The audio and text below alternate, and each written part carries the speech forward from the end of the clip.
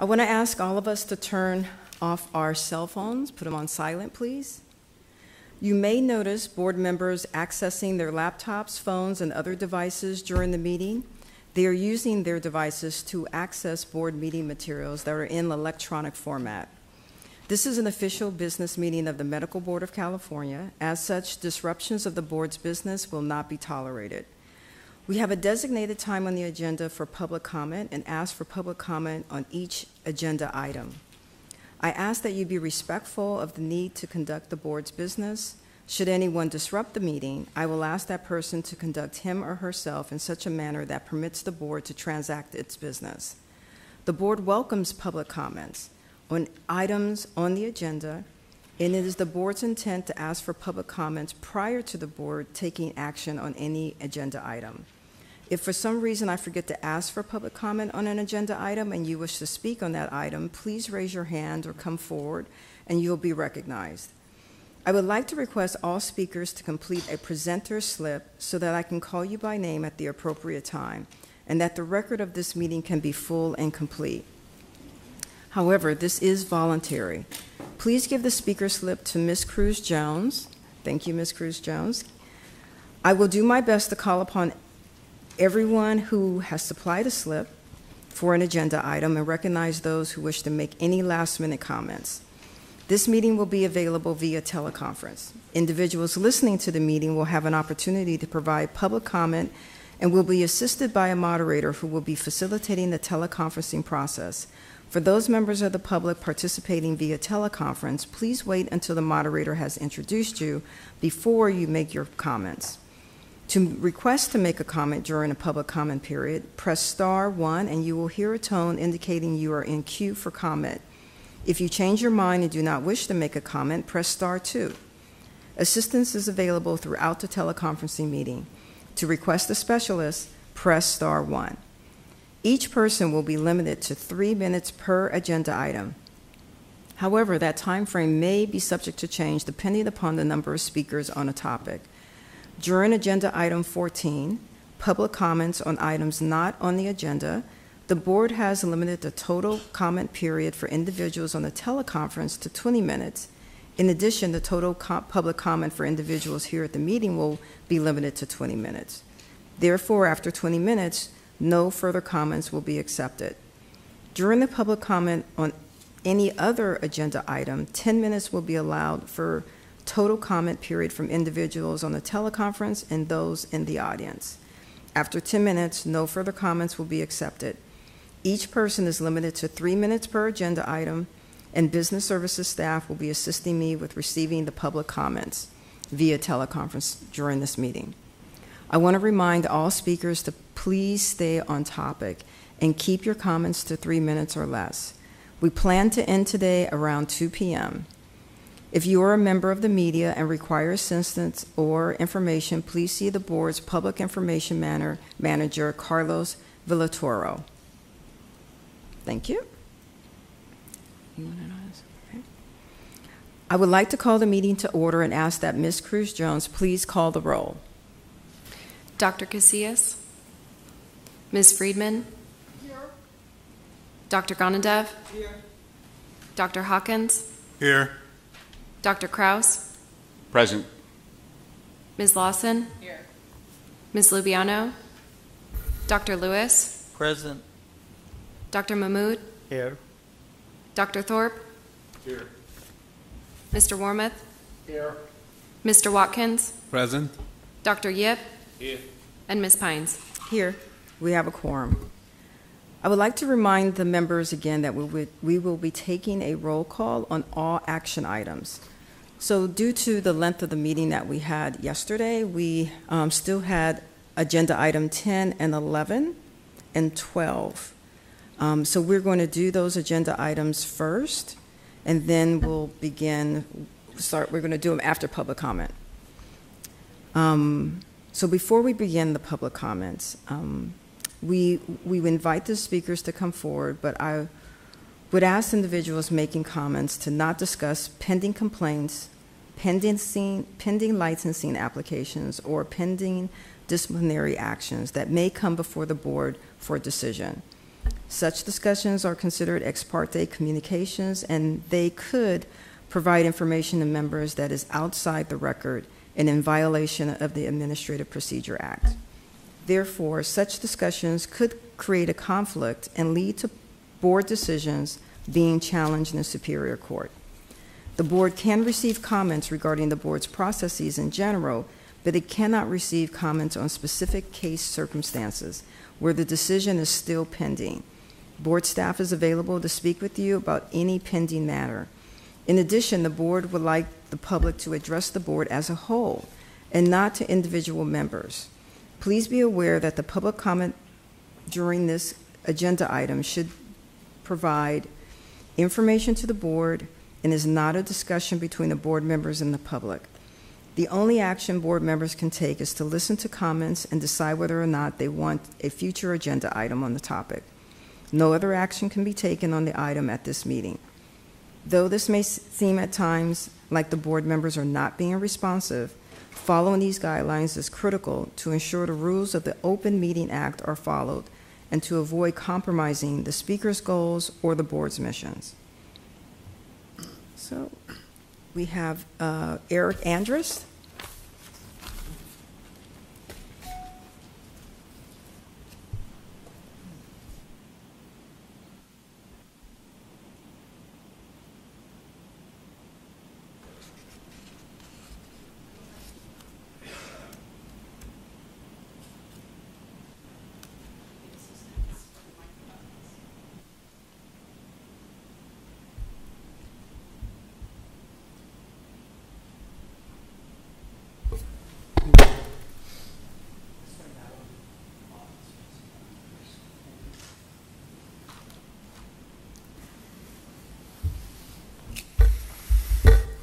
So some of you have heard the stories of victims that we've been bringing in before, but we have quite a few new members today, so I'm going to reiterate some of those today. At the last meeting, Ed Hollingsworth and I detailed my own story of being harmed twice by a surgeon and how this board closed my complaint, even though a second surgeon detailed in my medical records exactly what the first surgeon did wrong. As a recap, I was diagnosed with four hernias. The first surgeon did laparoscopic surgery twice on my hiatal hernia, and both surgeries failed. When I went to a second surgeon to find out why, he fixed it and found that the first surgeon had, instead of sewing my stomach to the esophagus in a procedure called a Nissen fundoplication, he had sewn it to the stomach itself, rendering the, pr- the procedure useless twice. Every time I had to go in for more surgery due to the first doctor's incompetence, it put me in danger. They had to completely open me up the third time to remove all of the mesh that the first surgeon had put in, and I told her I didn't want, and correct the errors she made. I'm now requesting again that my complaint be reopened with the new evidence that I've now been diagnosed with gastroparesis due to these surgeries. Every time I eat now, I bloat to the point of being terribly uncomfortable because my stomach won't empty properly for hours and hours. This very easily could lead to lots of other problems, including bowel strangulation, which my sister died of. I will likely have to be on an antibiotic for the rest of my life to force my stomach to attempt to function properly. My complaint detailed most of this, and the staff that you employ decided that none of this is outside of the standard of care. What I really think is that I'm being punished for coming to these meetings and holding you all accountable. Did any of you listen to our presentation at the last meeting and follow up with questions as to why my complaint was closed? Or did you just go home and forget about it? Out of sight, out of mind. It appears that none of you really ever take heed of the information the public brings to you, as we almost never hear of any follow through. Also, as uh, we've often heard that as members of the public, we don't understand all the requirements this board has to deal with. And while that may be true, I've been trying to, for over two years now, understand only to be met often with belligerent block walls. Some of us understand a lot and are open minded enough to see that change needs to be made so this board can do better. But what we're also seeing is this board sitting back and accepting the status quo instead of getting out there and getting the legislature to cha- actively change the laws to protect consumers. I was recently threatened by a lawyer of a doctor for posting the public dismissal of his accusation on our website. I knew I was fully in my right to do so because this board keeps the document public indefinitely. I wrote to both Kim and Carrie to get information on this, and neither of them responded to me. So when you sit up there hating that I come here all the time and hold you all accountable, instead of rolling your eyes like Dev often does and wanting to punish me, you should be blaming Kim and Carrie for their belligerence and unhelpfulness and for closing consumer complaints for people who were truly harmed by bad doctors. Please It's- conclude. Oh, God, three minutes is never enough. Um, I don't have contact information for any of the new members, so if any of you are truly interested in hearing about the ongoing evidence we keep finding, you know, please contact me. We're work, uh, I did a lengthy interview yesterday with KSBY, which will be airing shortly, and we have ongoing interviews with uh, News, t- uh, NBC News LA, 10 News in San Diego, as well as an upcoming story with the LA Times. Thanks. Thank you. Hannah Ree?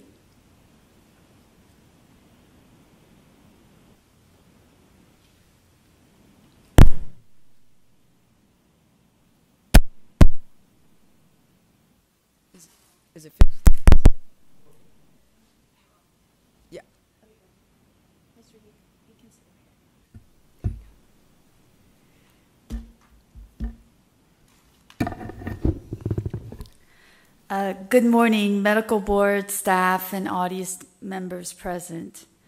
Please, please consider, consider allowing a BPM supporter to come and discuss our Underground Railroad and our network of safe houses and synagogues.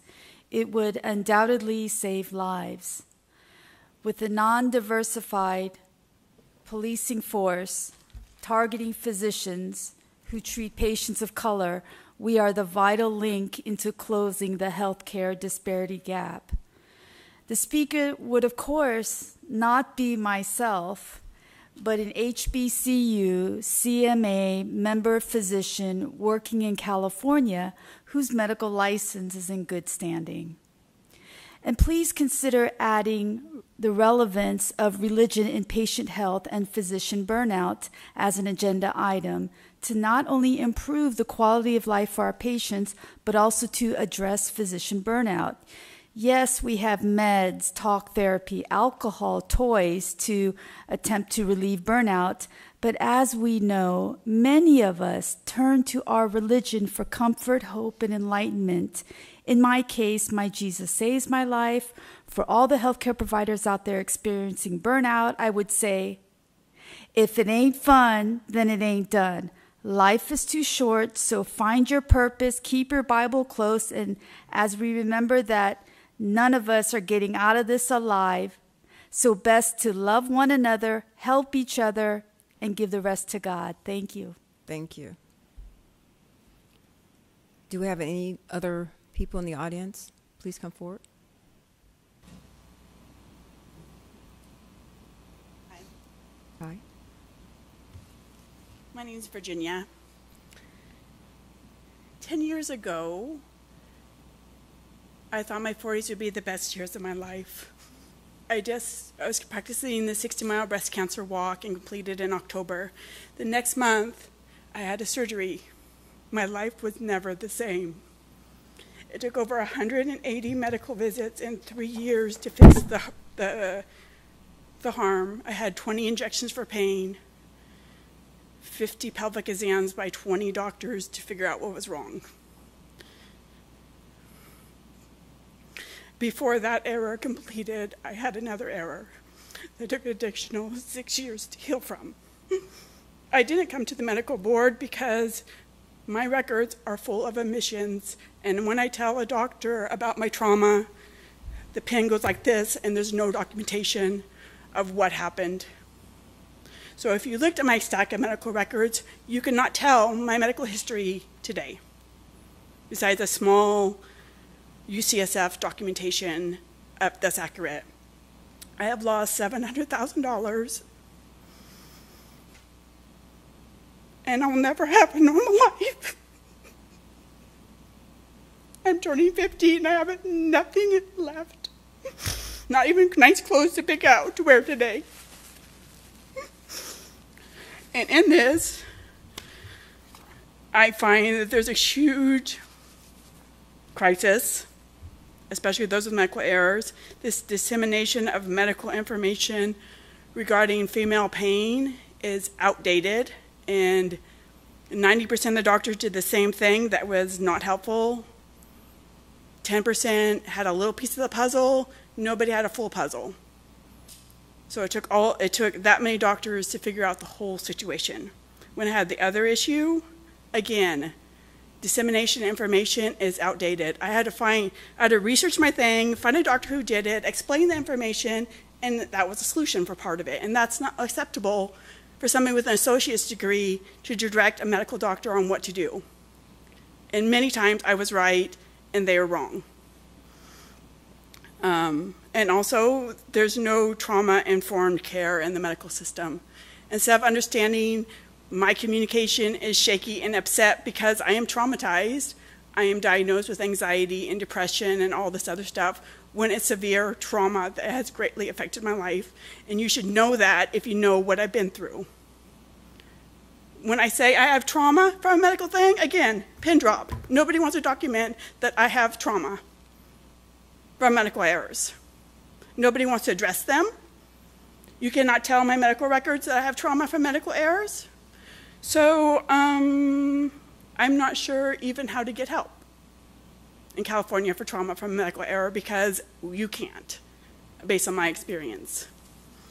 And lastly, my 12 seconds, the doctor's medical malpractice insurance company is worth $4.9 billion. They take away our rights to obtain legal help. Actually, I'm going upwards. So um, it's really frustrating that they're taking home millions of dollars and live in Diablo, and I could have been homeless if it wasn't for my mom. So that's all I have to say. Thank you for sharing your story. I know that was, was tough to do. And I'd appreciate if there was an up regarding dissemination of health information was talked about because there's an issue with that. Lying and omission of medical records and becoming trauma informed. And compensating people who've been through things like I've been through. And thank you. Thank you. And that doesn't take away my $700,000. Are there any comments on the phone? Yes, there is. Our first one comes from Susan Lauren. Go ahead, ma'am. Your three minutes starts. Hi, thank you. Um, USA Gymnastics protected Larry Nassar, who abused so many gymnasts and dancers. The Medical Board of California is in the parallel role in my case of surgical assault against Dr. Saul Berger. Your members know about this abuse and do nothing to stop Berger, who has gone on to hurt others. You enable abusers. Dr. Terry Dubrow, a plastic surgery reviewer for your board, was hired as the independent medical expert in my civil case against Berger. Dubrow perjured himself under sworn testimony in the depot and trial. I have the transcripts that show details of his false witness and unprofessional conduct, which is too long to go into detail here. Among other things, Dubrow said that Berger did not operate on my buttocks, but in fact, Dr. Berger made numerous lipoincisions on my gluteus and removed it for no reason. And also, he destroyed my legs, waist, breast, and more against need, consent, or rationale. Dubrow spun the mutilation Berger did as being due to skin laxity, uh, slight contour irregularity due to age or weight change. He said there was no permanent damage or pain. In contrast, plastic surgeon Brian Blatner said the damage wasn't skin laxity or age, it was extremely poor technique and procedures that were unconsented, contraindicated, and caused permanent damage. Dubrow used his position as a reviewer with the Medical Board of California to unjustly sway my jury. And he uses it to get TV shows to gain public trust. Then he hires himself out as a very pricey independent medical examiner. By 2015, Dubrow had been hired by Tom McAndrews law firm at least 10 to 15 times. McAndrews is the ringleader behind the perjury of Berger and Dubrow in my case. This team slandered me, caused me trauma, left me financially destitute, and sent me a bill for it. I hold your board responsible for me losing my case. You enable Terry Dubrow and let him testify in your name. Dubrow and McAndrews told my jury repeatedly that Dubrow was the standard for the Medical Board of California. with his perjury. In the exit poll, jurors said that they went with Dubrow because of his Medical Board of California position. So imagine how many medical board and civil cases have been dismissed unjustly because of these people and others like him, like the ones in the Hughes case as well. You cut out law enforcement in medical assault cases. The Medical Board of California enforcement officer, the last one, Christina Dell, told me to go to the police and the DA regarding the assault when she knew that medical malpractice is in the jurisdiction of the medical board. Lawyers told me that plastic surgeons are the lowest rung of doctors. They harm people all the time and cover up for each other. That's not to say that some don't do good. A quick check of the, I'm finishing, a quick check of the Los Angeles Society of Plastic Surgeons. Oh, okay, 49 of the 55 members of the LA uh, Society of Plastic Surgeons, so um, desperate reviews, um, multiple reviews, easily searchable. These guys, police, plastic surgeons can't police themselves. I want you to stop enabling abusers, change the LIPO code 1356.6, uh, enact a truth in advertising, and stop ban, banning these um, ads, and have patients. Time is up.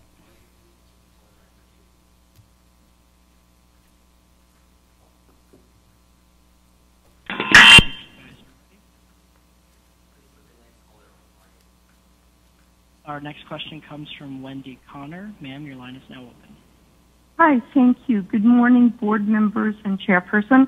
I'm here to discuss the complaint process and the inefficiency in record keeping. Um, the complaint people do not know where medical records are kept. There is no database. Uh, I had made a complaint against a doctor a year ago. Supposedly, they had requested the medical records in January. It was supposed to have gotten there within 30 days. Nothing was done. In July, in June of this year, they requested them again. Again, no follow through. So I called through and I asked for a supervisor. And I was told there is no database of where medical records are kept. Your investigators are overworked and overwhelmed and undertrained, and they are just Googling the requests, the Googling these records. The requests that were made were made to a facility that had nothing to do with the doctors. My point being, when a doctor fills out a form with his information, there should be lines on that form that say, where are your medical records kept? If they are kept in multiple locations from 2010 to 2015, they were kept in ABC. Uh, the location, the street address, the email address, the phone number. After talking with a supervisor in the complaint department, I called the doctor's office, and within one minute, they were through U- the, the records I needed were through USC Keck. I was able to get the information I needed in less than a minute. Why is a database not being used? When I spoke with the supervisor, she said, wow, what a great idea. Yeah, it is a great idea. Think of the money and the efficiency and the time saved if you keep a database of where physicians keep their records. And even if they are affiliated with a hospital, it is the physician's ultimate responsibility to know where his records are kept. Um, I've heard arguments, well, it was the hospital. No. The physician needs to know at all times where his records are kept. And that is my issue today is why is the board not putting that on the form? Why do physicians not have to the year the the time spent you have a seven year statute of limitations to examine a doctor. Now, I've, I've worked with the board before. During that seven years, okay, I was blinded by a doctor 20 years ago, and he was allowed to practice unhindered for an additional five years until he almost killed someone else. Then you just let him retire without any kind of disciplinary action. The point being, these records need to be these records need to be kept. You need to add that information to a doctor's profile so that you have a database which states, I am, you need a database which states where these doctors' records are kept. Thank you. It is inefficient Time and up. ridiculous that the medical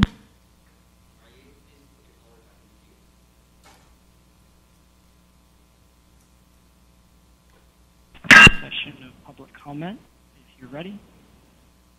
Do we have any additional comments on the phone? Yes, we do have one more person who would like to make a comment if you'd like.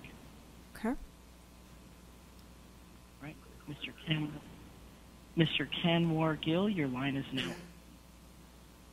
Hello, good morning. Um, um, I first want to concur with the previous uh, commentator. Um, um, essentially, what I wanted to re-emphasize is board has taken a position physicians should take ownership and control of the records, and um, despite uh, um, this being a, a position of the board, it's not happening, and part of the problem is California Department of Public Health and the intermediate entities.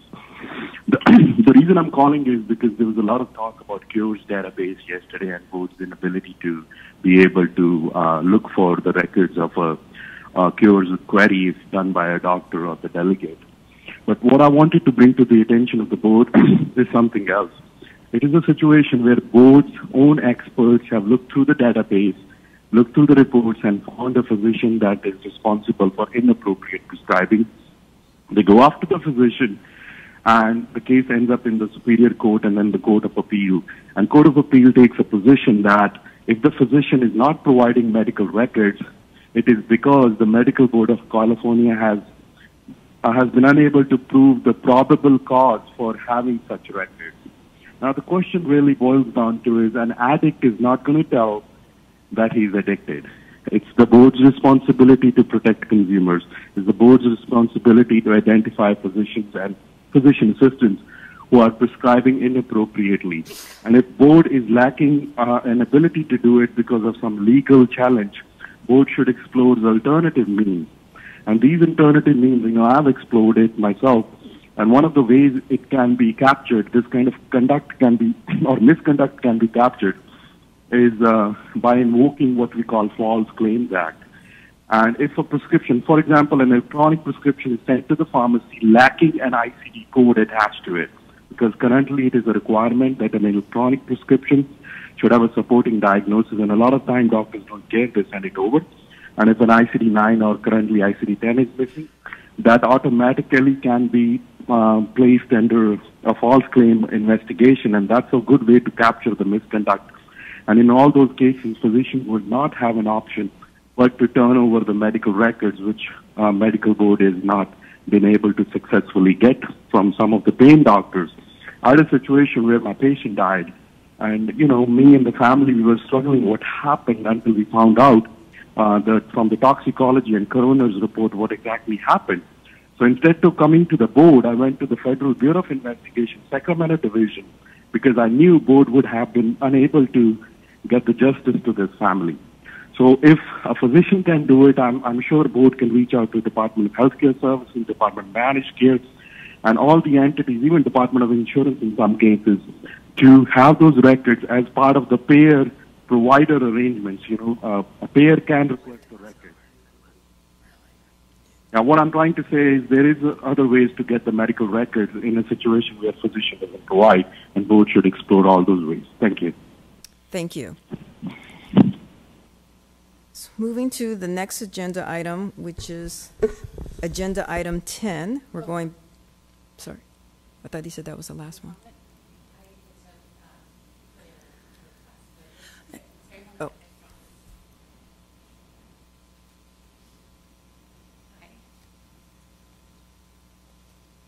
Good morning, everyone.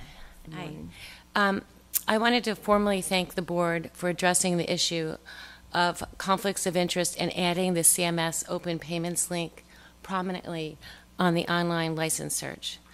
I think that's a very positive step in creating awareness of the information out there, important information that may cause conflicts of interest and affect a doctor's judgment when prescribing treatments and drugs.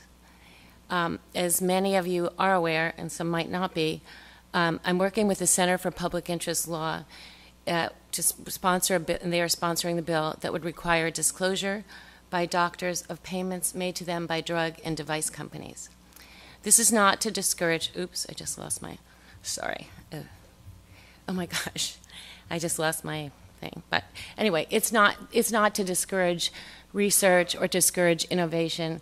It's mainly just um, because patients have a right to know about anything that might um, affect their ability to have informed consent.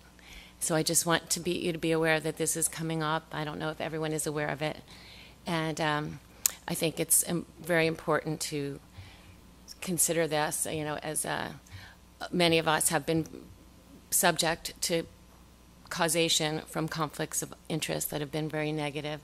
So I just want I just wanted you to be aware of that. I totally lost my my little talk, but and that's that's the gist of it. And I wanted to just make the create the awareness. Thank you. Thank you. Okay. So let's move to agenda item 10, the executive management report. Ms. Kirchmeyer? Well, good morning, members. Um, please find the executive management reports under agenda item 10. Um, I would like to actually um, point out just a few items I really need to bring to your attention. Um, first, at the last meeting, a member had requested information regarding expert reviewer recruitment. Some information can actually be found in the enforcement program summary, but I also wanted to provide a bit more information. The board is looking to develop an ad that can be used on not only the board's social media, but provided to other organizations to use as well. It can also be sent to numerous publications for posting and providing information to their members. In addition, it was suggested that we send the ad once it is developed to those physician members who have stated they are willing to be part of the volunteer registry, which the board just released a few months ago. We are um, also sending information to medical schools and alumni departments.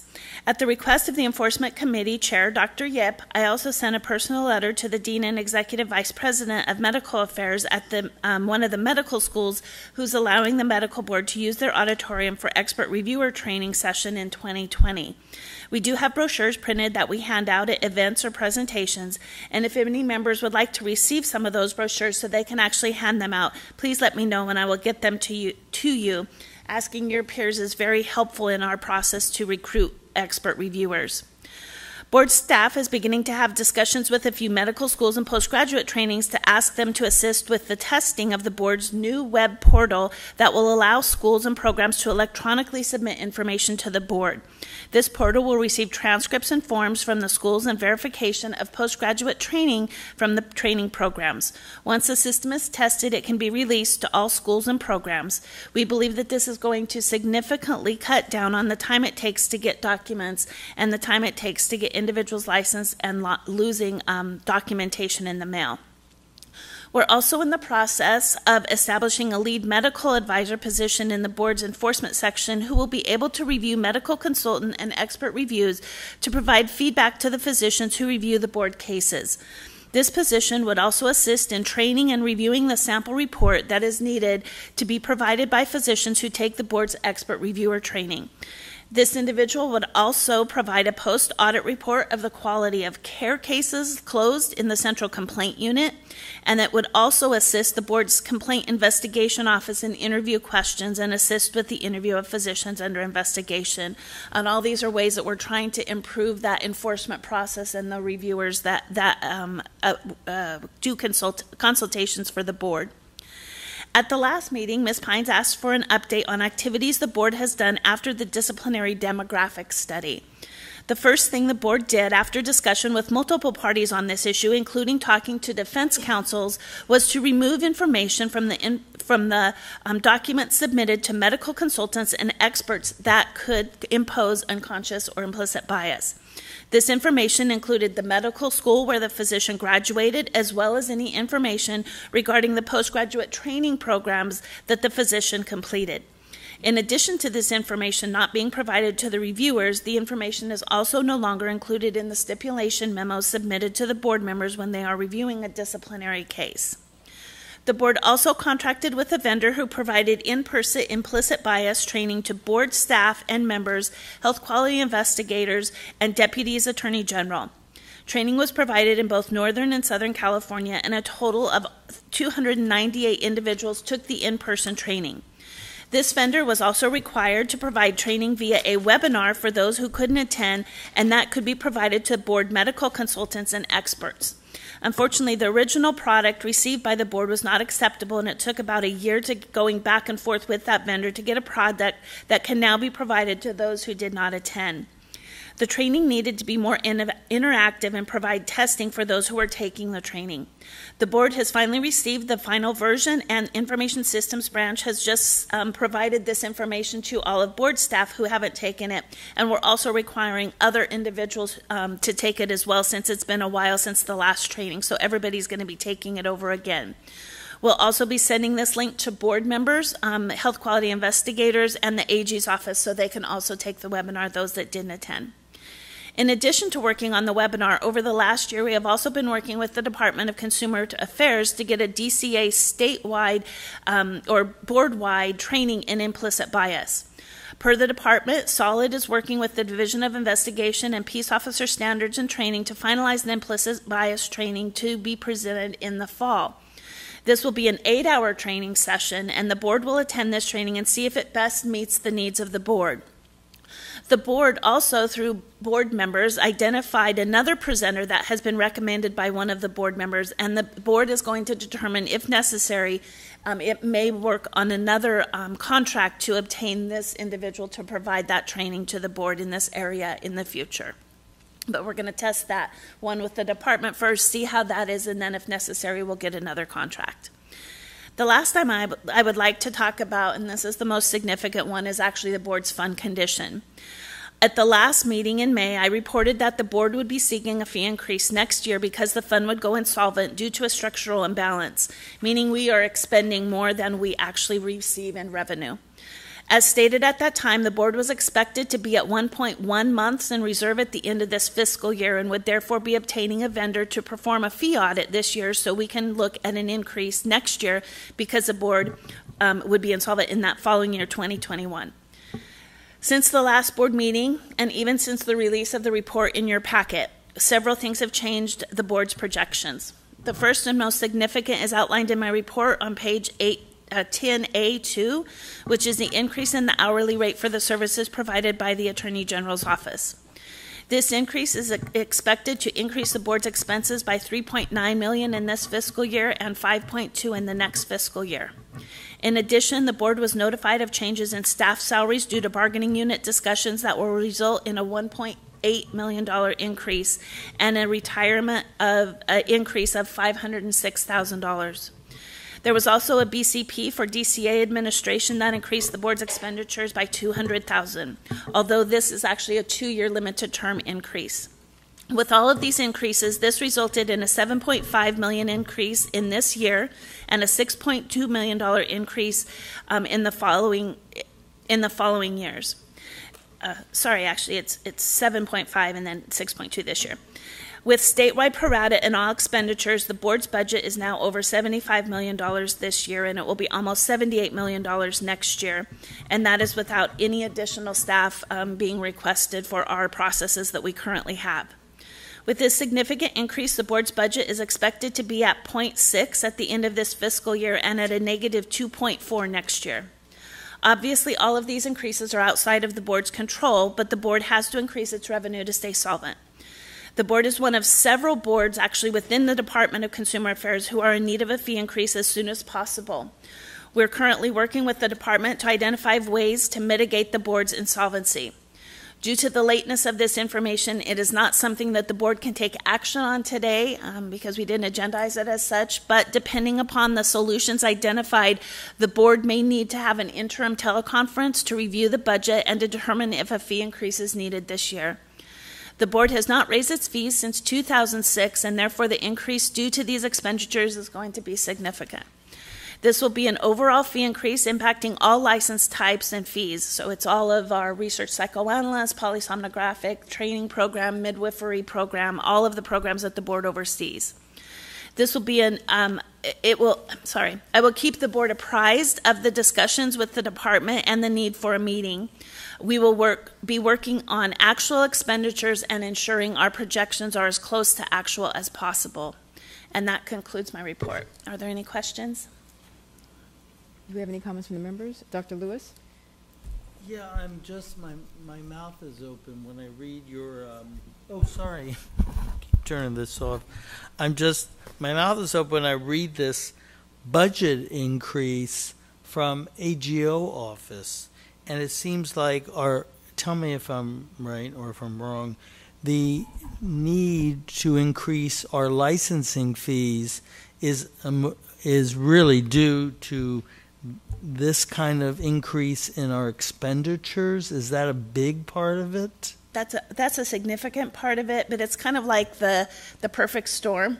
In, in actuality, we have the almost $5 million in the following year um, with the AG, but we also have almost a $2 million increase in the, um, the competence, the, the um, fee increase, not fee increase, the salary increase, sorry, salary increase Oh. For individuals, um, compensation, uh, employee, and workman's compensation.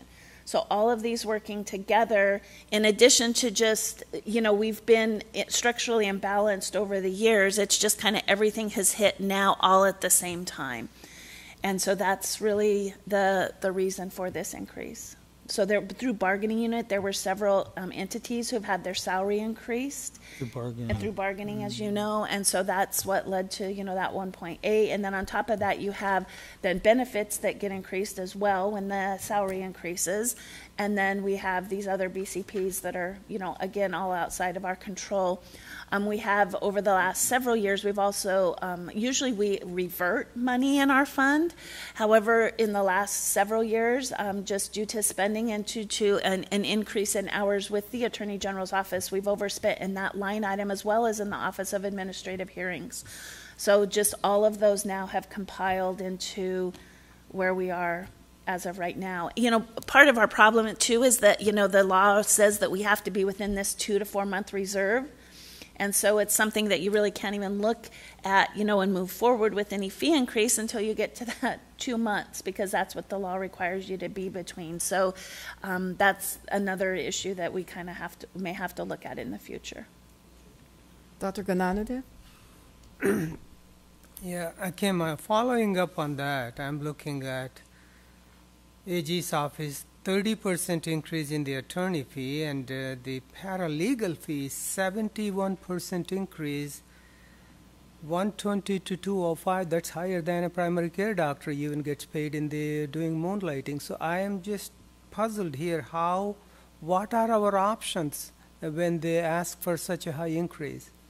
So the, the AG's office, that we received a letter um, in early July that the fees were going to be effective July 1st, and then we received a subsequent letter um, that said that they actually wouldn't be um, effective until September 1st because they do have to go through a review process through the legislative um, committee, their budget committee. They have to send it through, but it's not going to change. But they haven't increased their fees for 10 years, and so this is where we are today. We're a fee for service. You know, they charge us and, and the hourly rate, and we have to, to pay that for them. Yeah, but I, I, I, I don't have a lot of problem with the attorney fee increase, but the other two, the paralegal going to 205 and uh, the research analyst going to 195, which is 97% increase. Unheard of. So that's what my, my issue is, and we, it's the license fee which pays for these things. So I'm just uh, just curious, what are our options uh, when when uh, the agencies we contract with just send us a bill and say pay it? So we've we've brought that up with the department, and really, in we don't have any control over the the AG's budget or how much they charge. That's completely outside of any authority that we have.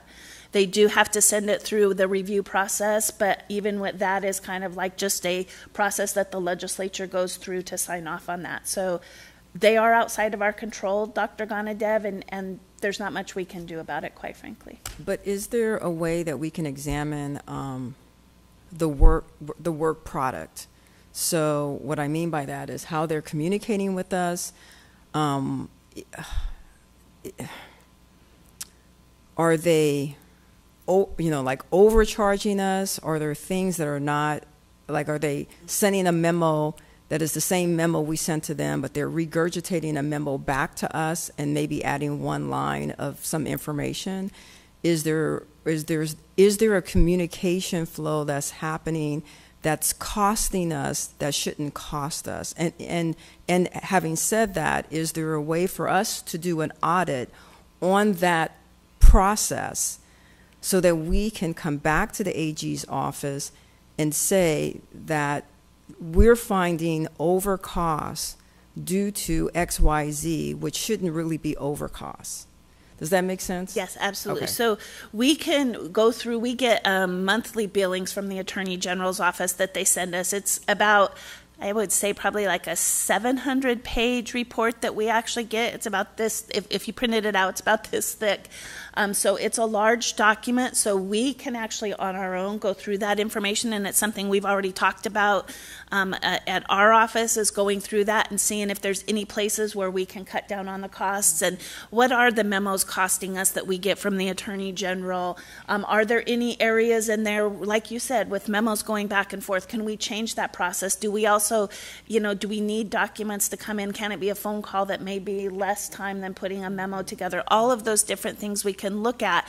I, I can tell you because I've talked to Ms. Castro before that you know she does also go through the billing and reviews it and looks at what the deputies are charging and that might be something that when, when we're discussing now a, a more thorough review of the spending and and be that being actually part of our discussion we have um, uh, calls every month that we do together and that might be another area where we can look at it and try to identify where there is spending that can be cut down with the, the hours charged at the Attorney General's office. Definitely. I think that's Okay. something we're going to need to look at.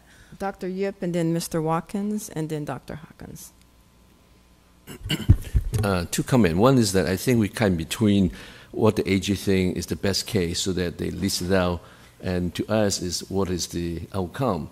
For example, some of the cases we read, they're listing every day how many drugs is uh, prescribed in every pharmacy, and to us, it's over prescribing. So prescribing doesn't matter it's 10 days or 30 days. So a lot of those, like typing, preparation, can be reduced if, if that can satisfy the legal criteria for those report. Those a lot of go to legal, paralegal service. Uh, my, pic, my question actually relate to enforcement. Um, on page 10b2, the non-sworn investigator have a caseload of 73 cases each. Would that be a too much, or what is the ideal case number? It, it seems quite a bit of cases to follow, and that go into question: uh, Do we need more of those uh, non-sworn uh, investigators? So for these are our non-sworn individuals, um, Dr. Yip, that are upstairs. So what happened is um, we actually had a staff individual leave in our central complaint unit who does the malpractice settlement cases. So we wanted to keep those cases moving while that position was vacant. So we actually transferred those cases up to the complaint investigation office to handle. That 73 number is not going to be an ongoing number for them. As soon as we fill that position, we're going to move those cases back to that individual. So that's that's just kind of a point in time right now that they have, but they it, it's not too big of an impact to them because they're still working their other cases that they have the criminal conviction cases, petitions for reinstatement, and the um, they get the second level of review on those malpractice cases. So even though that looks like a high number, it's going to be for a short amount of time until we can get that other position um, filled. And we do have um, with Susan Katie on board. She's kind of looking at this to make sure that they're moving forward, and, and they do case reviews. So I think we're okay on that one. I know it looks high, but it's okay. Also, but page 10b23, the average days to complete investigation HQIU, another out, outsource, I guess, the number of days 2017, 18, 2018, 19 seems trending up. Uh, do we expect to see a decrease since they have been filling up the vacancy? So I want to steal uh, Health Quality Investigations Office thunder, but they are working. You you have a handout. Actually, I think it's on the table talking about it. But they're going to be working on two things. They're um, filling their positions. First of all, I think they're down to nine positions that um, have not been filled. Maybe ten. I might be wrong, uh, ten. And um, they're working on that. They have people in background for those. Um, but the other thing they're doing is they're going to be doing a task force to um, work on those pending cases that they have. So the the goal is to bring that time frame down. Thanks. Kim, um, when was the last time this board did a fee increase? So the last time we did a fee increase was in 2006. Yeah. Dr. Hawkins? Thank you. Uh, That was going to be my question and comments. I don't want to pay any more fees either, but uh, 13 years is a substantial period of time not to have any fee increases. Um, and my question is, after that comment, is there any other ways that the board can actually get revenue? can bring in revenue. Other than that, th- those are, you know, because we are a specially funded agency, that is the way we, we bring in funding. Um, the two ways, the, the one thing is, you know, way back um, when we went in 2006, we don't get criminal cost recovery or investigative cost recovery. You know, if an individual gets disciplined, um, they they don't have to pay for the cost of that investigation case, but we did increase fees to accommodate for that loss. That was a long time ago. That's something that could be looked at as, you know, obtaining investigative cost recovery fees. But really, it's our whole fund is built on application fees, renewal fees. That is our main revenue source. Doctor? How is uh, California board physicians fee compared to rest of the bigger boards in the country? That is a great question. I will have to look. I will have to look into that and get back to you. Um, I do know amongst the Department of Consumer Affairs, and it's been a while, and I don't know if Patrick has this information, but I do know at one time we were one of the higher ones, but podiatry, even probably, uh, well, I've, it's been a while since I've been over there, and that was probably about six years ago. At that time, they were eleven hundred dollars, and our numbers are seven eighty three. So we're not. The physicians is not the highest within the Department of Consumer Affairs. Also compared to other states. Yeah, I'd have to look at other states and see. I like New York and and yeah, Florida and Texas. Yeah. Oh, Dr. GnanaDev? Yeah, Kim, I, I still have concerns, but uh, is uh, I'm sure it's going up for all the birds, I gather. It is. Yeah. Can all the birds get together and uh, and uh, ask AG's office, uh, hey, you can't just raise like that. I mean, if it is a private business, let me put it this way, it will go bankrupt. 97% increase, 70% was 71% increase. That's really scary. Even my high expensive attorneys don't charge for paralegal $205. So this is what really bothers me. It's not about it hasn't gone up in a while. Yes, it Mhm. needs to go up. I understand that our license fee will go up because it has gone up. It hasn't gone up, and all the reserves we had are exhausted. I I get that because state forced us to exhaust those revenue reserves we had. But this type of increase from one one side to the other without any kind of negotiation makes no sense to me. I, I understand it's maybe the government works this way, but all the industry I know, nowhere it works this way. Right. And I know you, probably, uh, you know, what we would do if, so we charge other boards for services that we provide to them. And we also charge our probationers when we um, go through and every year we look at the costs. So I, I don't, I cannot speak for the Attorney General's office, but because they are a fee for service, they, what we would have done is we would gone back and looked at what did we spend over the last year and then identify how much that spending is, and then what does that come out as an hourly rate for individuals? I know that's the way the Division of Investigation does, um, and that's the way we do it. I, I don't know if that's the way the AG's office does it, but it's based on their actual spending, and then how much should they be charging their clients. But as far as the department, I think that's why the department is getting together with us to see what all of us need to do to to be able to be solvent, and and they are kind of looking at on a on a all group together. But as far as can they change that fee, um, I don't I don't think Dr. GnanaDev that is something that the department can do. Okay, Dr. Thorp? Uh, thank you, Ms. Chair. So um, I guess, I, I, number one, I just want to um, second Dr. GnanaDev's um, point. Um, I realize that you know um, private private sector and public sector compensation is significantly different, and to try and keep people in the public sector, it is important to be able to compensate them en- enough so that they don't uh, leave their positions to go to the to the, go to the private sector. However, in this particular instance, it would be important. I mean, I and I realize we're captive to this, which is kind of odd. But in a you know in any other business, you would look for another vendor. You would find mm-hmm. try to find another price that you could run your business with, mm-hmm. that you would try to that you could w- operate within your budget, or you would find other ways to balance the budget. We wouldn't just be kind of held captive and handcuffed in this situation. But it would be interesting to know what other paralegals and what other researchers are being paid so that, that we could actually have an argument with the AGR. I mean, I, I mean, I realize that you can't have an argument with them. They, they basically dictate this. But it does seem that there ought to be some other recourse to this rather than to just be handcuffed and held captive to whatever. I mean, maybe, I mean, this is tongue in cheek, but maybe they should be, there should be a managed care sort of approach to this, like capitation, you know. Dr. Lewis?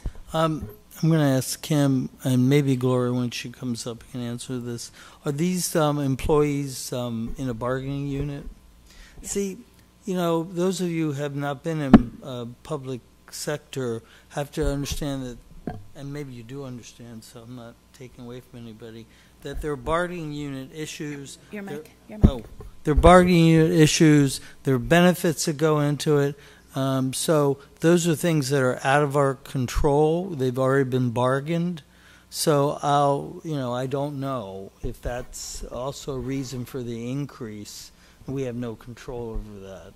And, and I can't answer for paralegal Dr. Thorp or the research analyst, but I can tell you for attorney fees, um, yeah, ours, the AG, the 220 versus what I, I know some of our um, respondent physicians, it, but I can answer for the paralegal. I'm not sure how that weighs in, so I, that, I'd have to look that up. I, I agree. I have no problem with the attorney fees because I recognize that that Yeah. is, but I also Mhm. second Dr. GnanaDev's point Mhm. that at least in the attorney that we use for our business, Mhm. which is quite m- a lot more expensive for the attorney's fees, the paralegal fees are dramatically less expensive. Yeah.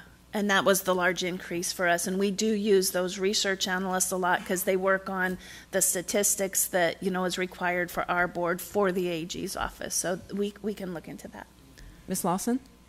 Thanks, um, Denise. I, I guess all I would say, coming from the legal industry myself, is I suspect if we do any kind of study about the Attorney General's fees, including their paralegals, including any of their research assistants, that they are grossly underpaid um, by by any comparison across government agencies uh, and also across the, the private sector. I suspect they're grossly undercharging us, and that the system, this this public budgeting system, is not capturing their true cost. I think that the flaw is frankly in the way that this is designed and organized. Um, uh, from a from a government, you know, a payment system that we as government a government agency in the state of California are paying them this way. It's a it's a flaw in our budgeting system um, that I don't know that we're going to be able to overhaul. Um, but we really should start having the conversation um, amongst DCA, amongst other boards that that that are charged in this way and have to pay in this way about how we're going to continue to fund uh, our own operations and frankly consumer protection right if we continue to have these ongoing conversation struggles. I mean this conversation itself is taking away from uh, you know good conversations about public protection consumer protection as we try to figure out just how to how to keep ourselves solvent. We shouldn't be having those conversations. Agreed. we shouldn't we shouldn't have to have those conversations I- is what i meant to say. Not that we shouldn't have them. We shouldn't have to have them I, I think part of the issue, and here, that is a great point, Ms. Lawson, because I think part of the issue here is that the Attorney General's office has not raised their fees for 10 years. We haven't raised ours for 13, so because of their huge jump, now it's going to impact us with a huge jump. So you kind of look at it, it's actually in, in, in it, it's a domino effect, is mm-hmm. what's happening to some degree. And, and so I, I think that's kind of where we are because of that big span. Now it's going to be this huge increase, and now we're going to have to do this. It's kind of commensurate to each other. Kim, on that point, can I ask a question? Just uh, why, it, in the private sector, often fees are reviewed every year, right? Annually, or annual budgeting is done. Is there a reason why? Where that was there some sort of freeze on increases in fees um, a- across the state, or or it, I don't it just know. not something that's We have done? not talked to the AG's office about that. We've been really talking to the department, but I think that's a great question that we need to ask because we do the same thing. We, when we charge our um, boards that, you know, get services from us, we review it every year and give them the change every year of to what that hourly rate would be.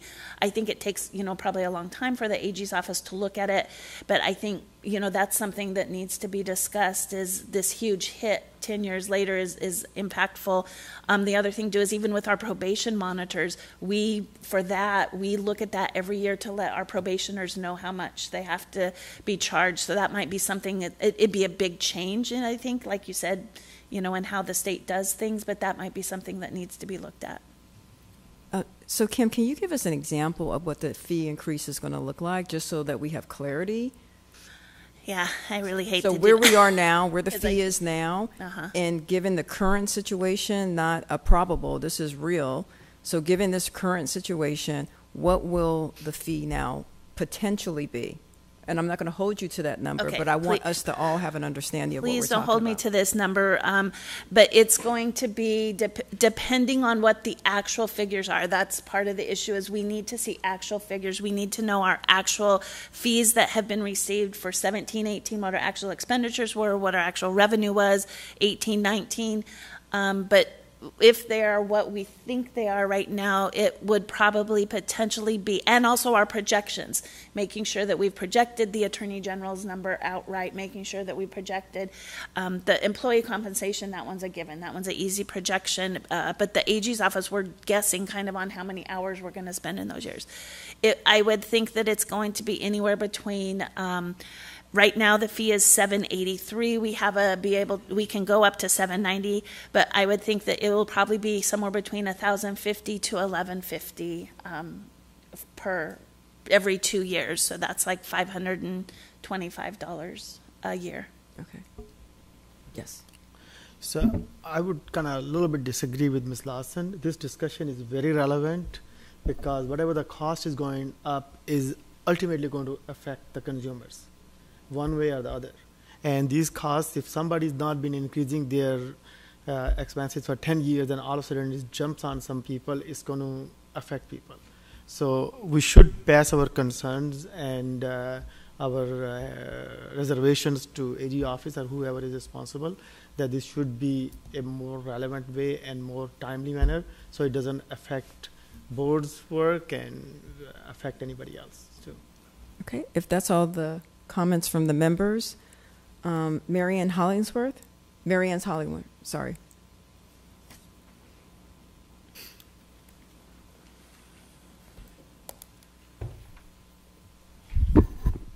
Good morning. My name is Marion Hollingsworth, and I'm a patient safety advocate.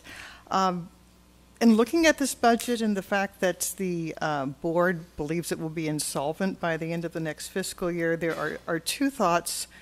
Um, one is that considering how much money the public has had to pay for medical expenses, that going from 783, 790 to 1150 every two years is not really that much. And it, it makes you almost look like whiners to say, well, that's really unfair to doctors. You know, my husband's monthly cost for his cancer meds started out at $2,600 a month and went to $3,300 per month. And that's a retired teacher. That's a huge chunk. So to have, you know, roughly $1,100 every two months, 650 a year, that's not that much. You probably spend more going out to eat every year than you do that. So I understand your reluctance to have an increase, but when you look at the big picture and how people are testifying that they have had, you know, $700,000 in medical costs over the last few years, it, it makes it makes you look bad, and you want to you want to look like you're, you know, representing the safety of the patients, which brings me to the second issue. The main issue is uh, how will this insolvency affect investigations if we don't have money to run the board? How will that affect the um, the budget for investigations, paying experts, paying investigators, and rooting out um, dangerous doctors? I didn't know if you were able to comment on that at this point.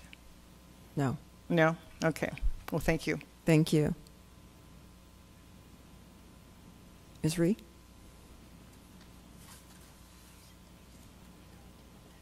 Yes, uh, thank you, Medical Board. So, as as you all know, I'm Dr. Ree. Um, I'm also the co-founder of Black Patients Matter, and um, look, uh, as as I've been stating, there is a bias within the HQIU, as evidenced by by our uh, federal civil rights lawsuit, which is moving forward through the courts, and um, so uh, let's let's think of it this way if I were not here talking to you about this, and let's say it's happening, okay, how would you know? How would you know that the HQIU was misusing, mis, um, misrepresenting themselves, and choosing cases that were racially biased? How would you know? Here's an idea. You might have some um, evidence of this by the lawsuits that unfortunately some of you are facing from those who have uh, have had actions placed against them. You might know by having someone such as myself on camera um, against the advice of all my attorneys to come here and speak out about it. Please, medical board, do not fund a policing and investigative unit that is not racially diversified. So along those lines, uh, we uh, it was mentioned the implicit bias. Well, let's talk about explicit bias. Okay, so what is explicit bias? Look, we all work with um, physicians that with several backgrounds, private, hospital, uh, that sort of thing. But for whatever reasons, uh, some providers only treat certain patients. They only treat the elderly. They only treat um, you know different uh, patients. I would I would uh, suggest to the medical board that we don't um, bias our um, experts by only choosing medical experts and consultants who have maintained a whites only clinic, meaning for whatever reason, they've only seen white patients uh, for the last 30 years. And um, that would not necessarily, um, you know, address explicit bias, but certainly um, amongst our psychiatrists. So in my case, um, the expert, the medical expert that the board sent me to was a psychiatrist. He had no, he was a cash only psychiatrist, never been contracted with Medicaid, never saw a Medicare patient. He was cash only. And on his eighth paid, page impressive resume, um, he state he had never been on a diversity panel, had never uh, been in an NMA meeting, none of that. And so, um, again, medical board, I urge you, please do not fund a um, all-white medical uh, investigative force and non-racially diversified. Thank you. Thank you. Are there any other comments in the audience?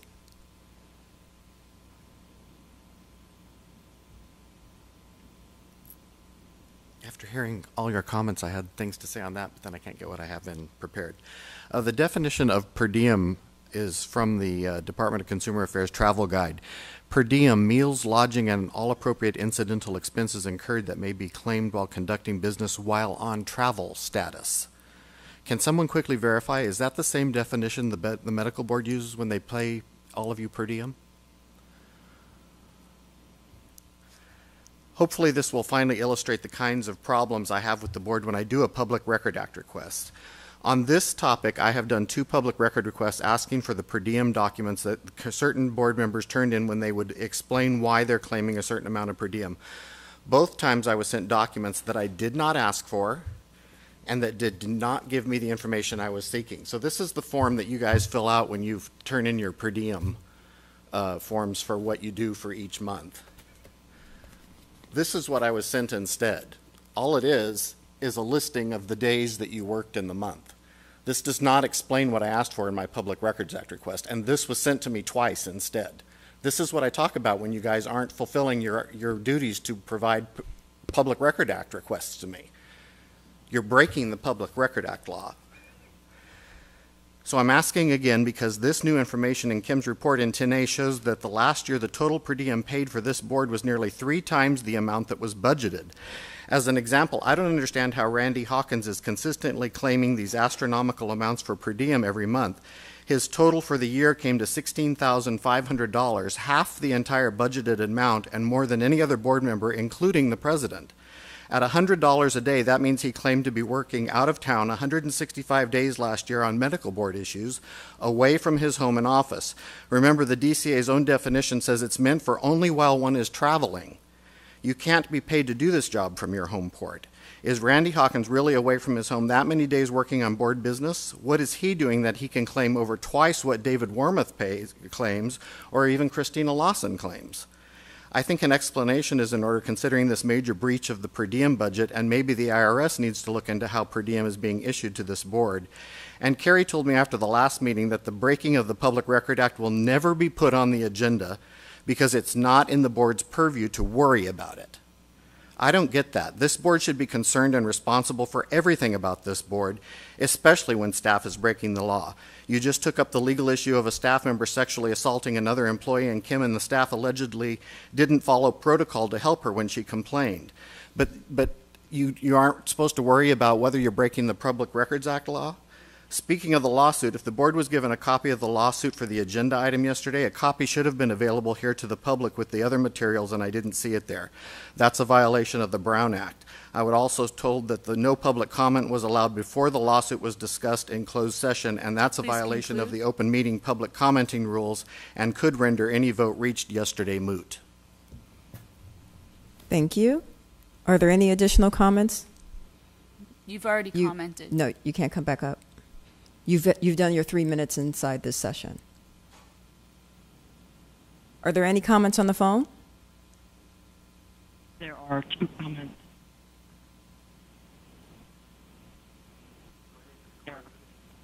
All right, Mr. Kanwar Gill, again, you are, are open. Um, my name is Kamar Gill. I'm calling from Fresno, and I am uh, commenting on agenda item 10A. I believe that's under discussion. Well, it was unclear from um, from this presentation of DCA, uh, other boards which also um, use the health quality enforcement uh, uh, attorneys and paralegals like Department of Public Health, Dental Board, and probably other some of the other health-related board in field offices. Uh, if the cost is about the same, um, paying these attorneys and parale- paralegal as the medical um, board is. Number two, um, it was also unclear um, if a vertical enforcement model that was uh, sunsetted in December um, uh, 2018 would have had any impact on the amount of the volume of business these attorneys and paralegals were getting, and they probably are trying to make up for seeing the loss of business in coming years because the vertical enforcement is gone and uh, they may be under an impression to be able to fiscally solvent themselves. They need to um, increase the cost to the projected cost.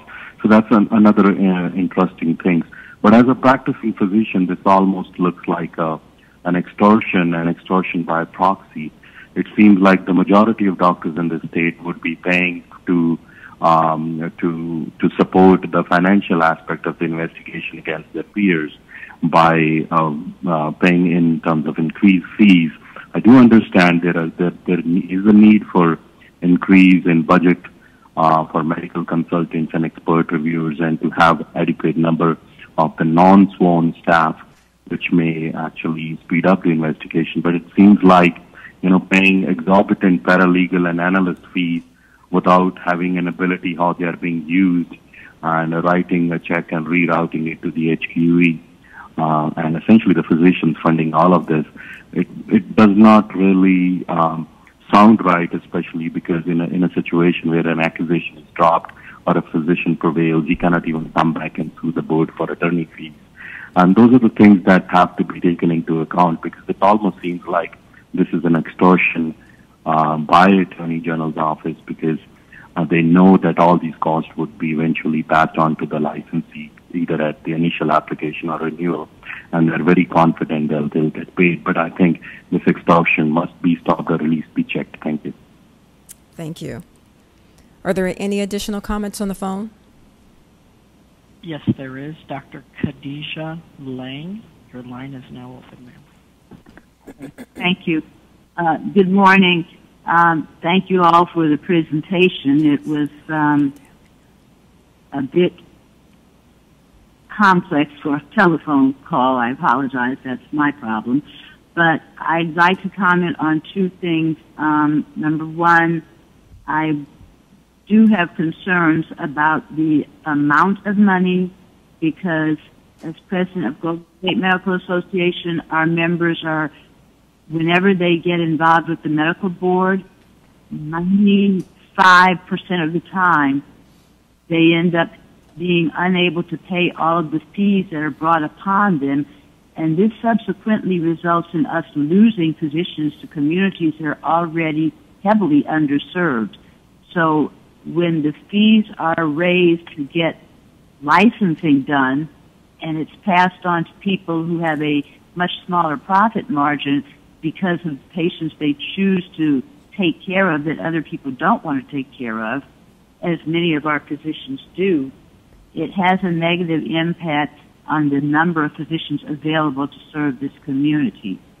Um, additionally, on another topic, um, I'm wondering if we could get some information on feedback from members of the medical board that have done the bias training and whether or not any types of concerns, if there are any concerns addressed by people as to the adequacy of the bias training, because it's great that the bias training has now been implemented and we appreciate the efforts to try to mitigate the changes that we did observe through your demographic study, which we're very appreciative of you doing.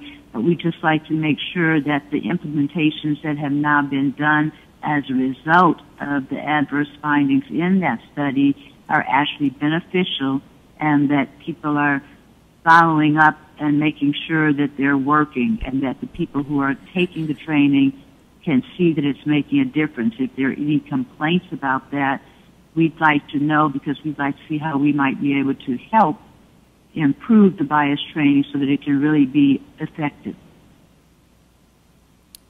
Thank you. Are there any additional comments on the phone?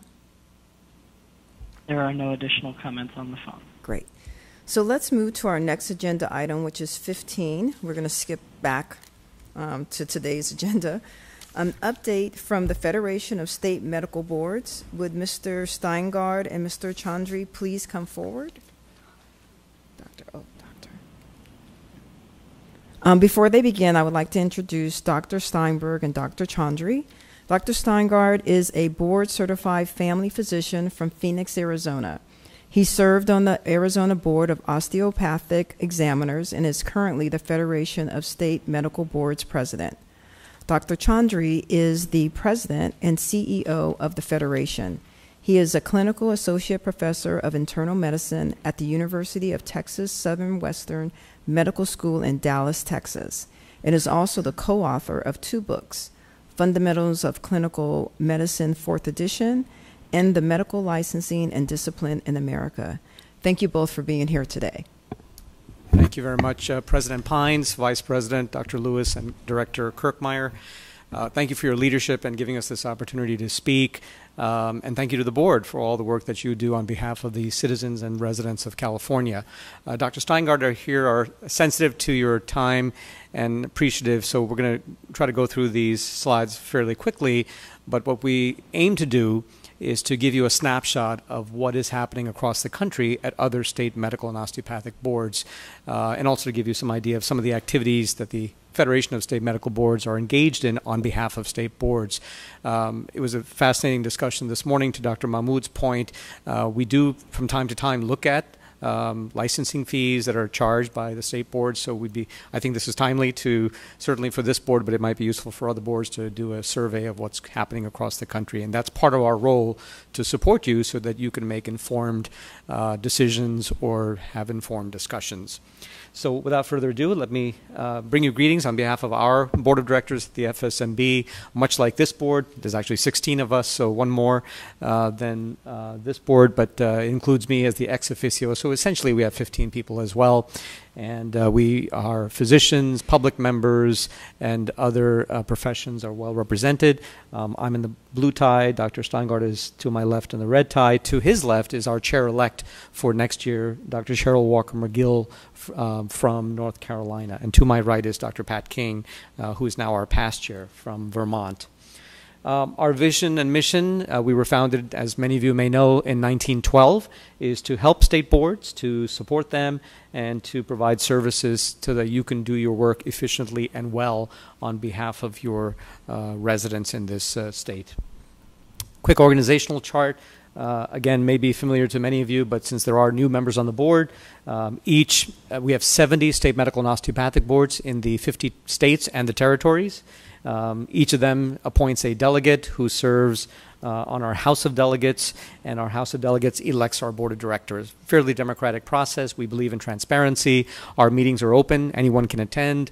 Uh, they just have to register for it. And uh, our discussions are also open and transparent. We have reference committees, and decisions are made at the House of Delegates. We have no enforcement authority, however. We don't control the state boards. We were created by the state boards uh, almost a century ago, more than a century ago, to provide a space where you all can get together and share best practices and ideas so that uh, you all can work towards the common good.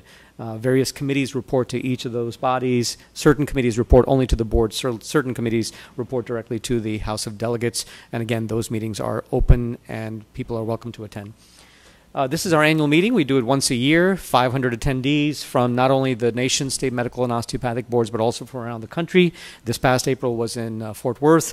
Uh, always nice to see representation from the state of California, either in person or by phone. Um, and we're grateful for those who have uh, attended our meetings in the past. Next year's meeting in April of 2020 happens to be in San Diego. Uh, we hope to see as many of you as possible. We think it's a wonderful opportunity not only to hear what other states are doing, but for you all to share good practices and best practices so that we can all work towards that common good that I spoke about. Um, this is our House of Delegates. Much again, I wanted to, for those of you who haven't been, it's a very uh, democratic process. Uh, this year, we decided to do reverse alphabetical order, so the people in the front uh, with the V's and the W's were quite pleased and smiling because they were in the front row rather than in the back. But it's um, again a very democratic process and discuss policies and recommendations, which, if adopted, are not required to be followed by state boards, but we are very thoughtful and careful in preparing them on behalf of state boards because they do sometimes become state law, sometimes verbatim or not at all. It's entirely up to the state board or the territorial board. Um, some of the actions, just to give you a snapshot of some of the actions made by the nation state medical boards through our House of Delegates.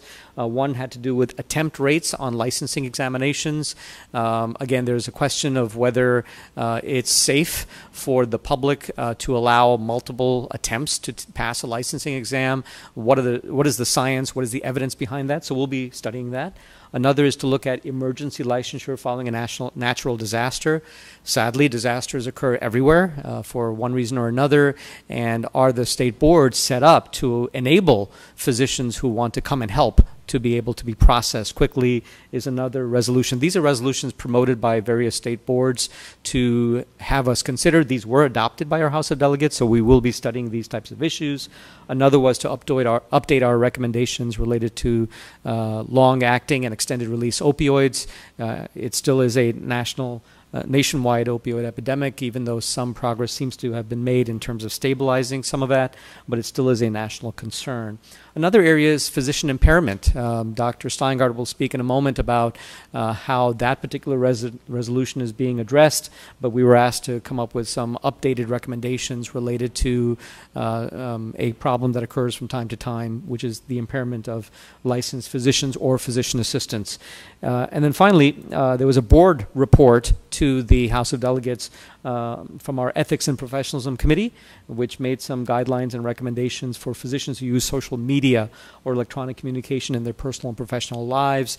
What we've seen around the country is that um, uh, physicians um, are experimenting with social media, but don't always use it in the way that they should. And so, reminding physicians and PAs about the appropriate use of social media, we think is a worthy topic, and our report uh, helped in that regard, we think. Let me turn it over to Dr. Steingard to share quickly some of the new initiatives that we're currently working on and look forward to your guidance and advice in the future about other areas we should be looking at. Thanks, Hank. Thank you. Good morning, everybody. Uh, it is really a pleasure to be here. It was great talking to you all last night. Um, let me delve right into this. So, um, our main thrust this year uh, will be in a couple of different areas. Um, as many of you know, uh, artificial intelligence or augmented intelligence has become uh, an issue that's that's captured uh, the imagination of um, not just the medical community but the public as well. Um, and it, it, you know, obviously we try and look at it from every angle, but from a doctor's point of view, from a regulatory point of view, uh, from a patient protection point of view, it opens up a number of uh, potential problems. Uh, and we wanted to try to get a handle on it. And uh, earlier in the year, um, in 2018, uh, the Federation convened a, a, group of business leaders, regulatory, regulatory members um, in, together um, and looked at, and we had lawmakers there as well, to look at what is AI going to look like. And when we finished it, we decided that it wasn't quite ready for a work group, for a formal paper, for recommendations, but it was most worthy of a task force. And that's what we've done. Uh, we've started a task force. We've had our first meeting. Um, and uh, we're going to start collecting data, not only nationally but internationally. Are there boards around the world that have dealt with AI issues? Um, and that's going to be coming up. Uh, that will be kind of an ongoing, it will be more of a uh, report rather, and probably just to the board, but we will definitely keep you informed. Um, our uh, Vice President of Legal Services, Eric Fish, uh, uh, is kind of head, spearheading that along with our CIO, Mike Dugan, and Dr. TerKonda, Sarv TerKonda, is one of our board members. He's chairing that committee. Um, move up to the to the first one. as you know, we have a, a strategic plan every five years.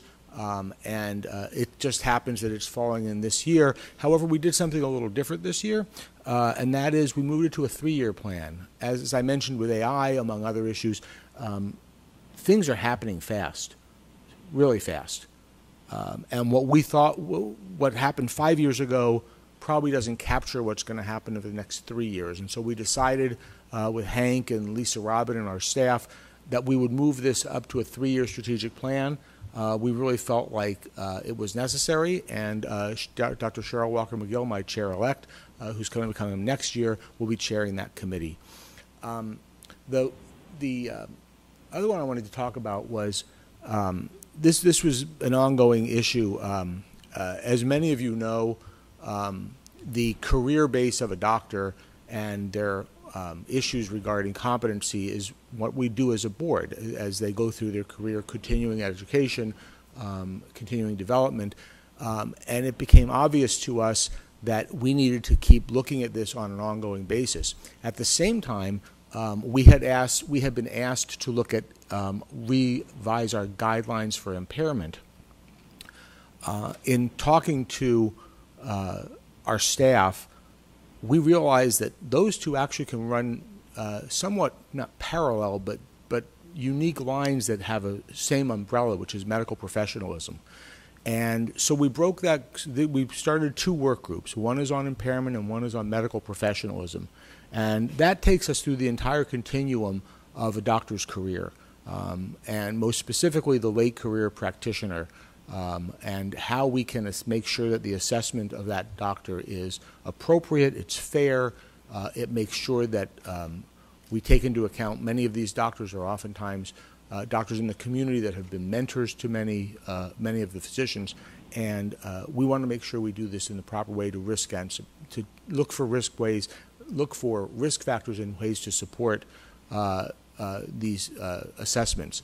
Um, on the impairment side, the impairment guidelines will be moving forward. Those are already in place, uh, but they do need to be updated. We'll be working with the uh, physician health plans around the country to make sure that we have a fair and uh, total view of all that.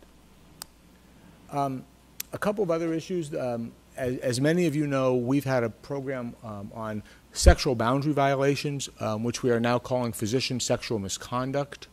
Uh, this is a uh, this was a work group that was started by Dr. Pat King, um, our chair, our immediate past chair. Some of you may know Pat. She's an internist from Vermont, um, and what we thought was a one-year program really we were really open our eyes were really open to not just to the physician patient relationship but physician to physician physician to resident physician to intern physician to medical student and um, we have had uh, in, uh, enormous testimony uh, a tremendous amount of testimony uh, including uh, patient victims uh, who have come forward and told us their story A very powerful very powerful testimony. And this, at our meeting in Fort Worth, um, we talked about it more in, a, in a, another section, um, which was, again, really well done.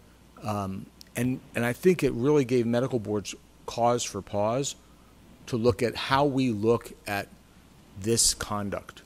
Um, we still we have two other uh, groups uh, our ongoing work group on um, board education service and training. Again, board members trying to get them up to speed quickly uh, is very important. Um, board training, every state does board training the way every state does board training, um, every jurisdiction. Um, but we are trying to give you some guidelines to help you as you move forward. And the final one is um, this is a new one, this is staff driven uh, board action content uh, evaluation or BASE. Uh, as you know, when you make a report, um, you use your language uh, for that report, which is unique to the California Medical Board. Um, when you send that to us in the form of an action report, uh, we compile that data and we put it away. But when we try to um, compare it to another state, if, if other if you wanted to know how do you compare to another state? What are we doing are you doing your best work? We have no way of doing that because language is so much different. So we've undertaken a, a project where we are trying to look at the language make sure that the language makes sense if possible give you some potential um, structure to uh, possibly um, using commonality if possible for that uh, without usurping your authority. So um, we're looking forward to that. One's an ongoing process, and I will just share with you that is a painstaking process. This is this is one which uh, is really almost being done by hand because each board action uh, is a unique event. So I'll turn it back to Dr. Chaudhry. Thank you very much, uh, Dr. Steingard. I'll just quickly add that um, as it relates to artificial intelligence, nobody's against technology, but I think the challenge is uh, how do you use it? I think uh, most uh, state boards would say that if it's used as an adjunct, that's okay. Um, but uh, to be used by itself, which AI could do, I think is where a lot of questions are being asked. Um, what happens when something goes wrong in that encounter? Where is the recourse? Where is the consumer protection? Where is the public protection? Are valid and good questions. And uh, so stay tuned. Uh, we look forward to presenting some recommendations in that regard. Um, quick review of some of our services that the Federation provides. Many of these services were created at the request of the state boards many years ago. The Federation Credentials Verification Service that this board uses was created by the state boards uh, through us back in 1996 when the states were struggling with a lot of for-profit entities that were claiming to do credentials and the state boards just did not know if they were doing their job or if the fees that they were charging were fair. So they asked the Federation to study it and one of the recommendations was maybe on behalf of the state boards the Federation could create such a service and now 20 uh, some odd, 20 plus odd years later, um, more than half of the nation's physicians, when they are licensed, get processed through the service, which is centralized. Uh, Kim plays an important role in an advisory group that uh, consists of other executive directors to make sure that this service continues to meet the needs of state boards and is efficient and fair and thoughtful um, and I think that's a, a, good example of interactions between a state board and the FSMB. Many of you are familiar with the United States Medical Licensing Examination, which was founded in 1991. We also have the SPEX examination. I will remind you that this is within your toolbox. If you have a question about a physician's competence, regardless of specialty, this is a type of one day uh, computer based assessment that really we feel every physician should be able to pass. Uh, it is not uh, specialty specific.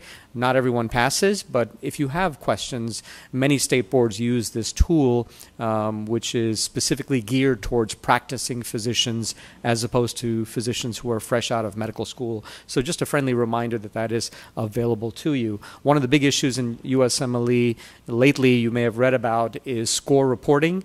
Uh, medical students are pushing to change the scoring from its three digit score to a pass fail to lower the stress levels.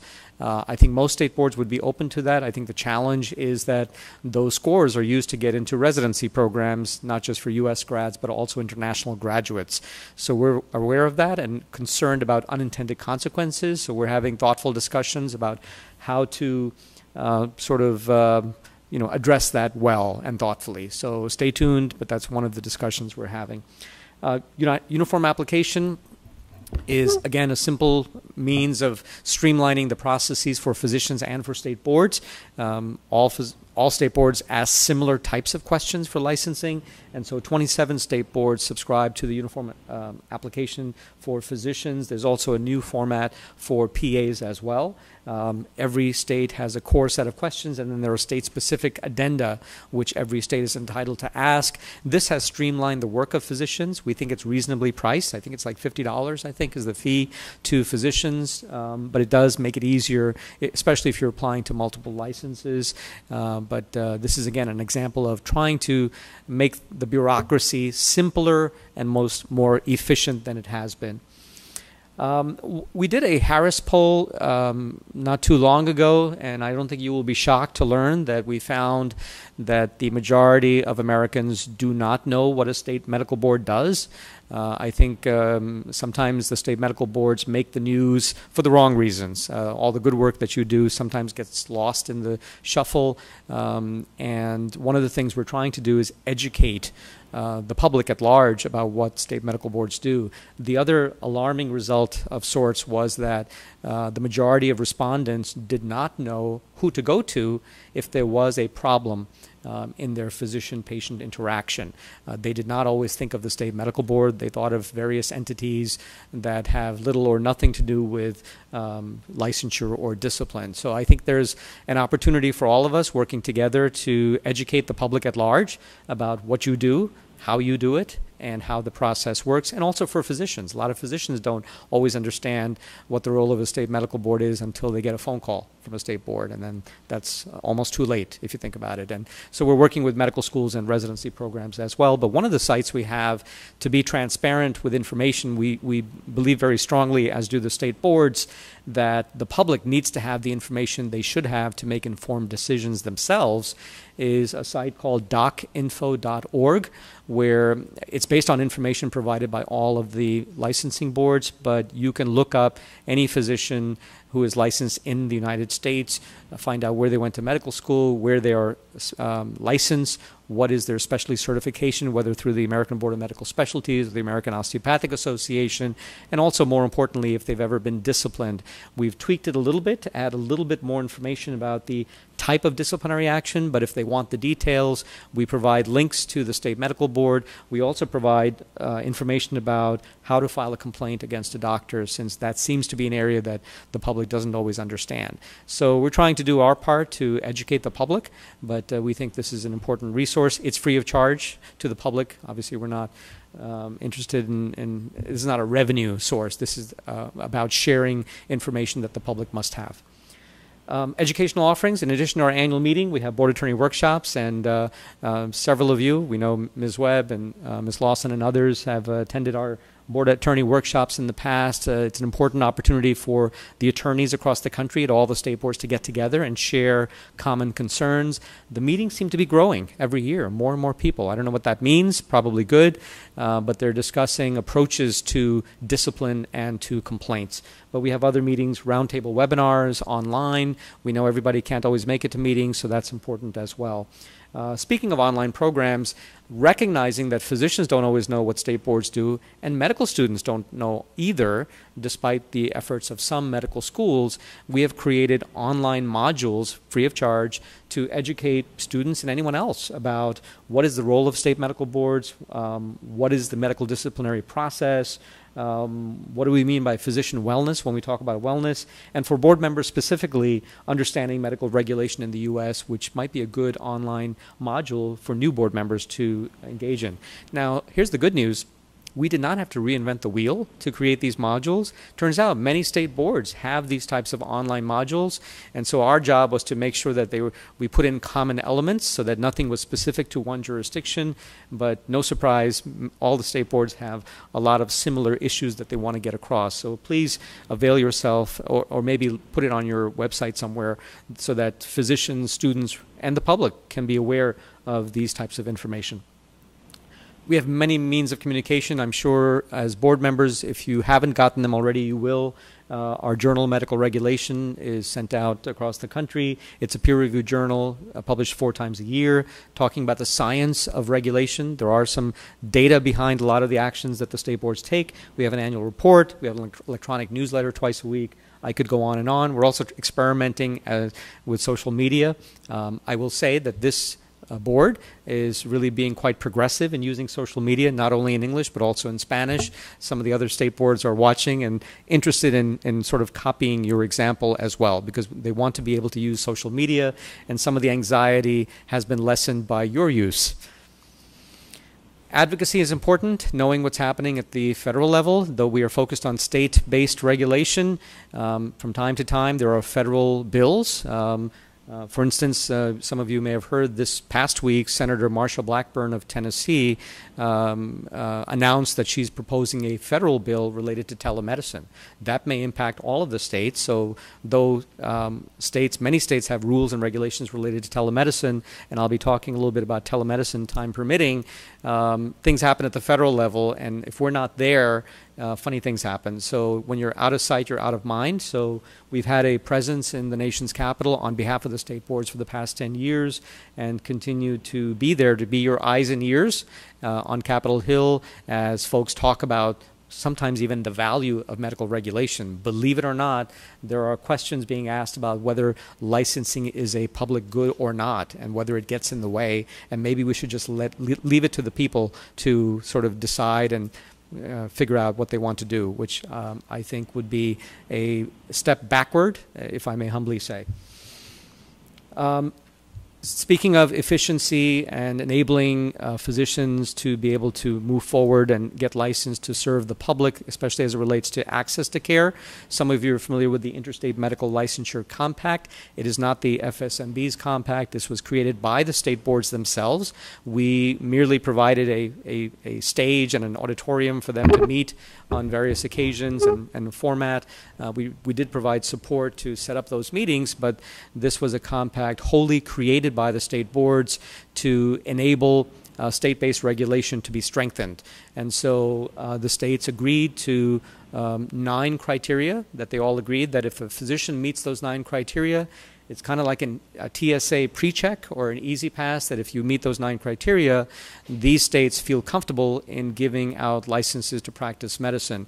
And among those nine, nine criteria are never having had a problem with your uh, license in terms of a discipline or a complaint, and also uh, having a clean record, essentially, are two of the criteria, but also uh, others basic common sense things. Um, I'm happy to report that over the last uh, um, three years, 2016 was really when it launched. Uh, there are now 29 states and two jurisdictions, the District of Columbia and Guam, that have, through their legislatures and their governors, have signed into law the Interstate Medical Licensure Compact. Uh, those states in light blue are those that have introduced legislation and are having some healthy discussions about it. Um, some of you may be familiar that nurses have had a compact for many years. Each compact is different.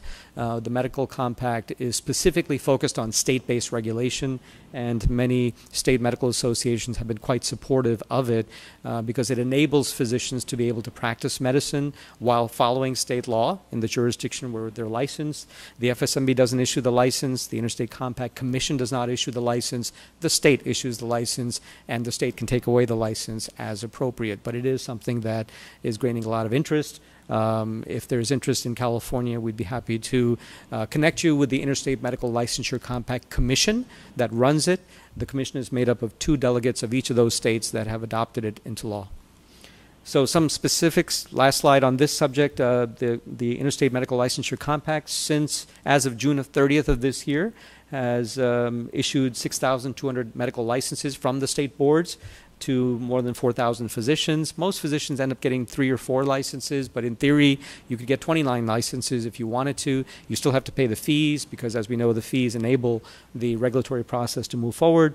There was a federal grant that allows states who are thinking about joining the compact to set up the infrastructure to enable that to occur. The FSMB's foundation also provides money to support those needs. The commission, again made up of state boards only, is hiring a customer service liaison manager because their volume is going up. And there's also look, uh, a look at web page design and updating that. Again, that is run entirely by the state boards. Um, this, should, this slide should come as no surprise uh, since California is such a large state with so many physicians. Physicians who are licensed in the state of California in red are also licensed in every single jurisdiction across the country. Now, some of this may be because people have other homes. It may also be because of telemedicine and that physicians wish to practice medicine across state lines, for which you know you have to be licensed in the state where the patient is located. But I thought this was an interesting slide. Uh, it's the type of slide that we can create based upon the data we have have about the nation's licensed physicians and PAs. Um, spending a few moments on physician wellness, which, uh, to be honest, was an issue at first we hesitated to study because we thought, well, that's an issue maybe for the American Medical Association or the American Osteopathic Association. It's really not an issue for the state boards. But the more we thought about it, it became pretty obvious that physician health is actually a patient safety issue. And when physicians are not well, chances are their practice of medicine may not be the way it should be. So um, the Federation's House of Delegates embraced this issue and wanted to study it, and the state boards put together a committee, a work group. Um, but we emphasize shared accountability. It's not the state board's role to fix this issue. It's a multi-system issue. So our recommendations, uh, which ended up being the largest policy document we've ever issued, has 35 recommendations. They're recommendations to medical schools, to hospitals, to residency programs, to uh, EHR vendors. Um, as much as electronic health records are designed to be helpful, sometimes they create stress um, and also to um, medical societies and others so we can all partner and work together to improve physician wellness and physician health. Uh, some general recommendations are encouraging physicians to seek help early. Um, in a recent study I saw, most physicians have doctors of their own that they can identify. The problem is they don't always go to those doctors. Um, you know, you've heard the expression that doctors make the worst patients. It's actually not funny. Doctors should seek care for themselves and make sure that they're well, not just physically, but also for their behavioral health needs. Um, and so that should be part of the um, physician wellness concept. One of the things we found, and some of you are familiar with this, is that many of the state boards ask intrusive questions during licensing, which actually, in some cases, go against federal law, the um, ADA, the Americans for Disabilities Act. And so this was identified through evidence as an issue. Um, you can ask if they're currently impaired, uh, but the federal law prohibits questions about have you ever had an issue because they think that federally, at the federal level, that's uh, not considered appropriate. So as a result of that, uh, we made a recommendation in our work group, and when I say we, I mean the state boards in this work group, that uh, our recommendations are to evaluate whether it is necessary to include probing questions about a physician's mental health, addiction, or substance use, and if you decide to go ahead and use a question, our recommendation is to ask, are you currently suffering from any condition related to that? Um, many state boards across the country have studied this, including this board, so we appreciate the changes made in, in the Medical Board of California. At least 27 state boards have discussed this issue. Eight boards have discussed potential revisions. Uh, four are in the process of making changes, and at least eight boards have made changes to their applications, including this board. Um, again, this is not something we're going to fix alone, but it is a collaborative effort. These are some of the organizations we're working with National Academy of Medicine, the AMA, um, the uh, Mayo Clinic, some of the bigger hospitals, AAMC, the Association of American Medical Colleges, American Osteopathic Association, um, etc. So I'm going to stop there as far as my presentation about what the FSMB is doing. And if time permitting, if you would permit, I'd be happy to talk a little bit about telemedicine as well. Thank you. Great. Thank you both. Um, Dr. GnanaDev? Thank you, uh, Scott and uh, Hank. Thanks for coming. It's always nice to come to California anyway, from Arizona and Texas. Uh, um, USMLE pass fail is a little concerning. Uh, that is one of the things residency programs use now because the first two years in most medical schools are pass fail. So only grading system is in the last two years. Even that students are pushing to make it pass fail. So it will be so difficult for programs to rank people, uh, just like MCAT scores. If MCAT is pass fail, the brand new medical school I was involved in creating had uh, 5,000 applications for 90 seats. So, I mean, they, it's just, it becomes so difficult. So, what are your thoughts on that one?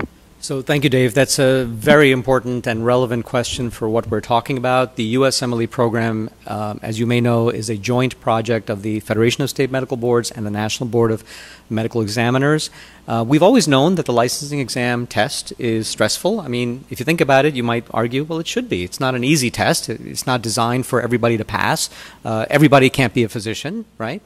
But what was surprised us was, uh, and we recently did a, a uh, analysis. You're absolutely right. A lot of the medical schools, not all, but the majority of them, it turns out, both MD schools and DO schools, in their own schools, have moved away from grades and are now pass-fail. That surprised us because now the importance of the USMLE is even greater than was ever intended.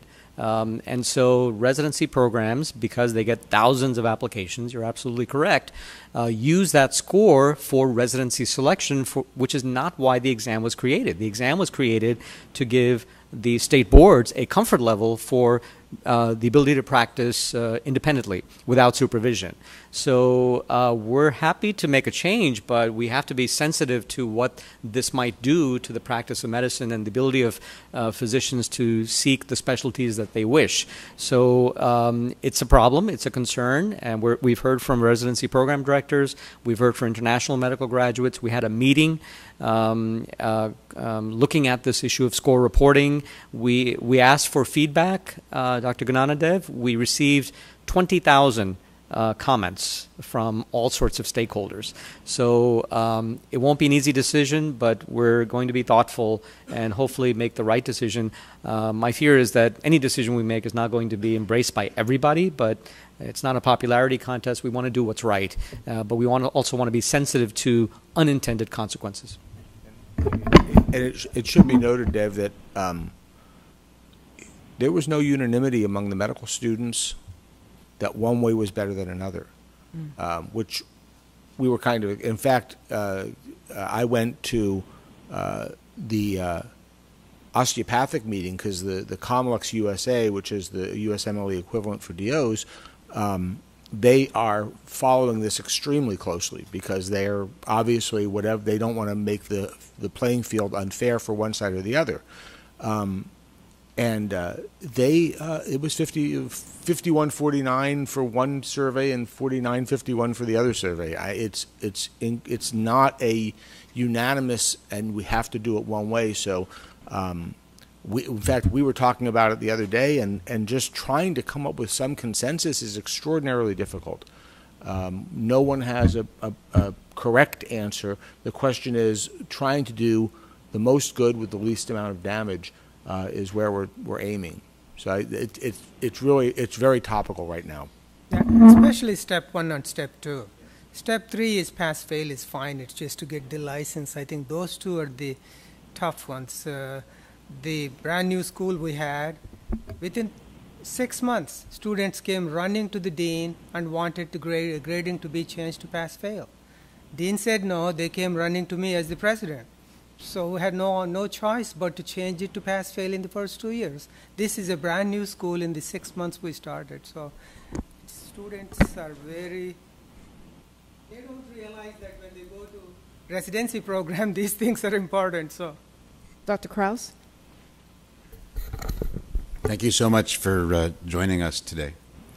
Um, I would suggest that you consider as you tussle over this pass fail versus grade that you consider a third option, which would be allow the examinee to choose which grading system he prefers before he sits for the test.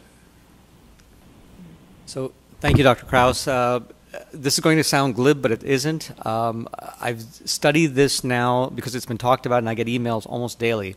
Uh, that is uh, one of the ideas I've heard before. Uh, a challenge to that question might be that residency programs may pressure students to reveal their scores. Again, you can't control everything, but uh, it is among the um, options that are being talked about. Um, so it's not simply is it pass fail or not. There may be some intermediate steps um, or a compromise that may be better. I don't know at this point, but uh, we're having discussions to try to make the right decision. Dr. Thorp?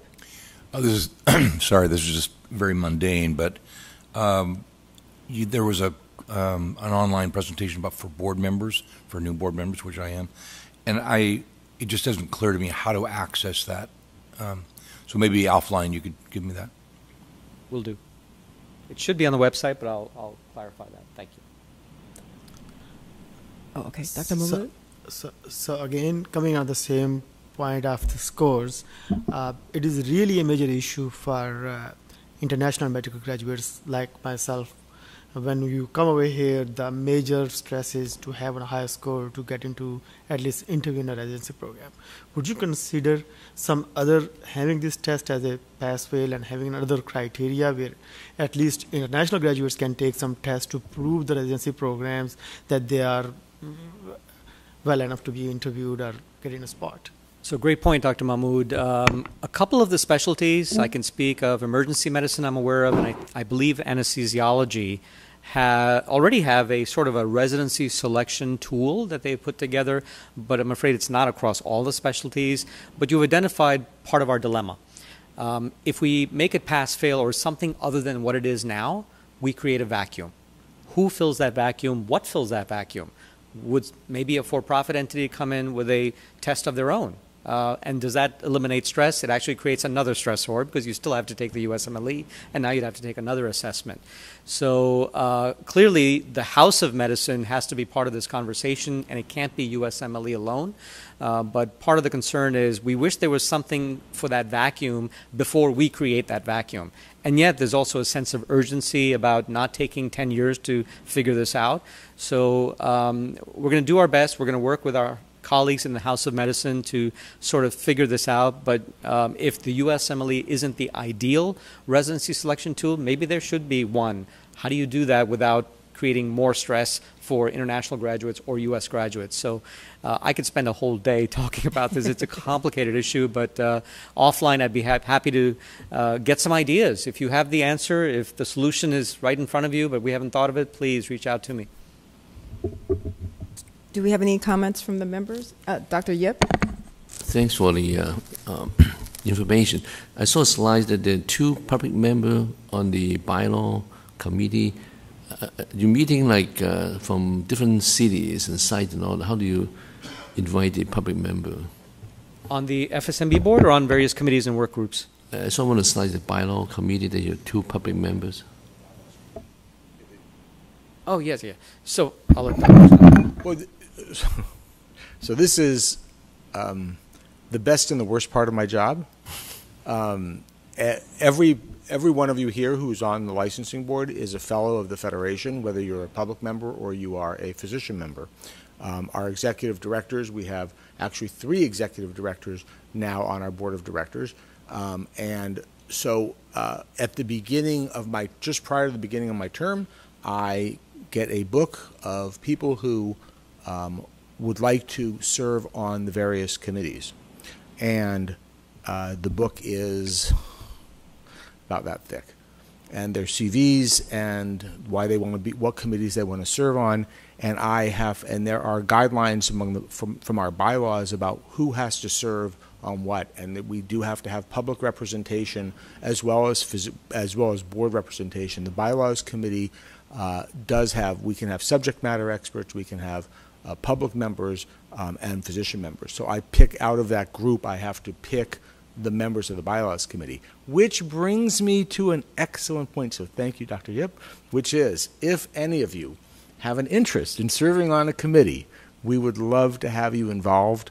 Um, it is simply a matter of uh, either letting Dr. Chaudhry or myself know, um, and we will get your information over to our leadership staff. They will send you um, a comment, and actually, you'll, you'll, if you get your newsletter, you'll find that, that you can apply. I believe it starts in October. I believe the first, uh, I think that comes out first. And then um, uh, if you send your information in, uh, it will not be my decision this year. It will be Dr. Cheryl Walker McGill's, who's the incoming chair, and she will give you uh, we'll put your name in the queue. Not everybody gets on a committee, but uh, if it's if there's an area of interest that one of you has, um, we certainly try to accommodate you. Um, some of the more interesting ones, ethics and professionalism, has drawn a tremendous amount of interest. I had for seven spots, I had 31 people interested, and um, in case you're wondering, um, we have some very impressive people uh, on these committees. Your CVs are amazing um, from around the country. So thank you for the question. I'll, I'll, I will also put in a plug. Um, we also are looking for state medical board representation on the USMLE test writing uh, committees because the exam is not just knowledge and skills. It's also about professionalism, ethics, integrity, honesty, the, the things that are particularly important to state boards. If you're interested in learning that, there are workshops where we can teach you how to write questions for the licensing examination. It might be something that uh, is of interest to you. Again, if you're interested, just uh, reach out to one of us and we'd be happy to connect you to those folks. Dr. GnanaDev? Yeah, I, am sorry. Uh, last question for me is uh, telemedicine. You mentioned somebody is putting a bill there. Is it going to make something about uh, change what what's currently what what the telemedicine doctors are supposed to have? That is, wherever there is a patient, they have to have a license in that state. So I'm not. So Dr. GnanaDev, I mentioned that Dr. Uh, Senator Marsha Blackburn, uh, Republican of Tennessee, this week announced that she is proposing a bill. So there's no language as of yet that's available, but we think that is to, this is to support uh, rural health in particular across the country. Uh, we've not seen the details, but um, there is some.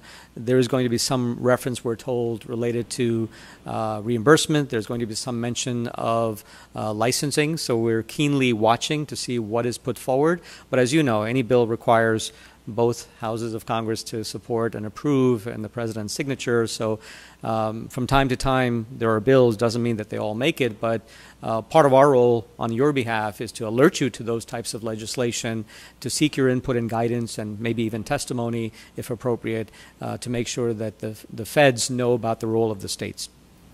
Ms. Stay tuned. Uh, just two things for the members about the committee appointments. That's the email I always send out. Usually, two of them come from the FSMB, and I send it out to you all. Um, just reminding you that if you do, when I send that out, it should be coming out soon, correct, Dr. Yes. Chaudhry? So, when I send it out, we do have to have it on an agenda item for our October meeting. It goes through a process where the board recommends that individual for the committee. So, if you do want to be on one of those committees, you do need to let me know so we can put that forward.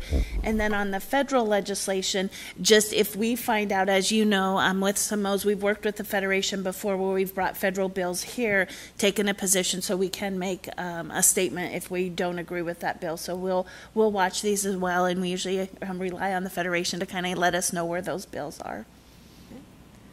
Are there, Dr. Lewis? You oh, Kim, would you um, again explain to the board members or um, about the attending of a, a committee or wanting to be put on a, a committee and the cost that we can get reimbursed because FSMB is now a corporation with CME in California. What was the issue with that?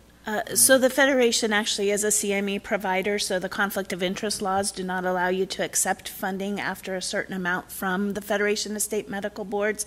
So it does cause a bit of a problem for us to be committee members on the, the Federation of State Medical Boards. So what happens is um, if you get on the board, um, you can uh, you may or may not be able to attend their meeting because we have to go through a process because most of their meetings are out of state. And so to get the funding for that, we have to put in a out of state request through the governor's office. So that's the first step that we have to do to get it approved. But then our board does have to pay for it after $500, Carrie, is that correct? So you can receive up to $500. You will have to claim that on your Form 700 that the Federation has paid for that money up to the $500. And then um, after that, the board would have to pay. So it does have to, it, it is not a, it's not easy for us to be on the committees of the Federation, the state medical boards. That's the issue. Thank you. And I'll mention that said, it's not that's an issue not unique to California. We became a CME provider at the request of the state boards. Uh, one of the uh, boards, Texas Medical Board, put forward a resolution calling on upon us to be a CME provider, and it was adopted by our House of Delegates. So we sought that. Uh, but uh, we are using technology uh, more and more, virtual technology. Uh, people can't always be physically where they need to be, but there are other means of remaining engaged. So I wouldn't say it's a requirement to physically be available for a committee. It's always ideal because you get to work more cohesively together sometimes, but we are using technology more and more. Yeah, and thank you, Dr. Chaudhry, because I am on the education committee and, and I wasn't able to travel, and it was very beneficial to have that availability to um, attend tele, uh, teleconference wise. So, especially for a meeting that's going to be in California, we, we appreciated your insight. Are there any public comments in the audience? Oh, there's still. Okay, Dr. Krauss.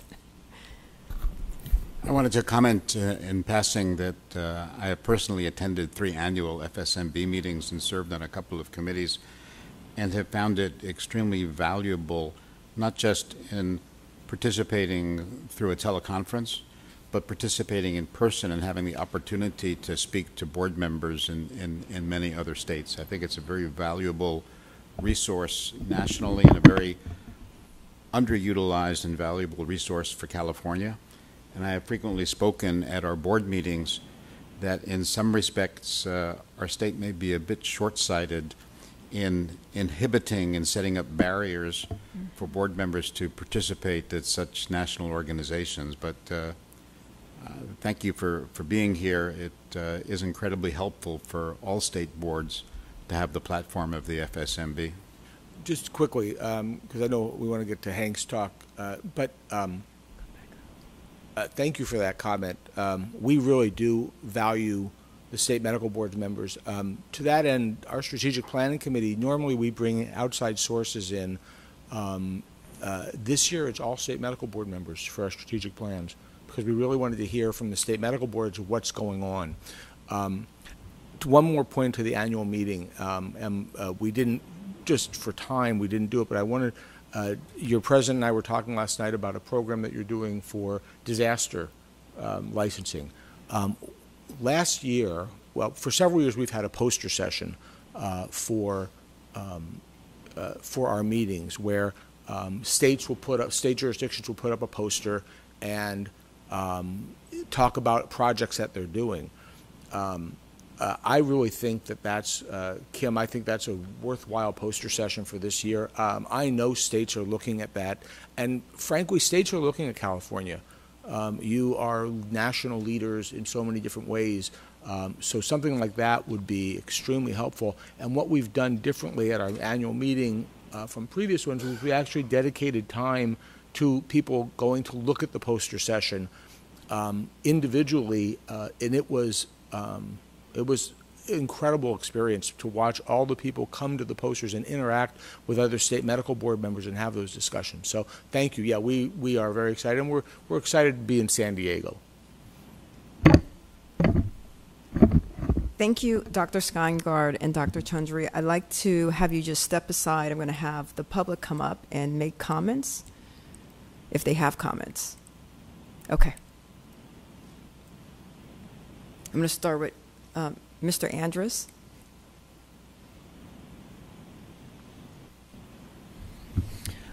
I have to disagree with one of the points they made. Uh, this board isn't in the news for all the wrong reasons. They're in the news because they're not protecting us properly. Consumers need to understand that the good and the bad about medical boards, not just a sugar coated version that comes solely out of this medical board.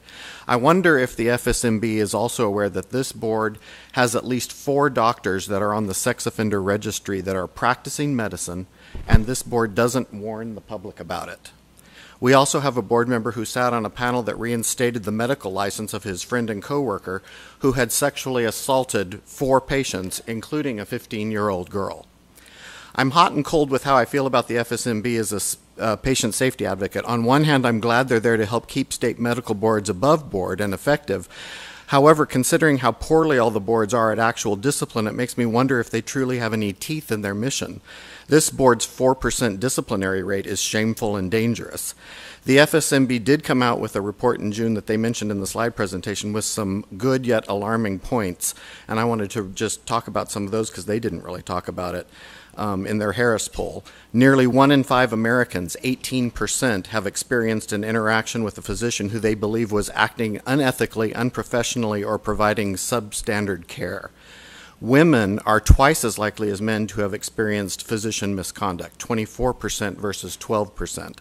Among those who have experienced physician misconduct, only one third, 33%, reported the interaction or filed a complaint against a physician. Among those who have experienced physician misconduct, a larger portion of men than women, 41% of men versus 30% of women, reported the physician misconduct. Of those who did file a complaint or report the physician, only about one third notified the state medical board, the entity responsible for licensing and disciplining. Less than 3 in 10 Americans say they know how to find if a physician has ever received a disciplinary action against their medical license. 51% of Americans do not know that state medical boards are responsible for the licensing and regulations of physicians in the United States. And as we talk to victims of bad doctors, we're finding this to be true. We're working with a victim right now who was egregiously harmed by a doctor that you recently dismissed an accusation on. They didn't have any idea that they could file a medical board complaint. They thought their only outlet was a lawsuit, and unfortunately, the one year statute of limitations had already passed for her because her mental and physical recovery after being harmed by the doctor that your expert bungled the case on took much longer than that. I've asked her to file the medical board complaint, but I always have to warn consumers not to expect much since 96% of this board's complaints are closed without any form of discipline. So it appears that while you often brag about your public outreach, it's clearly not working. Remember, too, that the FSMB is being mentioned in a plethora of lawsuits against Purdue Pharmaceuticals for their part in the opioid epidemic when they asked Purdue for $100,000 to pay for the conclude. printing and distribution of its opioid prescribing policy. There's a number of good articles on the subject online, including one in MedPage today.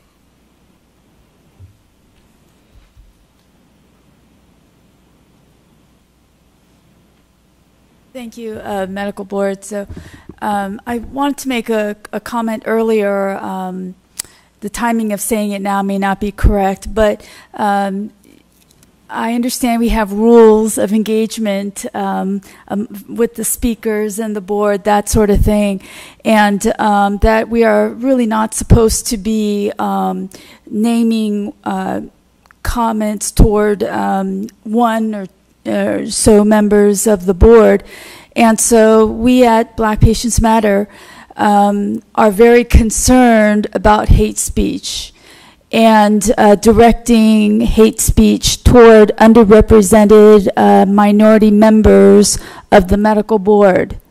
And that um, for those who engage in such hate speech, we really um, look to the boards to remind us of the rules of engagement here and that um, certainly we, we want to voice our, our concerns, but uh, not um, call out uh, members of the medical board um, and deliver hate speech. So um, if, if that occurs, uh, board, please uh, remind us of the rules. And um, if in fact uh, there are speakers who engage in such hate speech, uh, please remove them. Thank you. Thank you. Are there any additional comments? Please come forward.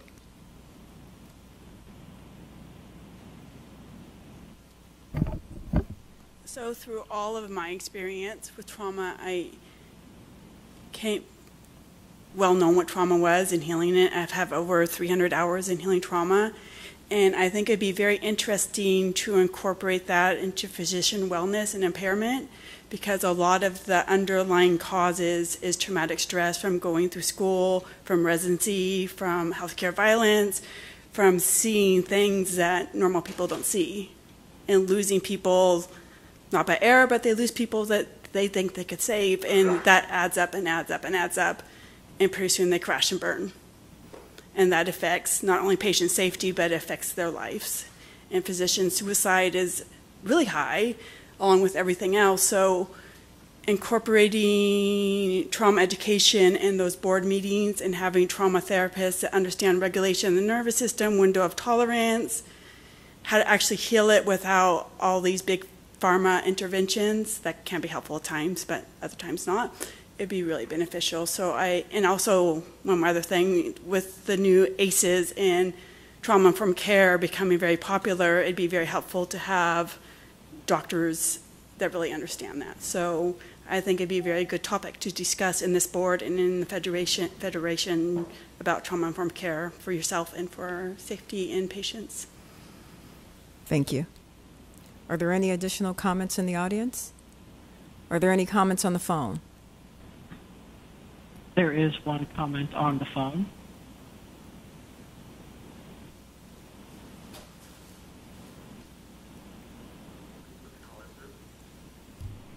Mr. Kanwar Gill, your line is open. Well, my name is Kanwar Gill. I'm calling from Fresno, California. Can you hear me? Yes. Okay. Well, um, the, the reason I'm calling is I was just listening to Dr. Chaudhry speaking on the first presentation, uh, agenda item 15.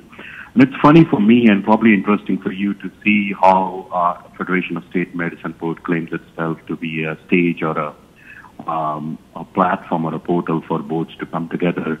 But what one has to understand is this so-called non-profit organization. The moment it conceives a product or a line of service, the first thing it even um, it does is to file an application with the United States uh, Patent and Trademark Office. You know, their trademarks FCVS, BLS. You know, they sound like SPEX.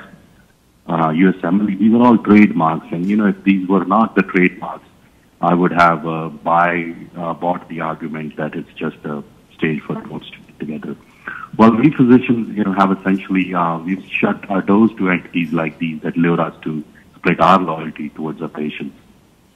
But Federation of State Medical Board continues to promote and market its monopoly on education, validation, certification, and now licensing, uh, ro- robbing the states the authority of licensing physicians according to the state's need. Interstate Medical Licensing Compact is a product of SMP that FSMB, of course, wants to introduce in California through the San Diego meeting now. Uh, this proposal would require California to compromise its 10th Amendment rights, specifically the rights that grants the state the power to regulate the practice of medicine and all activities that affect the health, safety, welfare of its citizens. By default, telehealth falls in this domain, and FSMB should try to stay away from it. Uh, well, there is no evidence of enhanced protection to the public uh, that these newly added revenue streams ensure, uh, will ensure any public protection, but they do ensure profit to FSMB by means of mandatory utilization of federal credential verification service, physician information database services, FSMB endorse CMEs like SPEX, flat, uniform application. Um, the common sentence of public policy would call that uh, no official should solicit or accept anything of value that is of such a character as to manifest a substantial and improper influence upon individual with respect to his and her duties, and medical board members should be aware of it.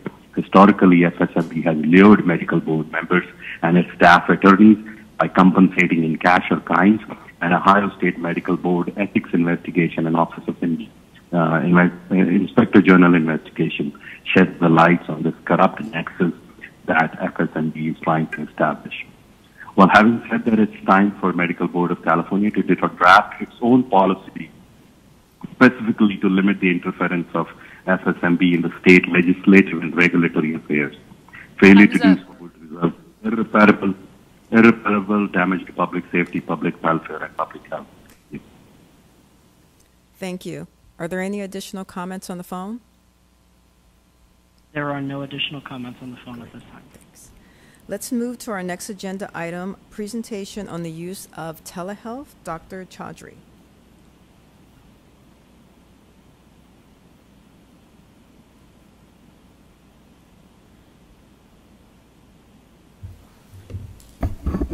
Thank you, President Pines. I'll be brief as best as I can.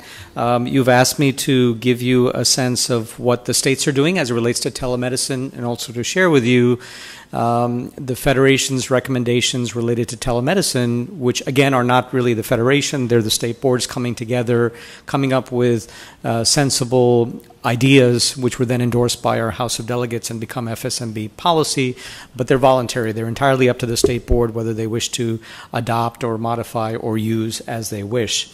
Um, let's begin with the definition of telemedicine. Um, it's interesting when we put together our first policy uh, on behalf of the state boards with the state boards some years ago in the 1990s. In the glossary, we had to define what is the internet. Um, what is the World Wide Web? Uh, we don't need to do that anymore. I think most people know what that is.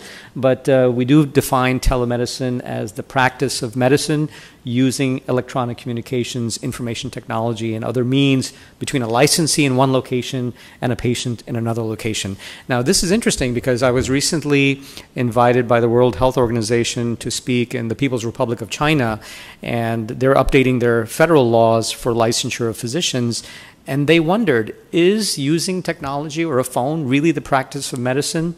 And I was there with my colleagues from the United Kingdom, from uh, Australia, Japan, and Hong Kong, and we all agreed yes. If you're using technology to deliver advice at the request of a patient, and that advice includes recommendations for diagnostics, for therapeutics, um, our senses, most state boards would argue that that is the practice of medicine. So it doesn't mean just because you're using technology eh, and just because you're not in a doctor's office that that is not the practice of medicine. So that issue was settled by the state boards many years ago and is something to keep in mind. The other important point is that the practice is deemed to occur where the patient is located. I think one of you made that point in the conversations as well. This is a view that is not only endorsed by state medical and osteopathic boards, but also by the National Association of Boards of Pharmacy and the National Council of State Boards of Nursing, who feel that the practice of nursing and the practice of pharmacy is also where the patient is located. And if you know anything about state based regulation, that's not unusual because should something go wrong, uh, in that interaction between the doctor and the patient, there has to be recourse. And so, if someone is harmed in New York State as a patient, New York State would like to follow through and, and address that complaint, and they can't do that if the physician is not licensed in New York State. So people sometimes wonder why this is, but uh, this has been deemed by the nation state licensing entities in healthcare to be sensible ways in which to look out for the public. Generally, telemedicine is not simply audio only telephone conversation. Now, this does not include what physicians do all the time in follow up care um, and in the you know people who work in hospitals who get calls in the middle of the night from a patient. That's different. We're talking about comprehensive care through the use of technology. When we talk about that, we're talking about uh, not simply telephone only conversation or email communication or fax. We're talking about the application of secure video conferencing in many cases, store and forward technology to provide or support healthcare delivery by replicating the interaction of a traditional in person encounter between a provider and a patient. And as the quality of technology improves, uh, through high definition, um, you can do a lot more using technology. And I think the state boards have been thoughtful in their approach in this matter. So, as I said, the FSMB, on behalf of the state boards, has long had um, guidance related to the use of technology, um, including some model language for the practice of medicine across state lines. This became a problem, frankly, in the 1990s with the internet as folks um, um, try to offer uh, prescription medications in response to fill out this questionnaire, give us your name, your email address, and your mailing address, and give us your diagnosis, and we will mail you a prescription. This was very alarming to the state medical boards and to the state pharmacy boards who worked with law enforcement to interdict. Um, so, our earliest uh, guidance relates to the use of the internet for pharmacy, for pharmaceutical prescribing. That has advanced as the internet has advanced, and so our most our latest guidance is from 2014. Probably will be updated in a few years as technology continues to change. Uh, it's our model policy for the appropriate use of telemedicine technologies in the practice of medicine. Um, now, technology can also be used for uh, greater good and simplifying life for everybody. So, there have been federal grants to support licensure portability. That is not specific to telemedicine. 10 states currently have telemedicine licensing laws where you can get a telemedicine license to practice telemedicine. But for whatever reason, the nation's state boards have not embraced those telemedicine licenses and feel more comfortable in uh, having those physicians apply for a full license to practice medicine, which is one of the reasons why the Interstate Medical Licensure Compact, in my view, has been successful because for those who want to practice in med- practice medicine in person or with technology, it enables you to be licensed in those jurisdictions, but you still have to follow state law. Um, and we point out that simply because through the compact you can now get a license in 29 states within days if you meet the nine criteria, you still have to follow state law. And if you break state law, that license will be taken away from you by the state uh, medical board. So I think that's an important uh, cautionary note that we provide as we talk about things like licensure portability. Benefits and challenges should be obvious, but uh, I think it's important to be reminded. The benefits include increased access to care and not simply in rural areas. I was born, I was I, grew up in New York City, and in New York City, you might say, well, there are doctors on every corner, and there probably are. But you know, if you think about the person who is not able to be mobile, who lives on a top floor of an apartment building, um, whose elevator doesn't always work, uh, there might be a real access to care issue for that individual to get specialized care, let's say by an oncologist for their particular type of cancer. So access to care is not just rural areas, it may actually even be in a big city. So there may be some benefits to be able to use technology to monitor or to follow up care, uh, expanded utilization of specialty expertise. I was health commissioner on Long Island in New York from 2007 to 2009, and you might say, well, Long Island is a wealthy area where there must be all kinds of specialists, and there are, but they're not always easy. Uh, Suffolk County in New York has 900 square miles, and to get from one end to the other takes hours, especially if there's traffic. And so, management of chronic disease, specialty expertise, all these can be helped using telemedicine and maybe even improved health outcomes and reduction of costs um, for those of you who are physicians, you know sometimes patients are what we call non-adherent. Sometimes they can't they can't make follow-up visits. It's not because they don't want to follow up, it's because they can't. They have to take time off from work. There are other real challenges. So there are clearly benefits to telemedicine technology. I think the challenges are maintaining the same level of patient protection as in in-person care is a challenge uh, ensuring patient safety so that physicians don't cut corners. What we try to tell physicians who use technology is you still have to do a complete history. You still have to ask about family history, social history, allergies to medications. Uh, it can't simply be tell me what's wrong and I'll uh, email you a prescription. It has to be something more substantive than that. And of course, the physical exam becomes a challenge because um, part of what we do in medicine is palpation, inspection, auscultation, and you can't do that so readily with technology. Although, as one of you pointed out, um, technology is advancing so that your smartphone can do more and more. You may be able to put your smartphone on your on your heart and have the doctor on the other end hear your heart. So technology is advancing, but there are still some challenges associated with making sure that the technology really does what it says it does. Privacy is also a concern. People are sharing a lot of information online as part of telemedicine. Is that line secure? Is there a third party that has access to that information? This raises federal privacy concerns, HIPAA compliance issues, and of course, there are conflicting state regulatory statutes, reimbursements, which can trip up a patient or trip up a licensee who is trying to do the right thing but is not familiar with the different types of state laws that are out there. There is no uniform approach to telemedicine, so that can be a challenge. Um, broadband connectivity is, an, is a challenge. We are not yet at 5G everywhere across the country. I know that South Korea and China are competing to be the first countries on, on the planet to have 5G everywhere. Um, but it is an area that obviously just because you provide it doesn't mean that people have uh, or can afford the connectivity to get access to that type of care. So that's a real challenge, and this is not a panacea. It doesn't solve all the problems, but maybe a help. Um, so one of the ways we're helping address the challenges on behalf of the state boards is providing some policy harmonization, which is why we came up with this model legislation five years ago. Again, put together by the state boards themselves.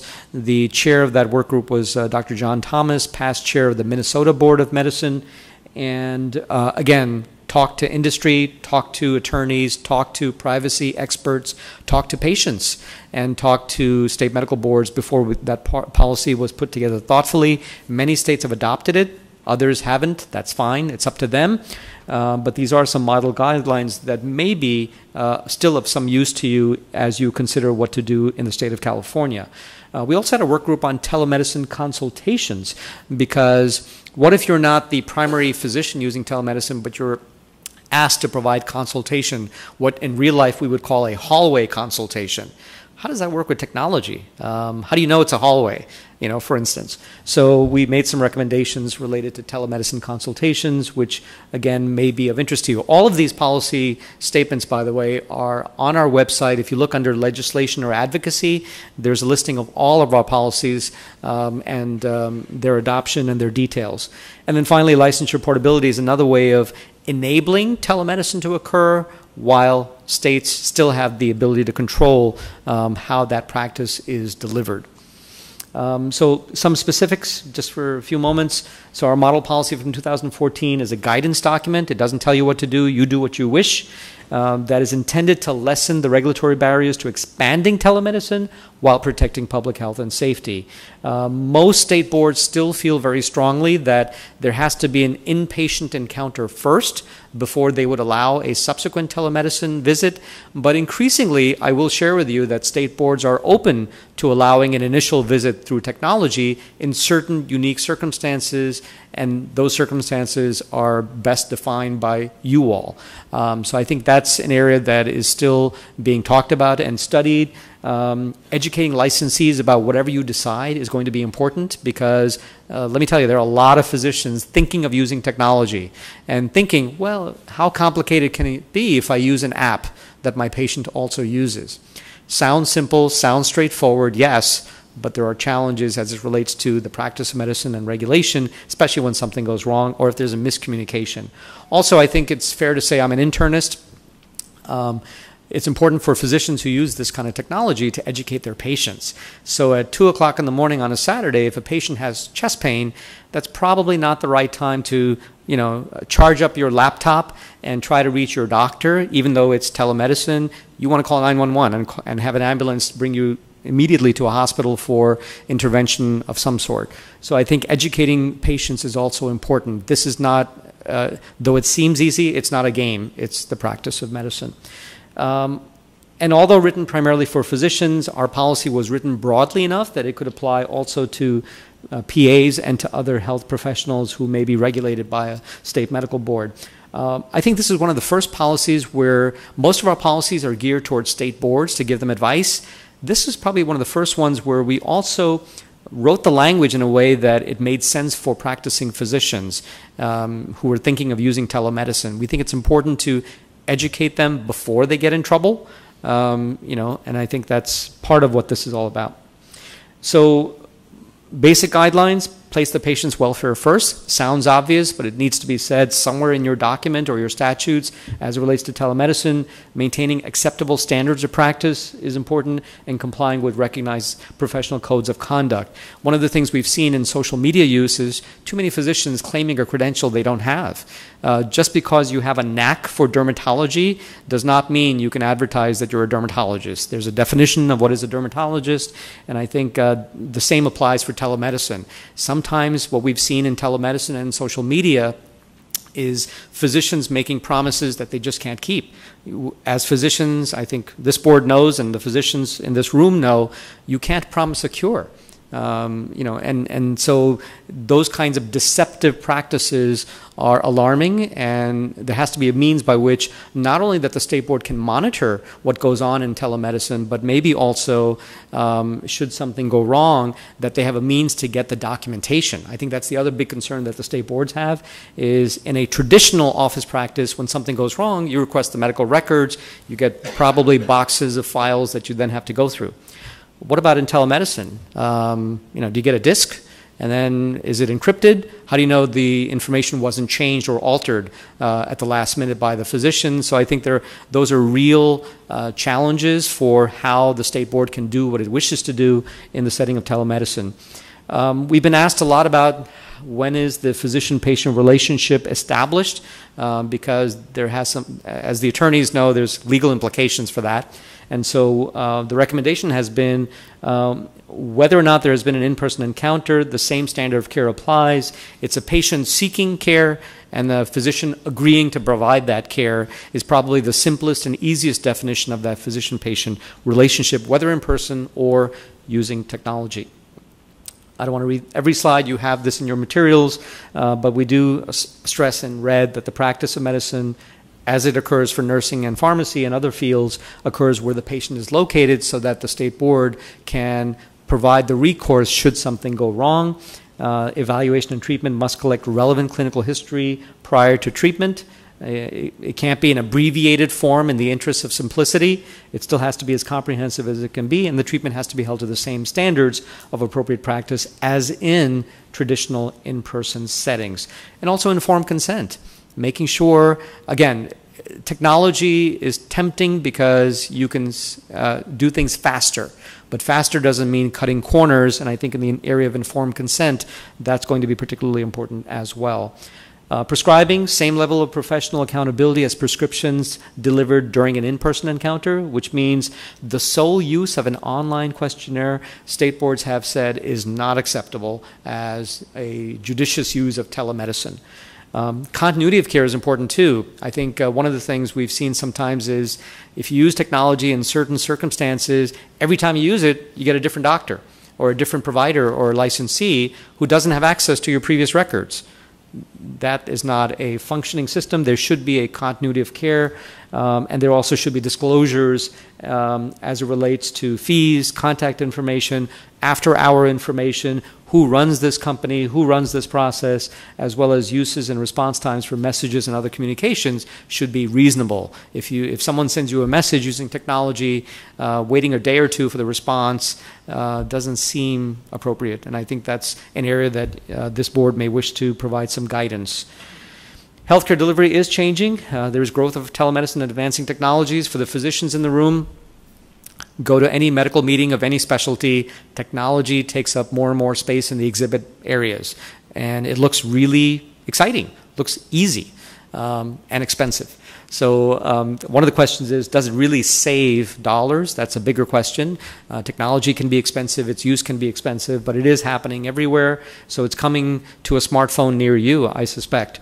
Uh, consumer demand is going up. People like the novelty of using technology as opposed to you know, um, schlepping all the way over to your doctor's office, to use a term we use in Brooklyn. Um, demand for cost and quality efficiencies. People want to be able to see their doctor immediately. And the, the old time notion of, well, the doctor is available two weeks from now, is that going to work? May not be acceptable to the next generation of the public. Um, integration of healthcare systems, more and more of the larger health systems, the Mayo clinics, the Intermountain Healthcares, the Cleveland clinics, are the Kaisers are beginning to use telemedicine and integrate that into their healthcare delivery. So um, it may be time to look at your statutes and see if they're keeping up with what's happening around you. And uh, there are almost a million doctors. Our new census is coming out. I think the latest figures are actually closer to 985,000 licensed physicians in the U.S., MD and DO. The vast majority still have a single license, but we suspect as telemedicine advances, people will be seeking additional licenses to practice medicine and to practice telemedicine. Uh, our goal is to facilitate this practice without compromising patient safety or quality, and that's where we are helping state boards um, come up with sensible policies and sharing with you what other state boards do. I already showed you about the um, um, telemedicine compact, uh, rather the interstate compact. Uh, it's not specifically geared towards telemedicine, but could be used for telemedicine since it is full practice rights. There is some federal telemedicine legislation I mentioned.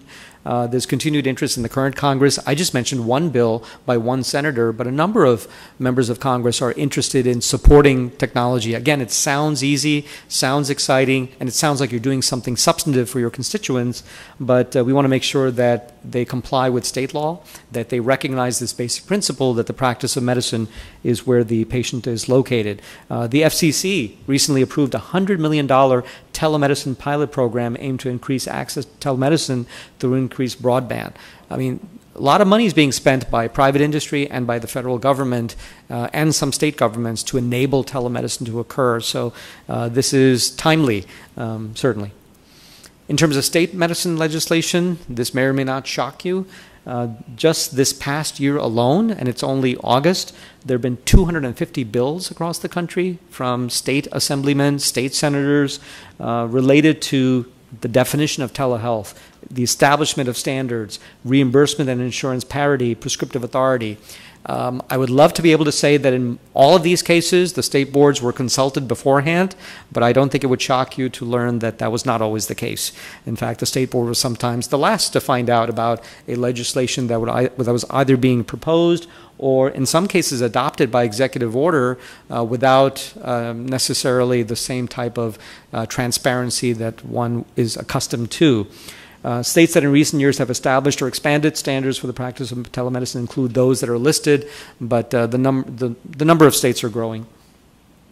Reimbursement is an issue. It's not an issue for the state boards. It's not an issue for the FSMB. That's a, a separate matter. We don't get involved in fee structures or uh, reimbursement, but it is an issue for providers and physicians and PAs all states in the District of Columbia provides some reimbursement for some form of live video in Medicaid fee for service. That's relatively new. Wasn't like that 10, 20 years ago. So I think both at the state level and at the federal level, there's beginning to be more reimbursement, which means physicians and PAs are going to be using this even more, and patients are going to be asking for it as they hear about this availability.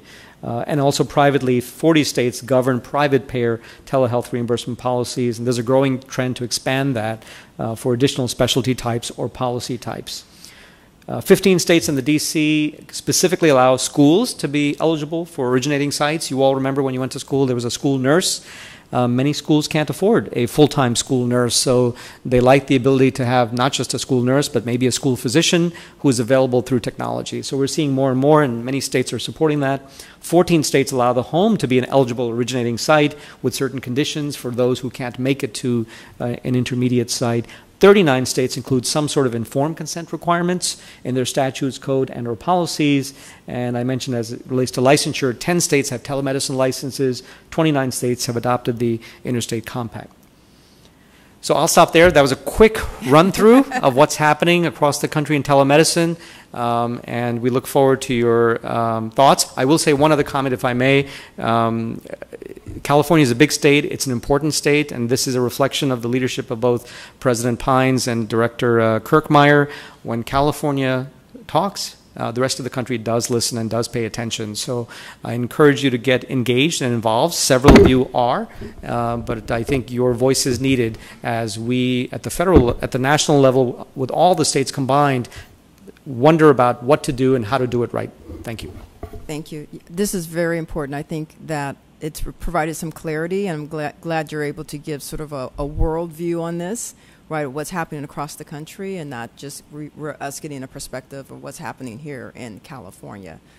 Um, so I know we have lots of people who want to make comments and speak, but I'm going to ask that you be real clear about your question because Dr. Chaudhry and Dr. Steingard actually have flights at 1:15. Is it 1:15? 1:16. 1:16. so we would like them there. to make it. Um, so I'm going to start with Dr. Krauss. Hank, thanks again. I practice telemedicine every day. I have a uh, HIPAA compliant uh, EHR system through which my patients are able to directly communicate with me. They have access to their records. I'm able to look at imaging studies, lab results. Telemedicine is a very valuable tool as a member of this board and, and all of our board members, uh, we hold that a physician's duty must always be primarily to his or her patient, above all else, above his own personal financial interest, above the interest of those that may have contractual relationships with him or her. One of my concerns as I look at the growth of telemedicine is it's serving as a platform potentially for the corporate practice of medicine.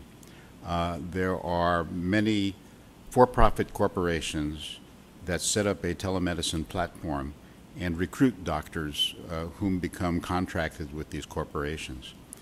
In the process, what do you suggest in terms of creating safeguards so that those physicians who contract with those corporations truly maintain a primary responsibility to the patients? I think that's an excellent point, Dr. Krauss. Uh, it's one of the reasons our telemedicine policy early on in our discussions identified the need to educate doctors uh, because uh, we suspect there are doctors with good, good intentions um, as well as those with bad intentions, but the ones with good intentions may not fully understand what they're getting into. It just seems so easy. And if you go to the exhibitors, they make it sound easy. Uh, and there are lots of companies offering lucrative contracts for physicians and PAs to get involved and say, hey, everyone's doing it, come on board. But um, I think the challenge there is educating as best and raising awareness. Um, as I've said this many times in my 10 years as CEO of the FSMB, the state boards only know what they know. Um, it is a complaint-based system. We, they do not have the resources. You all don't have the resources to be overseeing every physician-patient encounter, and so you rely on hearing from those who feel something is amiss. And uh, but before that happens, is there something you can do to prevent that from happening in the first place? Is the challenge. And I think having clear-cut policies and and sharing those broadly, as broadly as you can, leveraging some of the companies themselves to get those policies across, I think would be one step in the right direction. Anyone else? Uh, I saw Ms. Freeman. Very quickly, thank you very, very much in respect of your playing time. Um, mental health is really the civil rights issue of our time, and one of the most obvious uses of telemedicine is mental health. Have you seen a movement in that direction so that mental health will probably become all telemedicine?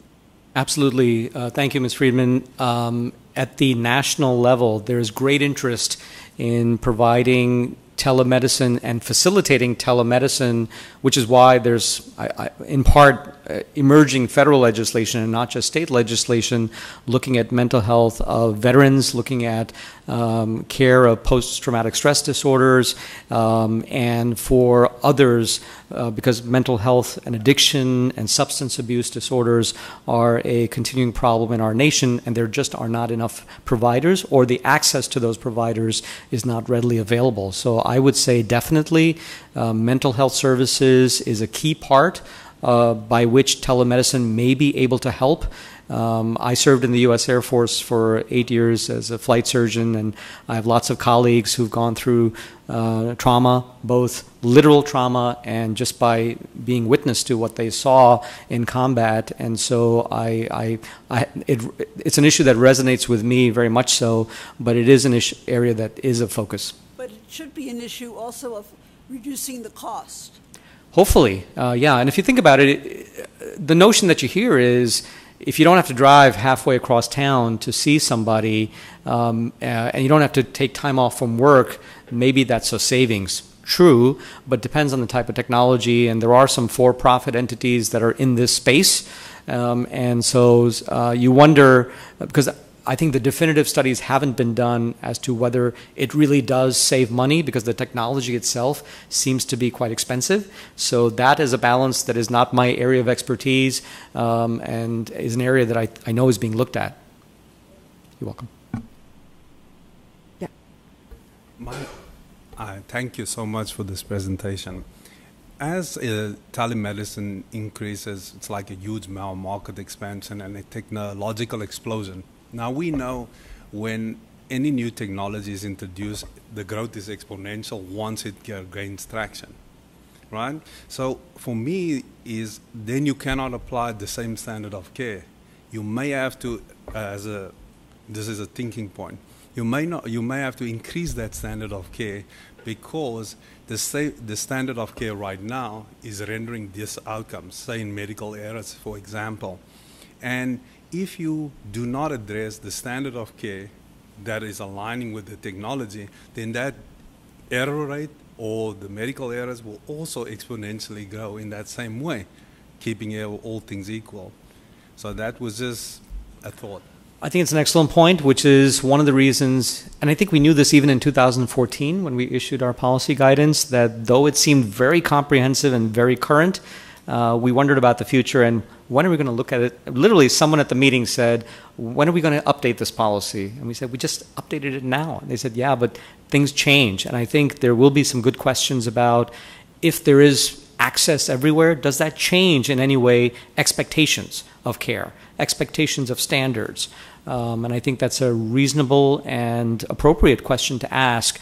And so, if you do come up with some statutes, I would urge you to uh, revisit them uh, as often as you deem necessary. Dr. Mahmood? Thank you very much. Wonderful presentation.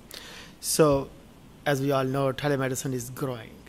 And not only just like in the state of California, somebody practicing in the state of California and doing telemedicine rest of the United States, number one.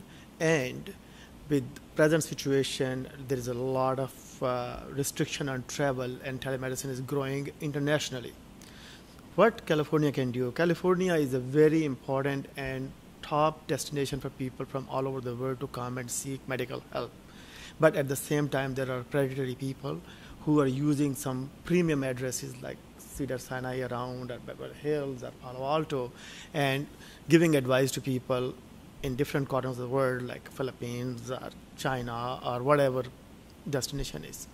And those people are paying them. Is the medical board should they look into that thing that people who are doing telemedicine they should be registered with the medical board and they should tell the medical board where are they giving advices and what kind of reimbursement they're taking and which state other than california they are doing telemedicine because they if they are not licensed and state doesn't know that would be a big problem later on. So uh, these, these are the emerging issues and i'm pretty sure you have looked at that or have you looked into that so thank you, Dr. Mahmood. It's it's a even bigger issue. I didn't intentionally mention it because it's still an area being looked at. Um, uh, Ms. Kirchmeyer knows that there's an international association of medical regulators, and they don't know how to address that because now we're talking about not just going across state lines, we're talking about going across national borders, and it is happening. Um, I'm aware of a number of entities that. Uh, practice medicine, for example, in the state of Texas and other states where they're physically, the, the providers are located in another country. Now, they're smart because they've maintained their licensure, they're board certified, whether they're doing radiology or some other service. Uh, but how do you know, how does the patient know that that actually is who it, they claim to be and whether they are truly in the country in which they state? So I think those are areas that um, definitely are emerging. It's a challenge because you know uh, it's like it's like my son when he was playing video games online when he was 10 years old at home, and I said, "Are you playing by yourself?" He said, "No, I'm playing with a friend." And I said, um, "Which friend?" He's like, "Some person I met in South Africa." I'm like, "But you've never been to South Africa?" And he said, "No, no, he's from South Africa, and I just." found him and we're playing. I'm like, how do you know? He's first of all, how do you know he's another boy uh, from South Africa? He could be someone completely different. So um, I think that's a concern. Mm-hmm. Thank you. Are there any, Dr. Thorp? Um, thank, thank you, thank you, Dr. Chaudhry, for that presentation. I think it just raises the awareness of us as a as a board to the to be aware of this. Um, and I, I think for in my own personal uh, experience, after my community was destroyed by the Camp Fire on November 8, 20, 18, um, my medical group in uh, in uh, well with with Blue Shield of California and Teladoc put together a uh, platform for reaching out to our patients who had been scattered around the country, not around the country, but in California. Um, it it is a growing thing, and it, and, and it allows, I think, a, a expansion of the ability for a physician and a patient in chronic care management, in particular for primary care, um, we do not use this without seeing somebody in person initially, at least, so we can get the ability to examine them. But there are extensions that are now uh, increasingly available, as I was mentioning last night, um, extensions on your cell phone that allow you to look in the ear, allow you to look in the throat, allow you to auscultate the heart and lungs. We are testing those to see whether they actually are legitimate. But along with remote patient monitoring devices like blood pressure cuffs that automatically send information, it provides the opportunity to extend the office and the team into the community in a way that we've never been able to do that before. And it allows people to get a touch from their clinician much more commonly and much more effectively, maybe intervening sooner and hopefully decreasing emergency room visits. That's a, a comment, not so much as a question. But I guess the question is I think there's going to be tiers of how telemedicine is used.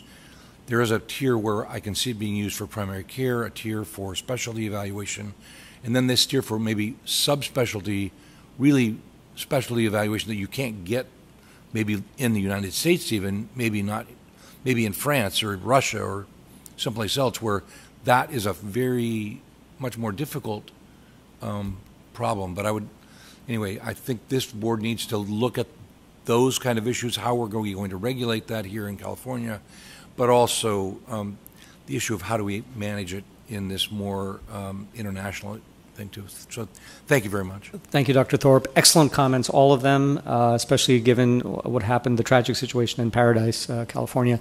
I think um, I think also there's a role for the FDA. We're talking about medical devices in many cases. This is not something for the state boards, thankfully, to figure out by themselves. Uh, there are some federal entities that have jurisdiction over what is claimed. And uh, I think they're looking at or trying to tighten up their processes and do the right thing while also being nimble and flexible so as not to create too many restrictions either. So I think uh, I would say watch this space and see what happens. Okay, great. Thank you so much. Okay. We have Eric Brown who wants to come forward. Yes. Okay. Thank you. Have Thank you. Bye.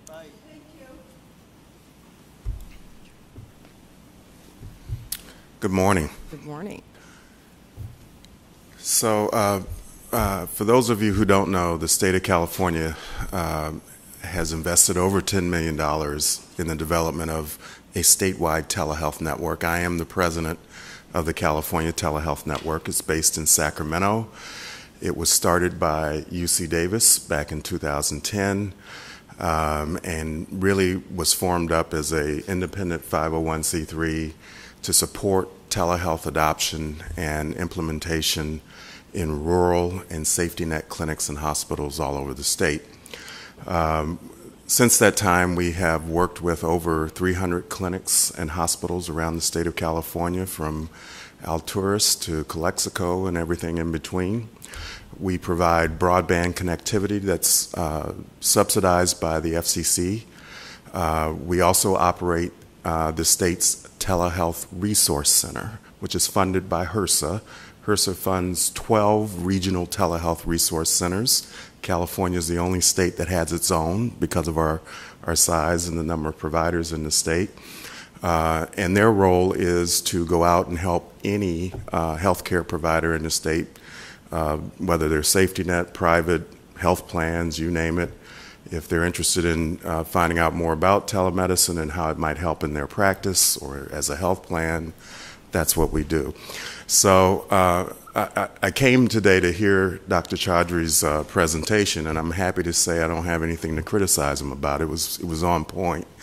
Uh, I would love the opportunity to come back and speak to the board about specifically California and what the trends are, because they are dramatic. We're seeing telemedicine uh, virtual consultations volumes uh, double every year since Medicaid expansion occurred in the state.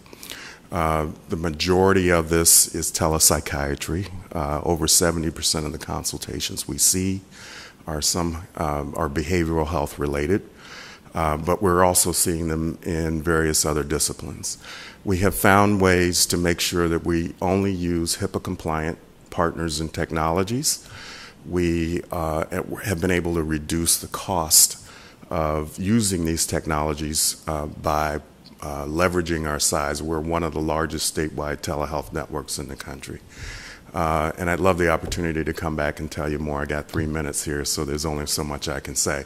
I just wanted you to be aware that uh, you can be proud of the fact that the state has invested in bringing this organization forward.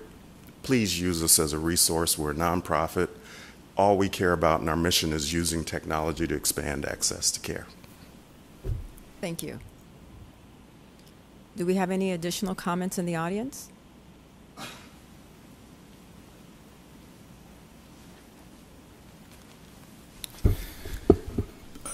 I'm Dr. Peter Breton, um, and three years ago I was, for six solid years, uh, one of the early adopters of uh, telemedicine in rural uh, Northern California. I was um, on the staff of nine different hospitals, six of which I was the only urologist, and four had uh, telemedicine robot uh, capability, and I was able to do um, surgeries and follow up on my patients. Also did um, telemedicine through the state uh, prison system, saving uh, transportation of many prisoners, which required two to three guards, um, and in that alone was a huge cost savings. I think um, as state of California, we're fortunate that on your board here, we have two physicians that have actually experienced in telemedicine, and with Mr. Brown, I'm excited uh, to have um, Watsonville Community Hospital participate in that telemedicine. Telemedicine um, is not telehealth, and I think uh, that is a task that the State Medical Board should be aware of. Um, the question um, that Dr. Krauss brought up, uh, about um, uh, uh, corporations um, bringing on tele ads in medicine um, should be overseen by the state medical board.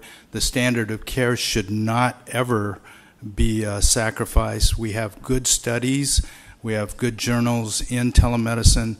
Uh, state of Iowa has their um, whole prisons um, uh, system covered with urology via telemedicine and has uh, enjoyed cost savings of two to three visits per year, not having to transport uh, those patients in that state.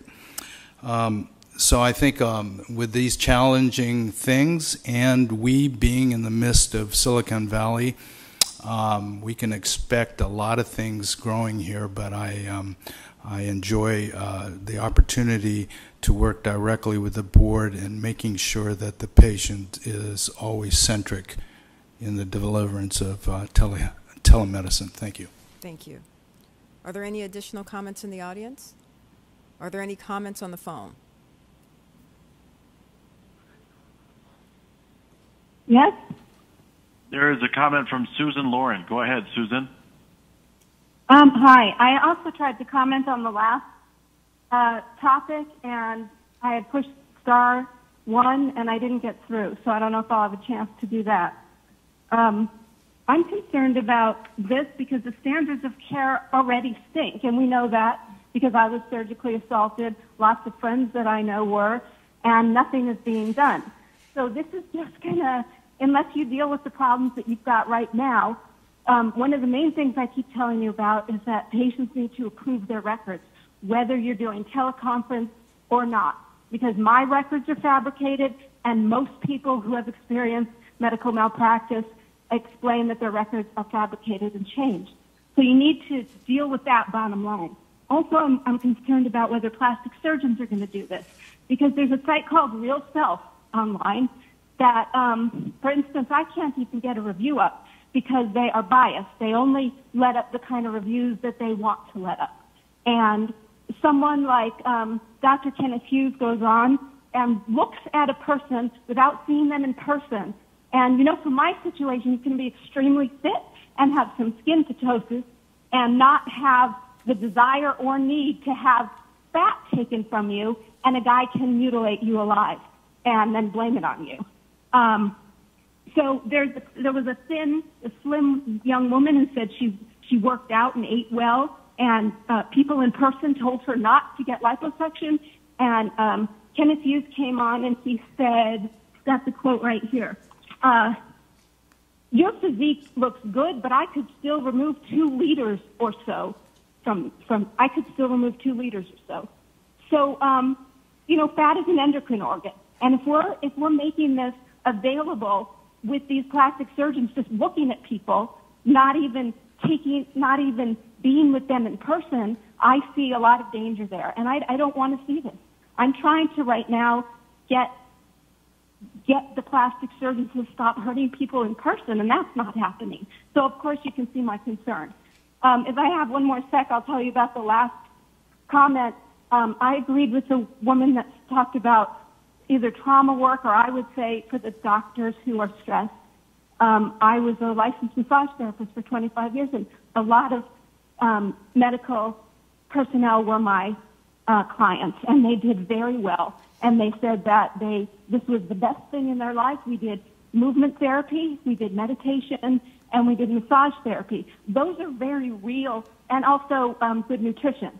Um, so rather than you know going to giving them psychiatric drugs or or things like that, I really you know, it's going to be a whole different discussion, but the whole field of medicine, I believe, needs to be based as much as it can in doing no harm and starting with lifestyle. And, and also, as far as the record of the medical board and referring people to them, um, you, ha- you didn't do anything against the surgical assault case. Okay. Well, you didn't take my question before. I don't know why. Thank you. Are there any additional comments on the phone? Our next comment comes from Kanwar Gill. Go ahead, Kanwar. Well, my name is Kanwar Gill. I'm calling from Fresno, and I would want to mention that you know a key component of telemedicine has not been discussed, which is real use scenarios, uh, corrections being one of them, critical access being one of them. In these cases, we've seen that uh, uh, telemedicine actually serves as an extension of a physician exam room when a physician is present on one end. Um, uh, the distant site, and when a nurse or a medical assistant is presenting physician, uh, patient at the other end, usually a state prison or a critical access hospital. I mean, these are the cases where it does have a valid um, use. But you know what Dr. Chaudhry has been trying to sell us is direct-to-consumer telemedicine with a front-facing camera, GPS-enabled location uh, labeled cell phone with a stereo headphone or a stereo microphone. Um, you know, these are the things that really need to be uh, looked at closely. California cannot have two standard of care, one for an iPhone 10 and one for a physician exam room. I mean, use of peripherals, otoscopes, ophthalmoscopes, uh, stethoscopes are key components when medical boards, expert reviewers look for the completeness of the visit of the exam. Um, I mean, why would a medical board discipline a physician for not able to comment on a uh, color and consistency of a nasal discharge versus a telemedicine guy from Stanford seeing a patient from Fresno on a front-facing camera gets away scot-free. Uh, he also mentioned Federation of State Medical Board SMART Group, which uh, provided the current telemedicine policy, but he failed to mention the subject matter expert. Elizabeth Hall was from WellPoint, an insurance company. Alexis Gilroy was from Jones Day, um, an attorney firm that was representing the telemedicine uh, company at the time. Roy Schoenberg, he's the president, CEO, and founder of American Well Systems. And American Well is a key technology supplier to uh, Anthem, to other people like, you know, Doctor on Demand. And these companies have actually bought these products, health system buy from American Well. So the subject matter experts who drafted the model policy of telemedicine had vested interest in drafting those policies, and Dr. Dr. John Thomas, who is the chair, has basically no rule. He's just sitting signing some papers. Um, then we also have to see the good faith exam is a condition of establishing a doctor-patient relationship. Direct-to-consumer telemedicine doesn't provide. And the business and profession code is actually lagging behind. Recently, uh, Senate Bill 275 was put into the uh, Business and Profession Committee by Senator Pan, and it was opposed by none other than the California Assembly members. They said that we cannot make changes uh, to the Business and Profession com- Code for just the psychologist or the behavioral health therapist, and all he was asking was to provide for prohibition against sexual behavior under the current Business and Profession Code. A sexually explicit text message or a picture does not constitute a ground for revocation. So need to fix the business and profession code before you fix the telemedicine situation. Thank you. Are there any additional comments on the phone? And there are no further questions on the phone. Great. So at this moment, before we move to um, agenda item 11, so we're going back to yesterday's schedule, we're going to take a 15-minute break. So we're going to return back at 12:30 in order to allow some of the members to check out and probably some of the people in the audience to check out as well. Okay, thank you.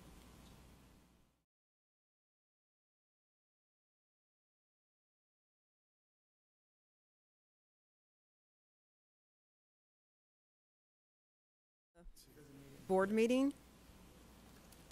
We're moving to next item on the agenda, which is item 11, update on the Health Professions Education Foundation. Dr. Hawkins? Thank you. Uh, good afternoon. A copy of my comments provided in a handout. Uh, my narrative may deviate in sequence, but not in the content.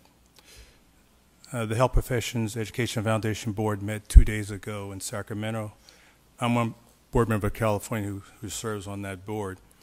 Now, for background, Health Professional Education Foundation is a nonprofit 501c3 organization housed within the Office of Statewide Health Planning and Development, OSHPAD. It was established to improve access to health care in underserved areas of California by providing scholarship and loan repayment programs to health profession students and graduates who are committed to providing healthcare services.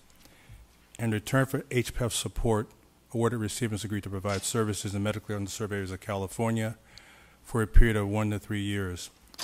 The foundation administers this program from six funds established by the California State Legislature. So I'm to give you some of the uh, background uh, about what's happened in the last year. So, um, and you may see this in your handout if you have it. So in 50 year 2018-19, HPEF awarded a total of 256 loan repayment and scholarship awards. Of the 256 awards, 236 payment awards are granted to allied health, nursing, licensed mental health professionals, and physician. The remaining awards were granted to 20 nursing students. Total amount awarded was $6.4 million. Uh, the HPEF loan repayment application cycle is now open for those entities I just mentioned, except for physicians. The application cycle opened August 1st, 2019, closes October 8, 2019. It's accepting applications for allied health, nursing, and licensed mental health professionals. Applicants are encouraged to join a technical assistance call to ask questions about the program and also receive help with their application. For more information about all aspects of the application process, you can visit www.healthprofessions with an S, healthprofessions.ca.gov. A special, the Stephen M. Thompson Physician Corps Loan Repayment Program, STLRP, for fiscal, fiscal year 2018, 2018-19 rather, um, awarded a total of 45, oops, excuse me, uh, awarded a total of uh, $4.4 million for 45 physicians. Um, enclosed in this update is a map of the counties where the 45 awardees provide the direct patient care. So the next STLRP application cycle opens December 2nd, will close February 21st, 2020. Uh, HPEF always needs volunteers to help in scoring the STLRP application beginning in early April. And I participate in this essential scoring of applicants, very, very important. Uh, please contact HPEF if interested. Same website, www.healthprofessions.ca.gov. I want to highlight a couple other things relative to HPEF. Uh, uh, the governor's budget for fiscal year 2019-2020 approved $1 million general fund to award former foster youth under the Licensed Mental, Health, Mental Services Provider Education Program. HPEF is currently uh, accepting applications from licensed mental health professionals who are foster youth. The governor's budget also approved $46 million to support existing health, uh, mental health loan repayment programs. I also want to bring to your attention, you may be aware, uh, two charitable contribution community investment program. These are related to mergers between uh, um, one was CVS and Aetna. So on November 15, 2018, California Department of Health Care announced its approval of the health plan merger between CVS and Aetna. As part of the merger community benefit requirement, HPF scholarships and loan repayment programs receive a community investment of 28 point, 22.8 million over three years. To increase the number of healthcare and mental health professionals in underserved areas. So this community investment will provide 7.6 million per year over a three-year period, and specifies that at least 2 million per year will be designated for scholarships and 5.6 million per year will be designated to loan repayment programs. The other uh, merger Cigna and Express Scripts. Same Department of Managed Healthcare uh, announced approval of this merger, and a consequence of that merger, um, HPEF scholarship and loan repayment programs will receive a community investment of $10 million to increase the number of healthcare and mental health professionals in underserved communities. Uh, Two millions per year over a five-year period, specifies at least 500,000 per year be designated for scholarships, 1.5 million designated for loan repayment programs. Uh, HPEF has social media for information on loan repayment application cycles and upcoming application cycles. Please visit HPF's Facebook, Twitter, and Instagram, which are all in the handout. Uh, thank you very much. I would encourage you, encourage you as, as I am, to talk to institutions who may benefit from these loan repayment programs um, uh, and scholarships to increase uh, service to uh, those underserved areas of California. Thank you, Dr. Hawkins. You're welcome. Are there any questions or comments from members? Are there any public comments in the audience? Any comments on the phone?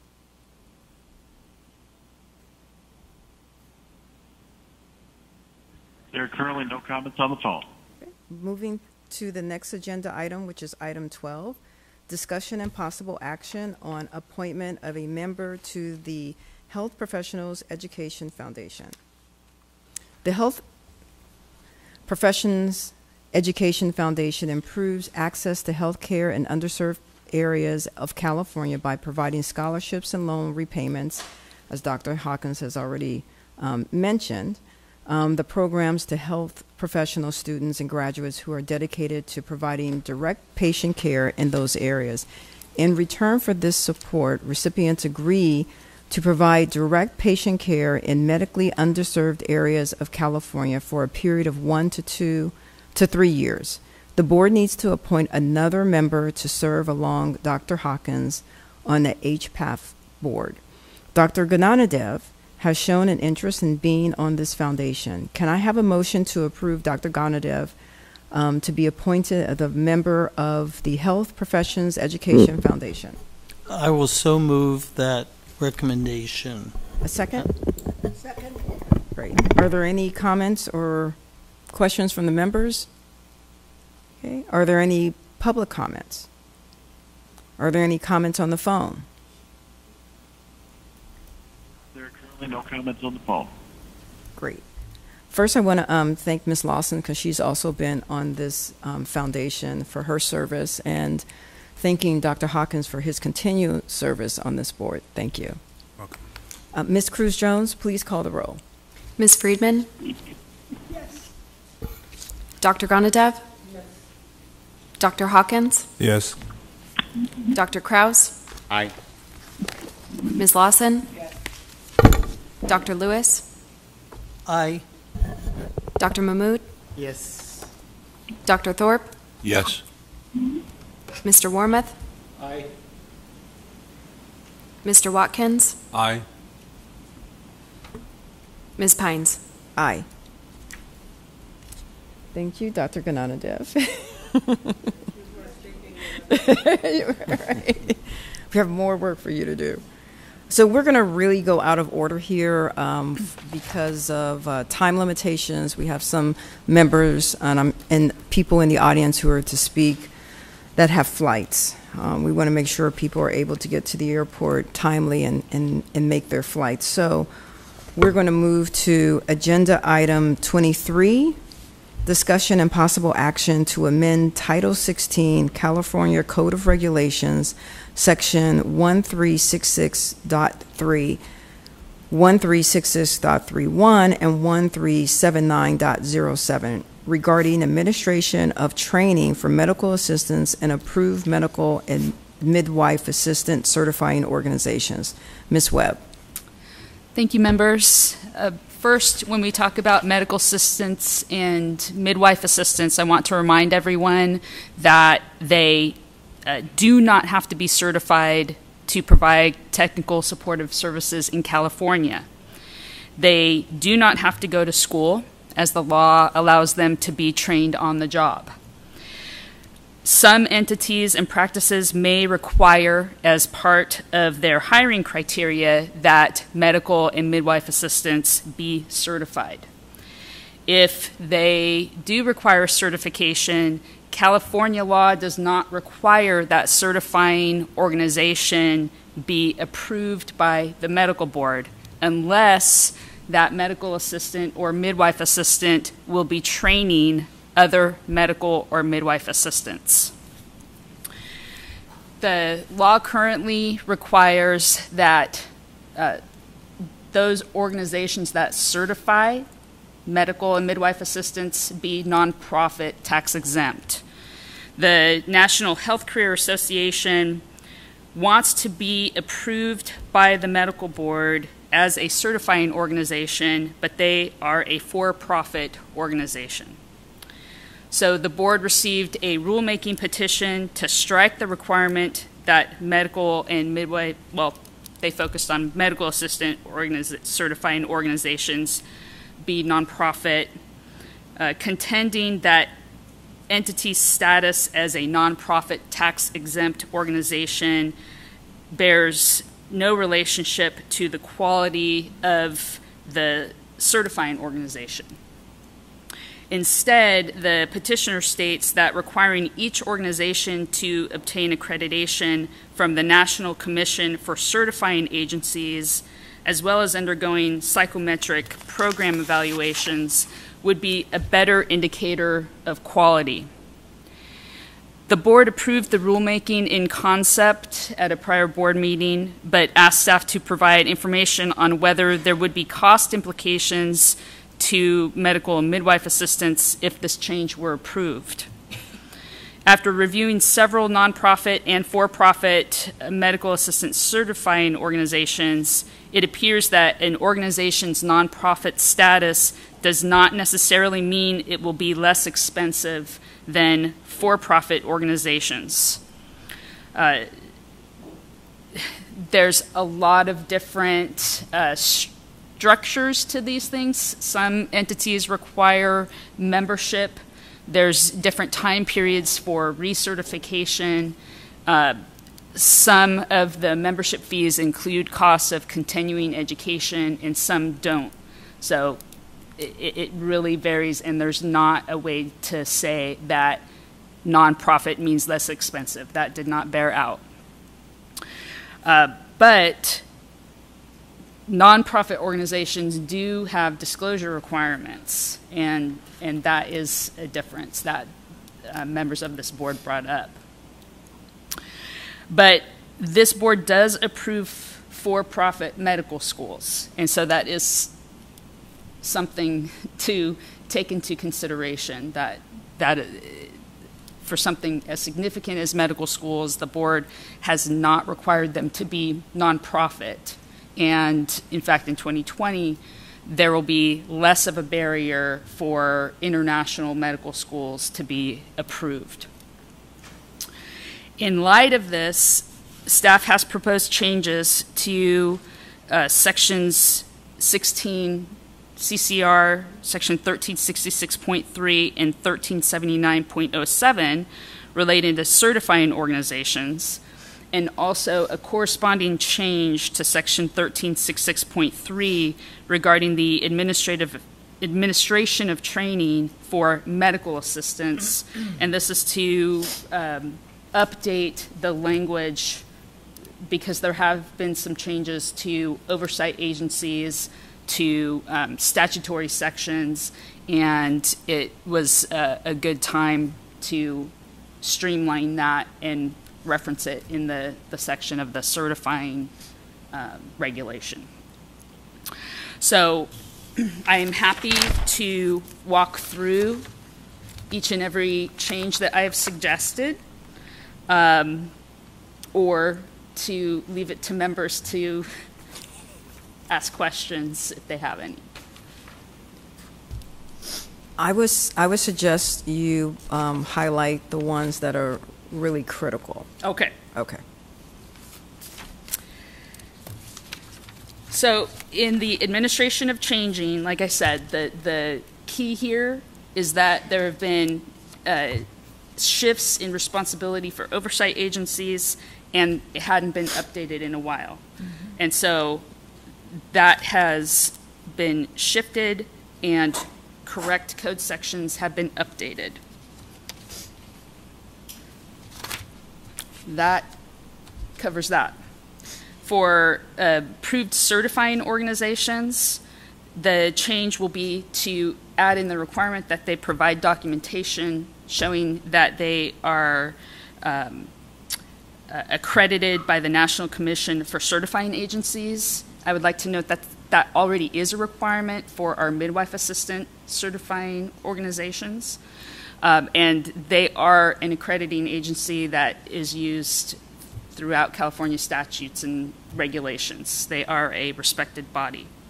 Uh, we would strike the requirement that they be nonprofit tax exempt and to um, streamline what the board is requiring them to look for in applicants. I've strike duplicative language and referred back to the administration of changing uh, administration of training sections that are relevant. The other piece is that we do have um, some currently recognized organizations that I am told are going through the process of being accredited by the NCCA, and uh, they do need time to complete that. And so I've put in a deadline of January 1st, 2027 for them to be accredited and demonstrate that so that their approval can be continued by the board. Okay, Second. now, the, the motion has to be particular, and that is to um, direct staff to prepare the rulemaking documents. I'll, I'll restate it. Uh, I move to uh, have staff prepare the necessary regulatory documents to submit to the Department of Consumer Affairs and the Business Consumer Services and Housing Agency. Oh, sure. The motion is to uh, direct staff to prepare the necessary regulatory documents to submit to the Department of Consumer Affairs and the Business Consumer Services and Housing Agency. Uh, upon DCA and the agency approval to submit the documents to the Office of Administrative Law to notice the proposed regulatory language to amend the following regulations. Title 16 California Code of Regulations CCR sections 1366.3 1366.31 and 1379.07, and to authorize the staff to make non-substantive changes to the language and respond to non-substantive comments during the rulemaking process without returning to the board. Second, I don't have to read all that, so. Are there any questions or comments from the members? Just, just a comment that uh, it is the right thing to do. I, LCME, which accredits MD Medical School, did that. They took that not-for-profit away because they were concerned that they are potentially putting themselves at uh, a legal risk. And Medicare took that off. Remember, the hospital accrediting agencies, there are a couple for-profits along with a couple not-for-profits, so we're doing the right thing. Mr. Watkins? So my question is, yeah, it's good to take it out, but that's the, you know, the board as a public protection mandated agency or board. That is when we go to the for-profit model. I have a lot of experience that, and I also have experience in the non-profit part of it. And we go to the non-profit model when we don't want to have that level of public scrutiny or the disclosures that is required. So I have a suggestion. If we can require, and I mean this is moving forward, as is everyone say, everybody's moving in this direction, but it's moving to the pro- for-profit model that has less disclosures. So you cannot really pierce that corporate veil if there is any questions that we will. The public wants to ask downstream. So my suggestion is that if you bring up an amendment that asks for uh, something like an equivalent disclosure or something close to an equivalent disclosure, then you put that, then they can have their nonprofit status, but they also bring in a public, the uh, public protection or public transparency aspect to it. And I know it's easy to move to a for-profit model. We all want that.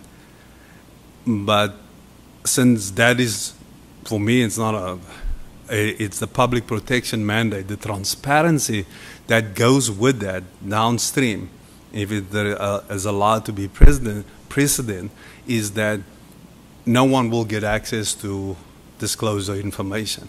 That's the corporate veil. And I'm just concerned about that. So that's my question and suggestion. Well, we we don't do it in other much more significant contexts. Uh, so that's number one. Uh, number two, if we get the disclosure, we wouldn't do anything with it. Um, that's why it makes sense to have a respected accrediting agency that is looking at how they're running their program and having to meet certain requirements uh, help the board with that deep dive function. Thank That's you. my response. Okay. I can answer the same one. Same thing. CMS looks at all the Joint Commission and all the for-profits, all of them, their their financials, their workloads, everything. So and so does uh, LCME looks at every medical school. There is only one for-profit school in the country, which is in Sacramento. Uh, but you have to submit everything to the accrediting agency, not to us. Okay. We have comments from um, the public. John Perez.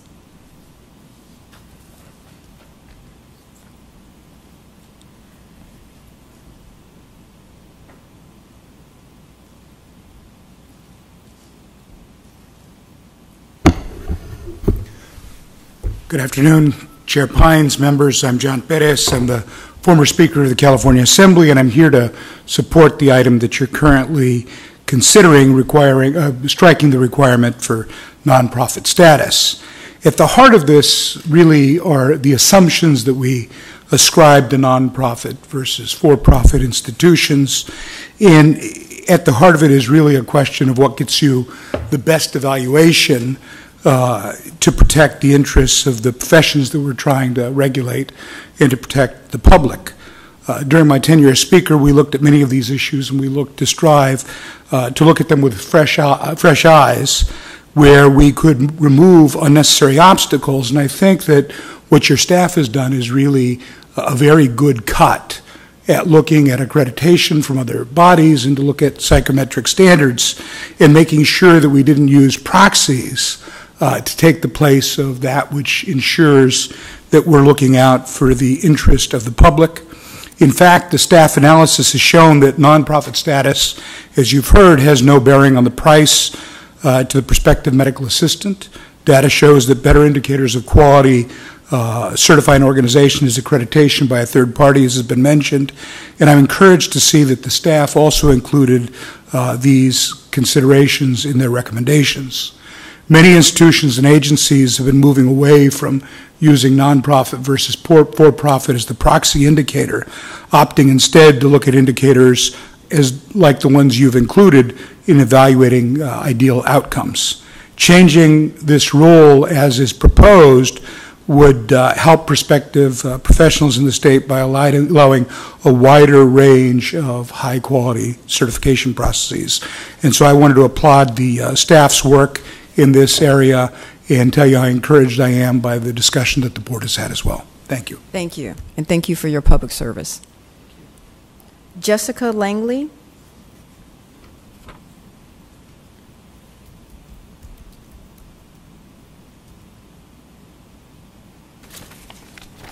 Ms. Pines and board members, thank you for the opportunity to speak today.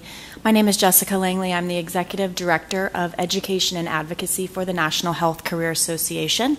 Um, I'm speaking today not only on behalf of NHA, but also as a allied health, a certified allied health professional, practitioner, and educator with about 20 years experience across the field.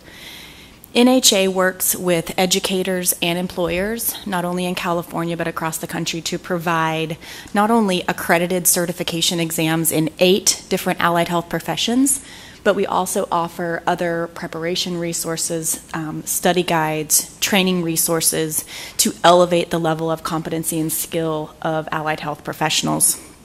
NHA, our mission statement is to empower people to access a better future and as an industry leader, we feel it's our responsibility to students and to professionals to provide them the necessary tools and resources that allow them to be competent in their field of study and profession. We support allied health career workers and their aspirations not only in their education phase, but also through certification and post certification through professional development and continuing education offerings as well. We um, also provide robust data analytics and reporting to our customers, meaning that could be educators, employers, physicians, or health systems, to also help um, with on the job training or continued learning or professional development to track areas of weakness for skills enhancements um, and also competency assurance as well to ensure that we are providing the uh, necessary level of high quality patient care to all Californians. We are in support of the proposed amendments regarding the administration of training to medical assistants and approved certifying agencies. The proposed change will ensure that organizations that certify medical assistants are accredited and offer high quality medical assistant certification programs. The current regulation mandates that a certifying organization be a nonprofit, tax exempt organization, but not, does not otherwise certify or ensure the other quality uh, medical assistant training or certification. Rather, it appears that the nonprofit tax exempt status was used for a proxy to ensure that the certifying agency is le- legitimate um, and dedicated to the assessment. We think that this is a poor proxy and that the third party accreditor would allow them to um, show higher standards within their, their certification programs.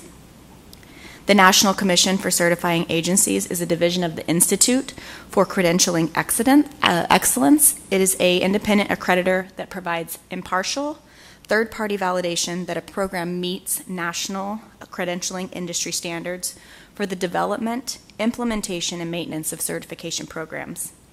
NCCA requires programs holding its accreditation to provide annual reports, submit to audits whenever they require them, and to apply for reaccreditation every five years. Please conclude. Each program is required to have an independent certifi- certifying body or governing board made up of industry st- stakeholders and subject matter experts. If any currently approved bodies are not accredited, the board could allow a grace period as mentioned during which such certifying bodies may obtain that accreditation. Thank you. Thank you. Cindy?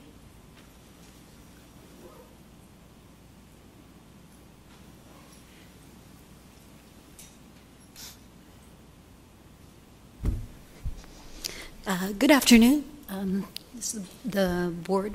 Um, my name is Cindy Uy, and I am working with Dr. Nieto. I am his accreditation director for uh, Health Career College, which is located in Pleasant Hill.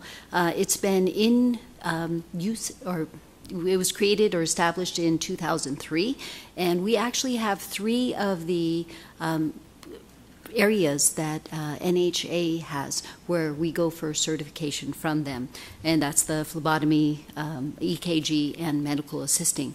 And uh, I was very pleased to find out the changes that you've made. I will go back and look further through it, um, but, but our big thing was that uh, we really have been working very close with NHA. They do a review of all their uh, uh, testing skills every so often, and I've just been very thrilled because when folks don't pass their accreditations, uh, I felt that it was uh, very much deserved, and the ones that did pass, they did. So the folks that didn't, they'd go back and review and then take it again. And when they take it again, it's a different test altogether. So it's testing different areas of what they have.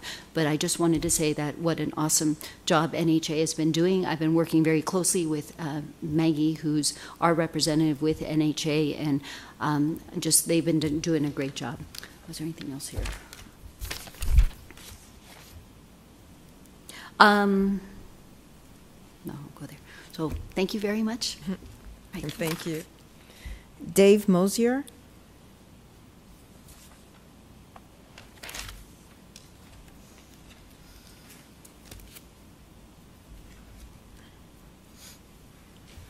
Good afternoon. I'd just like to talk just a couple minutes about commerce. Commerce is the exchange of goods and services between two or more entities.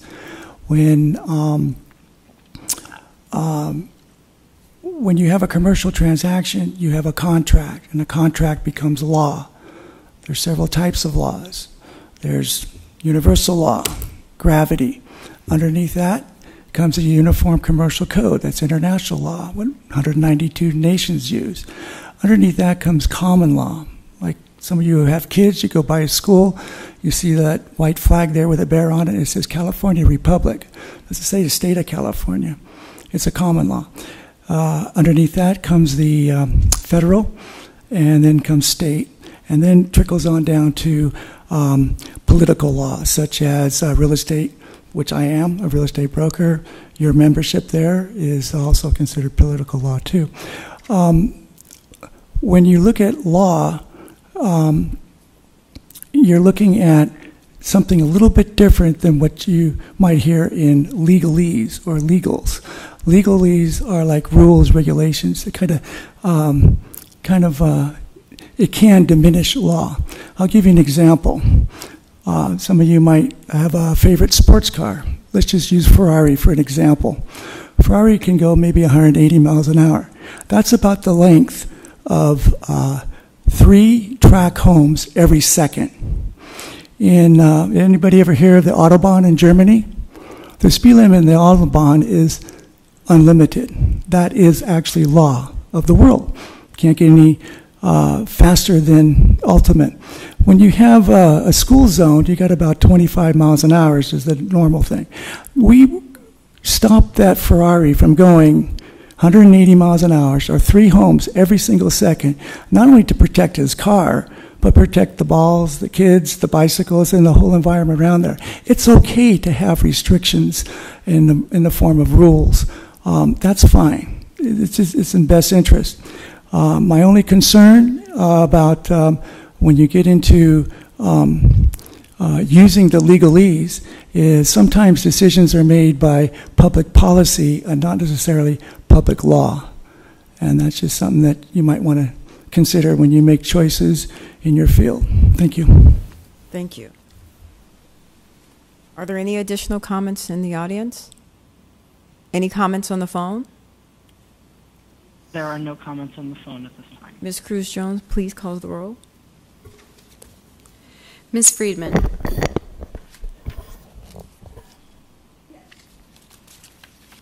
Dr. GnanaDev. Dr. Hawkins. Yes. Dr. Krauss. Aye. Dr. Lewis. Aye. Dr. Mahmood. Yes. Dr. Thorp. Aye. Mr. Warmoth. Aye. Mr. Watkins. No. And Ms. Pines. Aye. We're going to move to agenda item 20, update, discussion, and possible action of recommendations from the Midwifery Advisory Committee meeting. Ms. Holzer.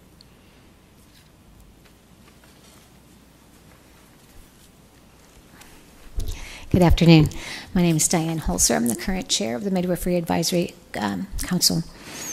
So, our requested action for the following agenda items are discussion on establishing goals in 2019 for the MAC, um, updates on midwifery related legislation, selection of chair for the MAC, selection of a vice chair, presentation on the California Association of Licensed Midwives survey regarding physician refusal to provide care for midwifery clients, report from the MAC chair, update on the midwifery program, and the LMAR data presentation for the year.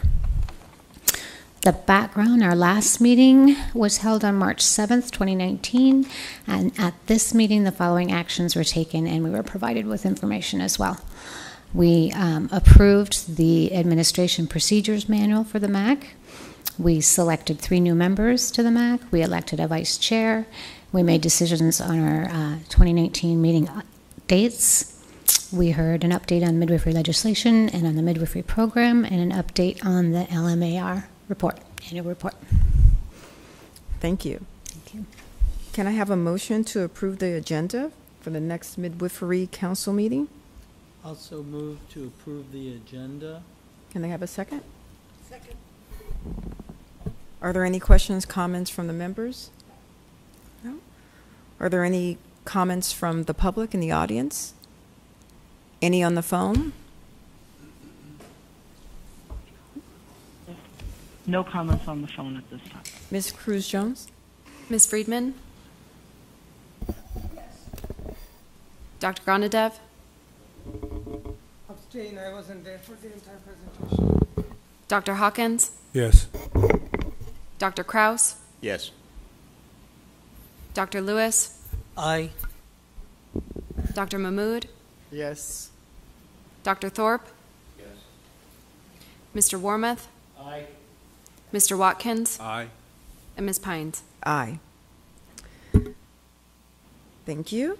We're going to move with, uh, we're going to move to the next agenda item, bringing Ms. Webb back. Item 24, discussion and possible action to amend 1320 and 1321 of the regulations.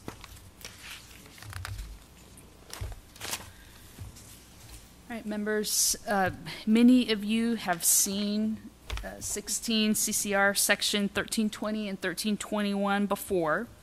Uh, Board staff have been working with DCA and the Office of Administrative Law. And in light of the uh, length of the review process, we had overlapping rulemaking packages moving through the process. Uh, following discussions with DCA and the Office of Administrative Law, staff has pulled back those two rulemaking packages and combined them into one and made additional changes. The biggest change is that the prior rulemaking made amendments to allow the board to give credit for applicants who went to postgraduate training accredited by the American Osteopathic Association that had reached initial or pre accreditation status with the Accreditation Council of Graduate Medical Education, ACGME. Uh, staff has been in contact with the AOA and confirmed that MDs are not going into these postgraduate training programs until they are fully accredited by ACGME. And so it took this issue that we anticipated was going to be a problem with being able to approve qualified applicants, and it is not an issue. And so we are taking that out of the proposed rulemaking and uh, making some additional clarifying changes that will bring Section 1320 and 1321 up to speed with our uh, statutes that have changed the postgraduate training program program requirements from one to two to the three years for everybody.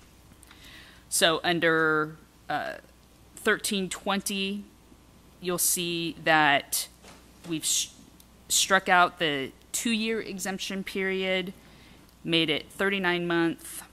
That is for everybody. Made some uh, additional clarifying changes for uh, typo and brought up to speed our authorizing statutes. And then in 1321, uh, we are clarifying that postgraduate training programs located in the U.S., its territories, and Canada that are accredited by the accreditors we rely on will be approved.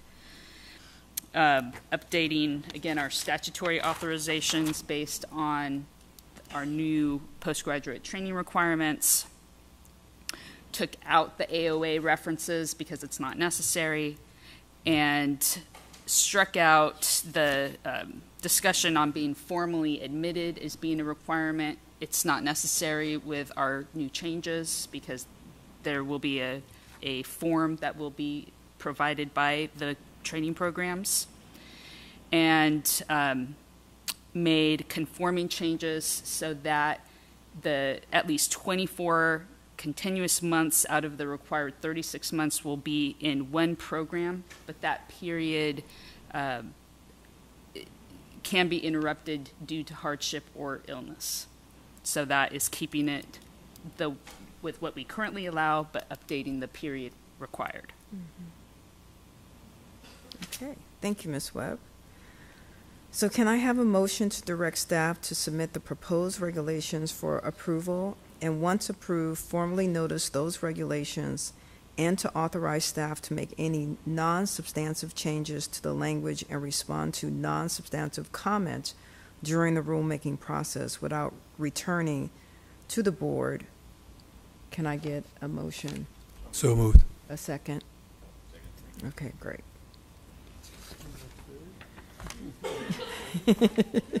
Are there any comments from the public?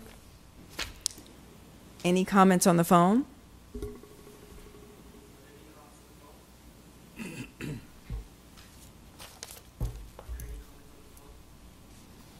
There are no comments on the phone at this time. Okay. Ms. Cruz Jones? Ms. Friedman. Yes. Dr. GnanaDev. Aye. Dr. Hawkins. Yes. Dr. Krauss. Yes. Dr. Lewis. Aye. Dr. Mahmood. Yes. Dr. Thorp. Yes. Mr. Watkins. Aye. And Ms. Pines. Aye. Okay, moving to agenda item, are we on 21? Uh, 22. Discussion and possible action on the policy regarding utilization of experts. Ms. Kirchmeyer and Ms. Webb. Thank you, members. Uh, please turn to agenda item 22 and the memo provided by staff. As indicated in this memo, the board currently has a policy that it cannot use an expert reviewer more than three or five times per year. As you can imagine, in some specialties, this causes problems. In addition, it limits the use of experts who are qualified and educated in the enforcement process and provides reports that are well reasoned, well written, provide, provided in the correct format, and more expeditious. As stated in the memo, this was actually a recommendation that was given to the board from an outside consultant who reviewed the board's enforcement process. He stated that under the current board policy, medical experts may not be used, and this is a quotation from him, uh, may not be used more than three times per year. As with medical procedures, medical experts tend to become more qualified as they complete more reviews. However, under current policy, at the very point when the medical expert becomes may become most qualified and also faster and more effective, they must stop work until another year.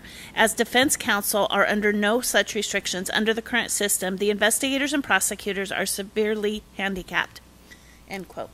Therefore, it is the board's staff recommendation that the board eliminate this policy. The board would still limit the use of experts to ensure all experts learn the process, but it would not be hindered by the policy itself. Based upon discussions with Health Quality Investigation Unit and the Attorney General's Office, board staff believes this will assist in improving the board's enforcement process. Carrie, anything to add? No. Okay. And, and this is just really something over time we've identified that this is a concern of the board, and I think that we need to move forward. And so, with that, I would actually ask for a motion to um, eliminate this policy of expert utilization. So moved. Second. Great. Are there any questions or comments from the members? Yes. Please hold.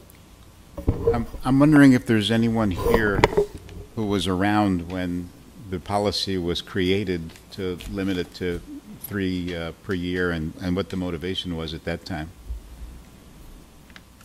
Unfortunately, I was here. Um, feeling my age.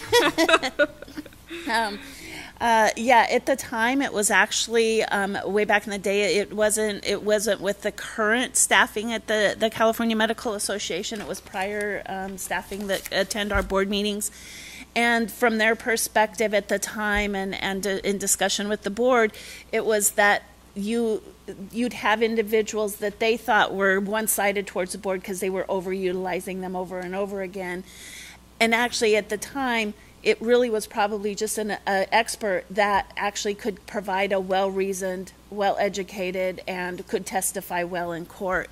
And so at the time, they had brought these issues to the medical board, and the medical board said, "Well, let's not, you know, use that. It's, it, you know, there's there's terms out in the the field as to how that overutilization of of um, experts, you know, kind of moves forward." Um, for us, we always want an unbiased uh, and very um, objective report from our expert. And so that's what we'd be looking at in these individuals anyway. Um, that's something that, quite frankly, that can be brought up during the process of it going to hearing. That's something that the defense counsel could use. That you know, this individual, they can bring that up during their argument. Um, but that's kind of Dr. Krauss where it had originally came from back in the day. Are there any additional questions? Yes, Dr. Mahmood? So have we looked into the specialties? How many specialties are there where we have very scarce number of experts? Because most of the complaints and most of the issues are from very common specialties. And I think to limit the review process to just few people is going to create more bias. So leave it open, but look in the specialties where there is, we really need something, make an exemption. That'll be more fair and transparent process so if you if you look at your agenda packet under um, enforcement, I mean under tab 10B, it talks about all of the utilization of experts. It's listed in there if you look at your packet, and it has all of the specialties where there are fewer uh, specialties, ones that are where there's more. Um, it really is an overall process, though. You you it should be a, applied to all of them. I don't think that there's any difference in specialty um, when we're looking at this, but we'd still want to have as many experts as we can. So the only way you can have more experts that are going to be able to do a good job is to keep them all in the system. So it it's not like we're going to all of a sudden be using for for let's say internal medicine. We're not going to use three experts to do all of the cases we have in internal medicine. We're still going to do that. It's just in some of those areas we want to have that flexibility to use it. So I w- I wouldn't limit it to one because we never know which specialty you're going to have more experts in. And there's just not a good reason to have an artificial limitation when, if there's concerns about bias, that's addressed at the hearing. That has less of an impact, I think, when you're talking about a hearing before an administrative law judge versus a jury. Um, and I think the the attorney general's office will be sensitive to this and know how to handle it. And there's just not a good reason to have an artificial barrier uh, it, it should be more open. Okay. Are there any additional questions from the members? Okay. Ms. Ree? Uh, yes, hello. So if there were, I am someone that um, had been uh, observed by two uh, medical experts with the medical board. And the first one um, definitely had a racial bias. And so if there's a racial bias with the medical expert that the board sends me to, how are you going to know about it? Unless someone like me speaks about it. So the medical expert, the psychiatrist that the board sent me to, saw only cash patients, never contracted Medicare, Medicaid, had never been on any kind of diversity board or had any background training or education in racial and ethnic and financial diversity and hardships. He, and he only testified for the medical board. He didn't testify for defendants. Same with the medical expert of family medicine. My cases were internal medicine, but the board could not find an internal medicine specialist to speak um, against my my cases, and so they had to get a family medicine doctor who was not board certified. He was not board certified, and as soon as he got up on the stand, he complained because he was no longer able to be um, a volunteer doctor for the SWAT team because his premiums went up because of the um, the Black Lives Matter Sacramento um, situation, his premiums went up and he was no longer, and he was upset and blamed it on Black Lives Matter Sacramento because his premiums went up and he could no longer be a physician for the SWAT team. And he was a gentleman who only, and so there's your bias. And what did that result in? I'm revoked and the administrative law judge would not allow the psychiatric testimony from our expert. So if these things happen, how are you going to know about it? How are you going to hear about it? Please, in the interest of patients, the diverse patients that we treat, we really have to focus on the medical experts that the medical board is hiring, is paying for. They have to see a racially diversified patient population, have had experience in diversity um, in, in their education or in their background. It can't just be a lot of awards and board certifications and um, a volunteer a physician for the SWAT team. so, when that bias occurs, how are you going to know? And if, it, if I was not here to tell you this, and you utilize the same medical experts over and over again, how are you going to know? Thank you. Thank you. Are there any additional comments from the public? Any comments on the phone? We do have one comment on the phone. Ms. Susan Lauren, your line is now open. Hi, thank you. As you can imagine, this is a big topic for me. In the Hughes case, attorneys from both sides said the plastic surgery expert for your board was corrupt and lied profusely. I provided clear evidence that proves beyond a reasonable certainty that Saul Berger surgically, surgically battered me, so ditto for my case. I object to your expert, Dr. Terry Dubrow. He perjured himself under sworn testimony in my depo and trial. I have the transcripts that show his false witness and unprofessional conduct and have sent you the details for years through correspondence with your board. Among other things, Dubrow said that Berger did not operate on my buttocks, but in fact, Dr. Berger made numerous lipoincisions on my gluteus and removed it for no reason and destroyed my body against need consent to rationale. Dubrow spun mutilation as skin laxity, age, or a mental problem. He said there was no permanent damage or pain. In contrast, plastic surgeon Dr. Bratner and many, many others said the damage wasn't skin laxity or age. It was extremely poor technique. Procedures were contraindicated and Berger's acts are surgical assault and caused permanent damage. Terry Dubrow uses his position as a reviewer with the medical board and used it in my case to unjustly sway my jury. Dubrow and attorney McAndrews told my jury repeatedly that Dubrow was the standard for the medical board as they spouted lies and slander. In the exit poll, jurors said they went with Dubrow because of his position with your board. Dubrow has worked repeatedly with McAndrews. I hold your board responsible for me losing my case because you enable and empower Terry Dubrow and let him testify in your name.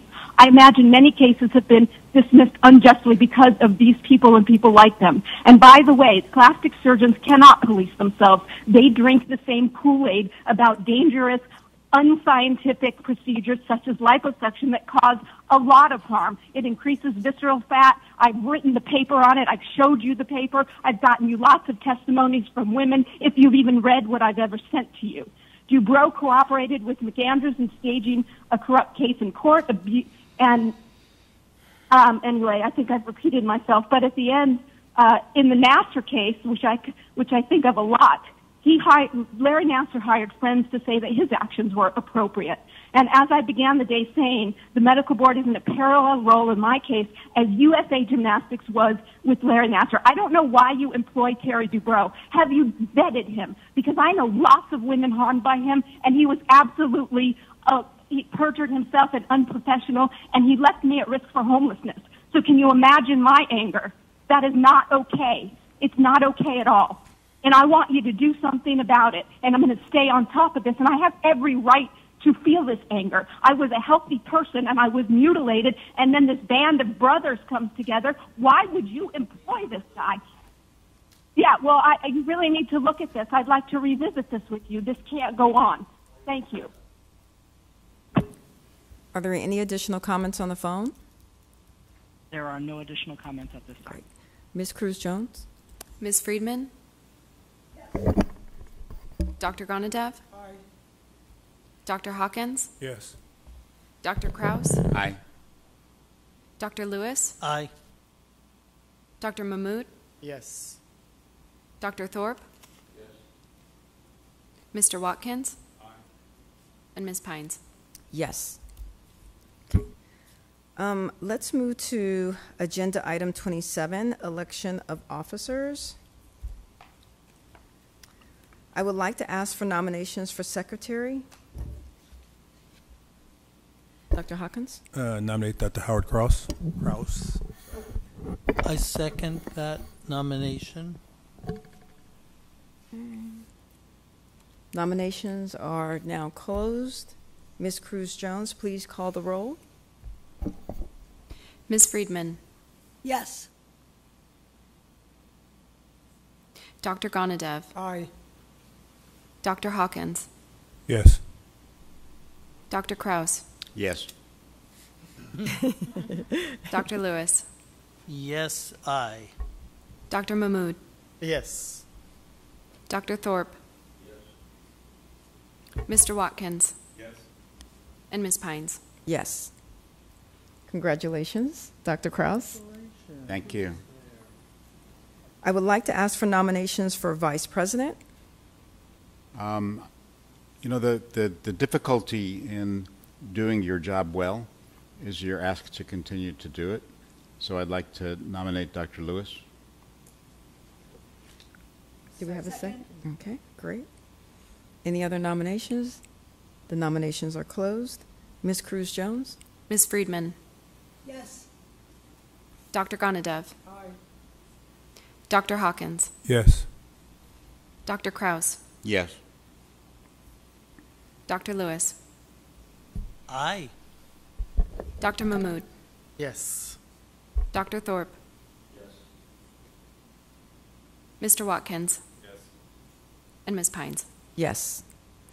Congratulations. Thank you. I would like to ask for nominations for president. Ms. Pines also made the tragic mistake of doing exceptionally well on our behalf last year, and I'm honored to nominate her to be president for another year. Thank you. Second. Third. Okay, the nominations are now closed. Ms. Cruz Jones? Ms. Friedman, Yes. Dr. GnanaDev, Aye. Dr. Hawkins, Yes. Dr. Krauss, Yes. Dr. Lewis, I. Dr. Mahmood, Yes. Dr. Thorp, Yes. Mr. Watkins, Yes. and Ms. Pines. Yes. Thank you again. And isn't it sunset coming Yes, up? we're going to have fun. She and I will be, We're going to have fun. we're going to be spending a lot of time with each other. I'm now going to move to agenda item 18. Update from the Attorney General's office. Ms. Castro.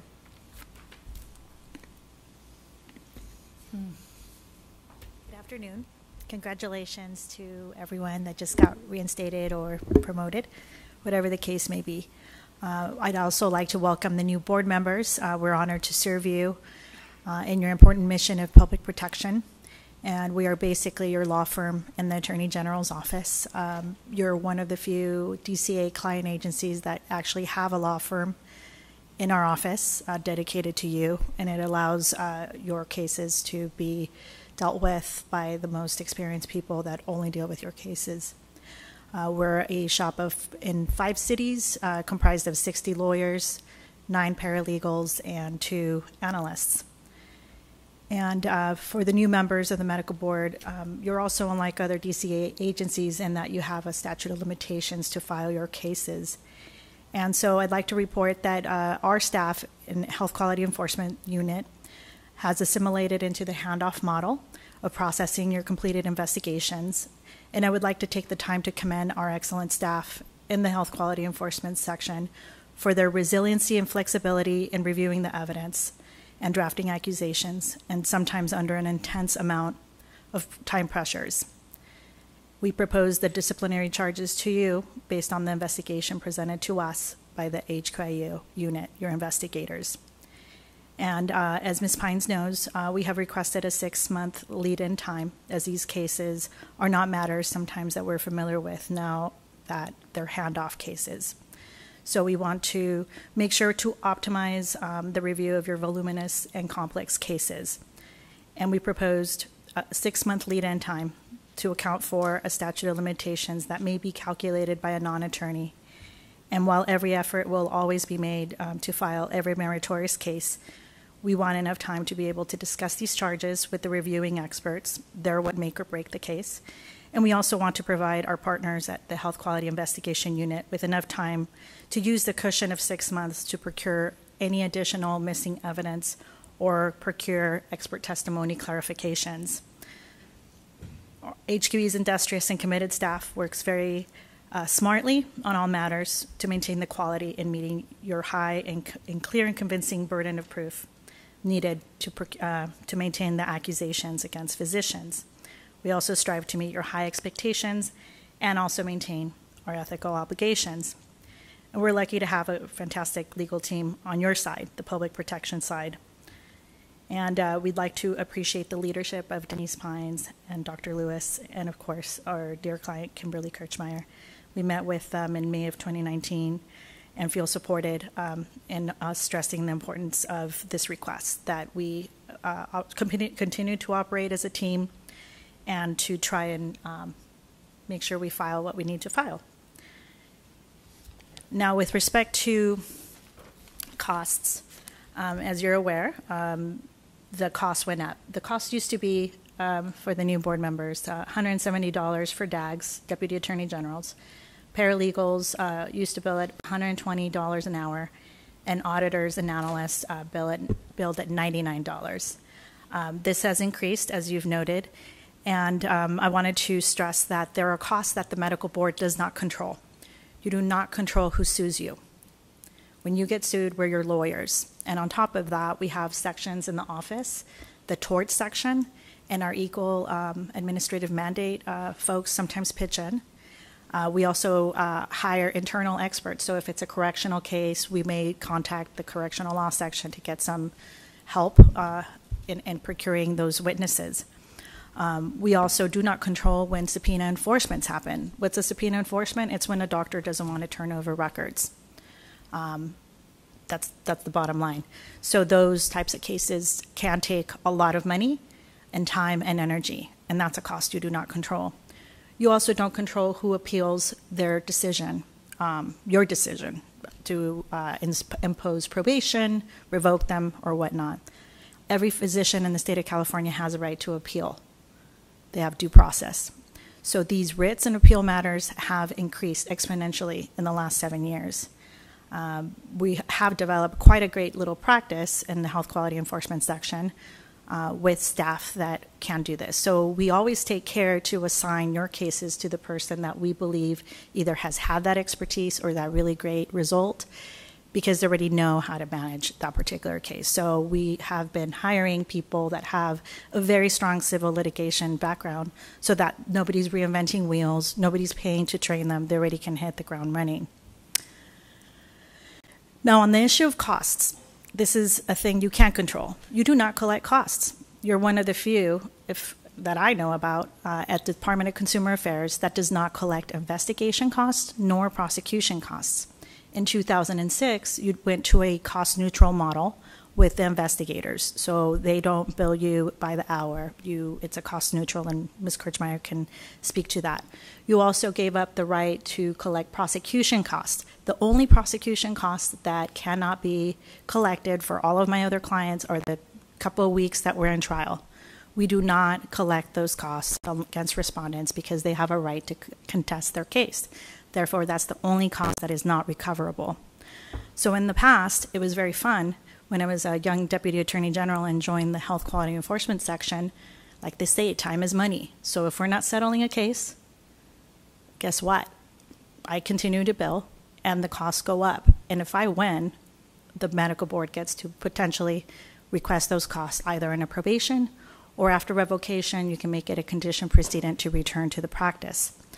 So, like they say, time is money, and the longer that a doctor is enabled to fight their case, the more time my staff spends on billing and protecting your interests and making sure that the right result comes out. Uh, as noted, you, the last time you raised those licensing fees was in 2006, and that was to pay for the vertical enforcement program. And as has been noted, even though um, we've raised our fees and it will have an impact on you, the Office of Administrative Hearings is also raising their fees. Um, in the past, the use of our paralegals, uh, we had a handful of them. We always delegated to them some simpler tasks that we thought would create a savings to you. So if we had a default against a doctor, we would uh, have a paralegal manage that paper intensive uh, default at a reduced, reduced rate to you. Um, at the same time, we use them for discovery. So anything that uh, we, when we're producing discovery, we have paralegals compile that. Why? Well, we don't want to use a lawyer to do that, but we do want to use a legal paraprofessional. And they also compile, compile trial notebooks, manage witnesses, and do all that. Another cost that you actually don't control, unfortunately, is the passage of SB 467. This is Business and Professions Code Section 312.2. It causes not only the Office of Administrative Hearings, but also the Attorney General's Office to produce an annual report. The BCP, the budget change proposal for SB 467, called for the staffing of six paralegals. These paralegals use um, some of their time that they bill to you and to other clients uh, to be able to uh, make sure that the, the, the cases have the documentation necessary to be able to report that data. So that is a cost that has gone up, and that was imposed on you by the legislature, and really on us, but you're paying for it. Um, and so I know that I uh, look at the bills uh, very carefully, and um, we make very intelligent assignments. There's only so much we can do. We'd love to have input, and we can definitely uh, talk about how we can reduce your costs if if there's a way to do it. But there are costs that are unavoidable, and you do want to win these cases. And so um, the elimination of vertical enforcement did not produce a savings in your budget because of this increase in the fees. Um, there has been a slight uh, downtick on the amount of hours that the lawyers are billing um, after vertical enforcement has gone down, but not as much as um, I think we anticipated. So uh, the next thing on my agenda uh, was just to update you on SB 1448. This is the probation notification statute in specific areas of discipline. I think we're working as a team uh, to be able to in, identify cases in earnest that are going to require probation notification, either in settlement or at hearing, and then also helping out to uh, have discussions on how best the investigators can address those issues at the expert review level in the investigation phase that we're no longer involved with, but we're still very, very uh, motivated to make sure that, that that's handled in a very uh, methodical way so that those cases are staged properly to be able to put the public on notice. And I'm happy to report um, that I, we have new staff. And so in June and July of 2019, we had um, four, four people join our office in Sacramento and San Diego. We had Veronica Juarez Vo. Uh, she's a seasoned prosecutor with a background in um, disability law and sexual assault. She came to us from the Yuba and Solano County District Attorney's Office. We also hired Aaron Lent. He's a seasoned prosecutor in felonies um, with expertise um, that is very deep. And um, he came to us from both the Stanislaus and Imperial County DA's office. We hired Mr. Lincoln, Robert Lincoln, out, out in our San Diego office. He's a jurist advocate general from the U.S. Army, and he had legal experience in working for a medical technology firm. And finally, and this is to the point of um, how lucky we are to be able to attract fantastic staff that are are willing to do this type of work because it is very, very um, difficult um, and it's underpaid, obviously. But he, Ryan McEwen, joined our Sacramento office. He has extensive civil litigation experience, specifically in complex antitrust actions in state and federal court. And he took a breathtaking pay cut to come serve the public. So um, we're always trying to make sure that we find the people that can do the work um, and they don't get paid uh, for their passion, but they get something out of it. Uh, knowing you wear the white hat at the end of the day pays for itself. And that's Thank- all I have. Thank you, Ms. Castro. Do we have any questions or comments from Dr. GnanaDev? Ms. Castro, I'm sure you know what this is coming. Oh, yes, of course. so, uh, a- anytime it goes up that high, I understand that it's 10 years later, wha- uh, wha- what it is, but it happened about the same time when the VE went away. So the suspicion for many of us is that is that VE going away, that revenue going to the AG's office being put on by increasing cost. As I mentioned before, I absolutely have no problem with the uh, attorney's fee increase. I think we, you you are charging very low anyway compared to all the attorneys we pay. But uh, but the other two were somewhat concerning, uh, paralegal and the research analyst. So how did you come to this conclusion? What process you went through to really come up with these rates? Oh, so I can I can tell you with confidence that we we were not consulted. The senior assistants of the sections were not consulted on where that number should be. And um, so the number, you know, i- i- is a number that we're going to always have to deal with. Uh, the strategies are, you know, maybe considering the cost equation, collecting some of that money back. Um, and again, when I was a new DAG, people settled quicker when it was when the when the time was not being subsidized by the medical board.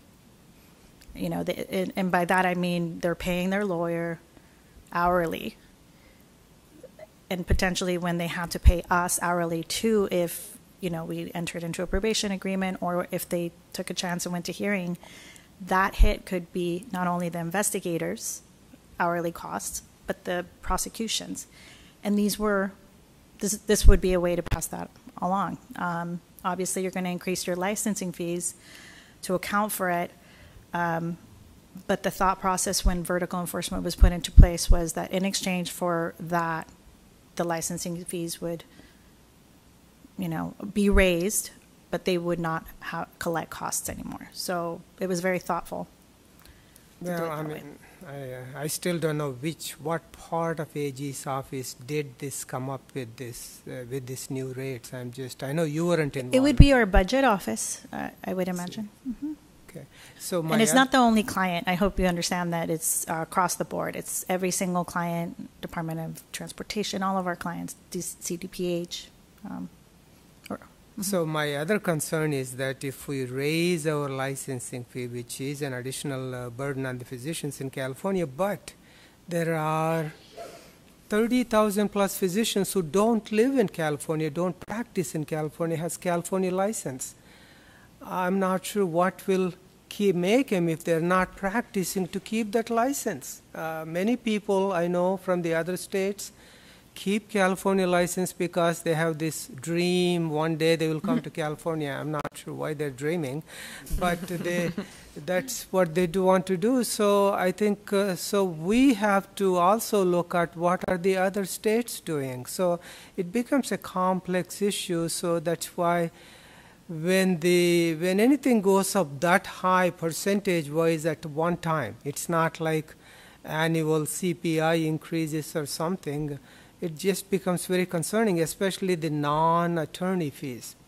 Attorney, I get it. I completely understand. You guys are the underpaid. That's not even an issue. But but the paralegal and research analyst, I mean, in my mind and probably a few other people's mind, maybe they put it there because they are losing revenue on not having the VE. That's what I'm just saying. So oh, no. Well, I can tell you that every single section is going to be billing the same rate. I, I don't know what went into the paralegal and auditor, but I, what I can tell you is you're going to be stuck with some paralegal costs because of SB 467 and because of that report that they have to put together in a um, manner that is going to be able to be examined at any point and backed up by documentary evidence. So, in order to take an average of A to B, B to C, and A to D, every single milestone needs to be documented. We've always do- documented milestones. We're very transparent with our client on um, where her cases are at at any stage of the process. And at the same time, um, that is a cost, and it's a cost that's passed on to you. And you're not the only client that pays for that. I mean, any every single client in that annual report pays uh, for that to happen. So, and that, uh, we're going to produce our third annual report, so that came through four years ago. Thank you. Is there any rule or any regulation that how much cost can go up per year for any, which is basically every department, every thing has that thing. And uh, on this uh, department, there's no regulation that this percentage you can go per year or something. No, I, I really have no depth of knowledge at all. Um, all I know is that the uh, billing rate goes into effect on 9/1 unless we hear otherwise. Um, so, so it hasn't gone into effect. That's the good news. So, Any additional questions from members? Any? Okay. Thank you, Ms. Castro. thank you. Do we have any comments in, from the public? Ms. Ree?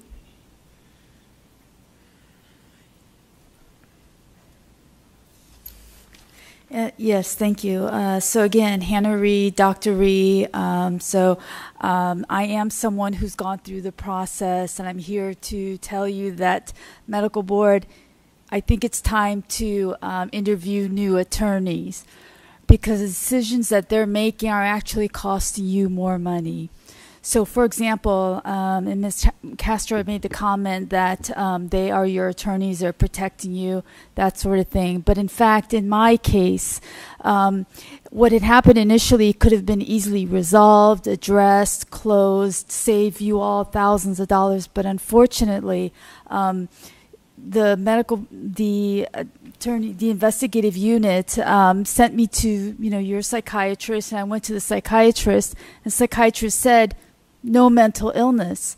But um, the state decided, the AG's office decided to go ahead and file um, an ISO, and of course it was denied.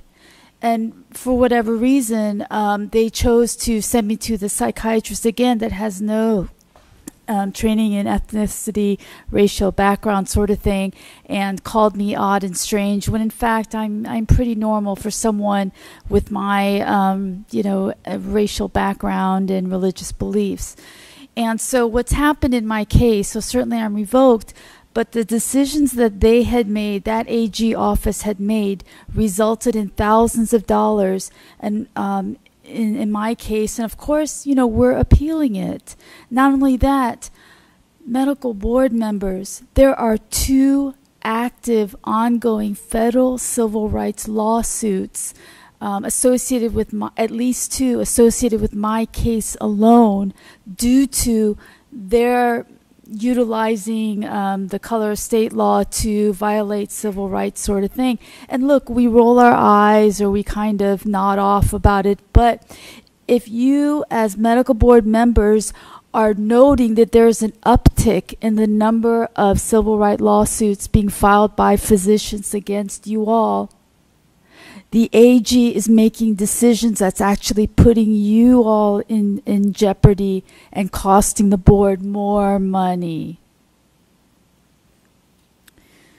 Um, so, so another kind of thing that it's in the record books. The AG's office, for some reason, um, does enjoy mocking, um, mocking uh, defendants um, so in my case, uh, Megan O'Carroll, who who was DAG, for some reason um, she felt the need to make fun of the fact that I carry, I keep a um, a blow dryer in my office because of my hair. My hair is very thick and um, difficult. conclude. Yes, thank you. It's difficult to control, and so during the hearing, she felt the need to make fun of the fact that I kept a a blow dryer in my um, in my office, and therefore I must be odd and strange. So, those are her words. Thank you.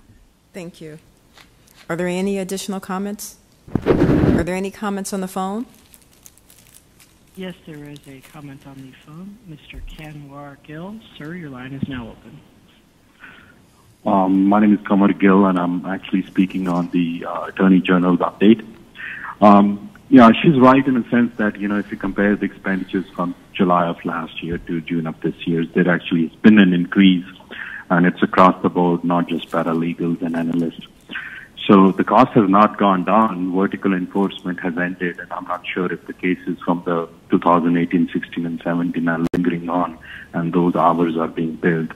But um, what also is important is the task that is given to the Attorney General's office is basically to revoke or suspend a license, and both uh, these actions are, are required to take away a constitutional, constitutionally protected property and. Uh, the physician's license is not a barber cosmetology license. You know, um, a decade or even 12 to 14 years of effort goes into getting that license. And when you task someone to take away the property of someone protected by the 14th Amendment, I mean, you would expect that person to do his job properly, and that, there's a cost attached to it. But having said that, I think the only way out of it is basically hiring no, more staff at the level of CCU, more non-sworn investigators, and hopefully um, have a, a, better understanding of the uh, information gathering and investigative process and presenting it to them for only a very selective number of cases where um, both the board staff and the health quality investigation units are in agreement that they have enough evidence or a convincing evidence to pro- process and present it to the attorney, and then the clock of the billing starts. So I think you know the better way of it would be to um, hire more people at the level of non-sworn investigators, or even the sworn ones that don't really uh, talk to the attorneys. Uh, and Dr. GnanaDev has expressed a concern that there are people outside of California who maintain a California license. The moment you ask them to pay $1,100 for a renewal of license, they will strongly consider to see if they want to keep that license, which is an extra one sitting on their desk. They don't really use it. And that is about 30,000 applicants or um, licensees that would probably would not want to, and that cost has to be budgeted in because some of them will not renew the license. So it's a complex situation. I think the staffing needs to be improved at CCU, and that alone would help to um, uh, check the budget. Thank you. Thank you. Are there any additional comments on the phone? There are no additional comments at this time. Okay, great. So before we move to agenda item 19, I would like to take a moment to discuss agenda item 17, um, overview of California maternal mater- maternity, no, mortality, sorry, and morbidity rates and initiatives. Um, so we were to have this scheduled, but our presenter was unable to attend today's meeting. However, she will join us at our next board meeting in San Diego and provide this presentation. So now, moving to item 19, update from the Health Quality Investigation Unit, Ms. Chris and Ms. Mr. Chris and Ms. Nichols.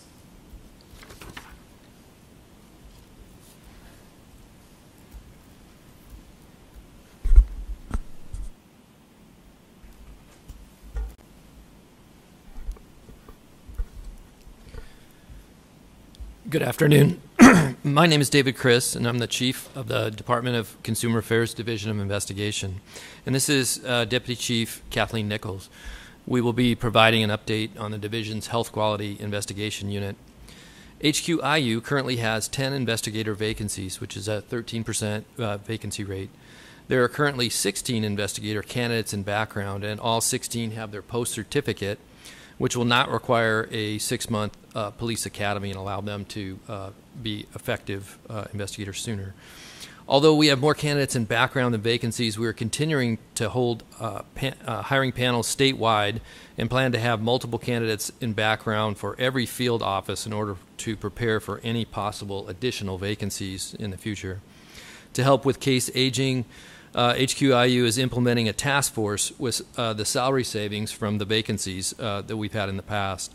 We are hiring 10 retired annuitant in- investigators and also util- utilizing several positions that have been redirected uh, from other DOI programs to assist HQIU on this task force.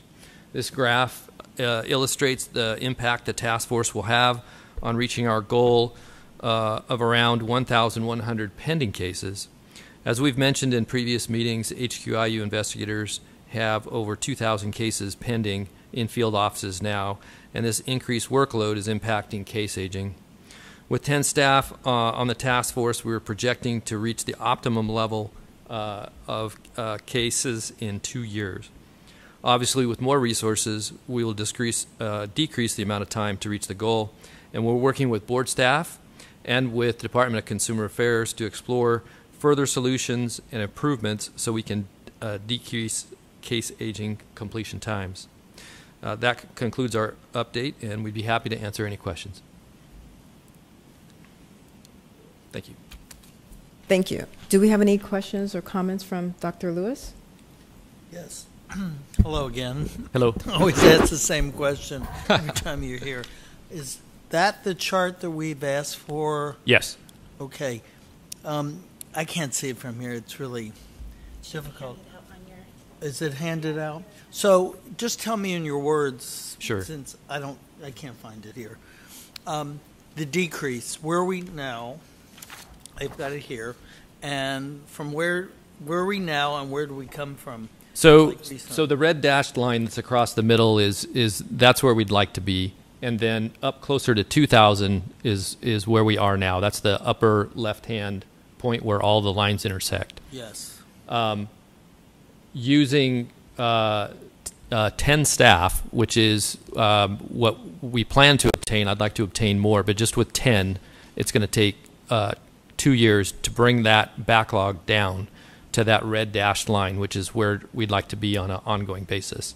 Um, I hope to get uh, additional staff, and we're working with the board and with uh, Department of Consumer Affairs to try and redirect as many people as we can uh, to to this task force. The task force uh, model has been used uh, by other boards uh, that have been in similar circumstances. So we're we're trying to do something new and out of the box. Uh, money is an issue. The board, uh, you know, has been discussing, you know, fee increase. There's there's you know the attorney general's costs. There's there's all kinds of things that have affected funds right now. So this is what we're trying to do with the money that we currently have to think outside the box to bring those those case aging the case aging down and that backlog down as soon as we can. And you said two years or three years? Two, Two, okay. and and then if if uh, we can direct more staff to that, it'll be sooner.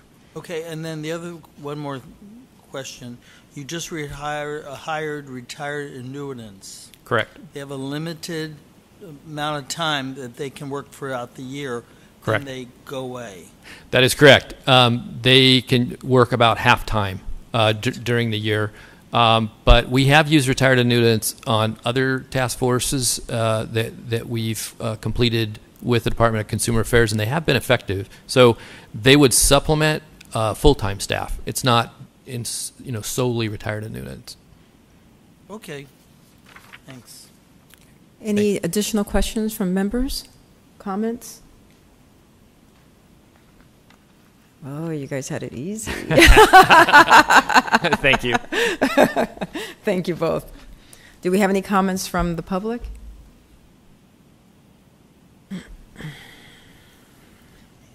Yes, so um, kind of an, an update uh, with Black Patients Matter. Um, because uh, we have this ongoing uh, federal lawsuit against uh, the DCA HQIU, the problem is that they're not hiring. They're not hiring. Their investigators are not racially diversified. The medical, they're not, and so um, we initially uh, listed uh, their DCA uh, head was Mr. Giglio, but he's no longer in the position, which is interesting. And so we've recently added Mr. Chriss as a defendant. Um, the law firm that we're using is in West LA, Fenton Law Group. And I, I'm sure there's a, a cheaper way, I say this all the time, I'm sure there's a more inexpensive way um, to resolve the um, racial disparity, the healthcare disparity. I'm sure there's a, a task force that we can build, but you know, really, lives are on the line, and there's a disproportionate um, number of African American patients that have um, have passed away and that have um, a lot of issues, medical issues that are not being addressed. And so we, we had to file these lawsuits. And unfortunately, because of the choices that the AG made, your law, because of the choices your law firm has made to represent you, it's costing more money, more lawsuits. And it's just how it goes. So if you notice an uptick in lawsuits filed against you in, um, individually, it's because of that.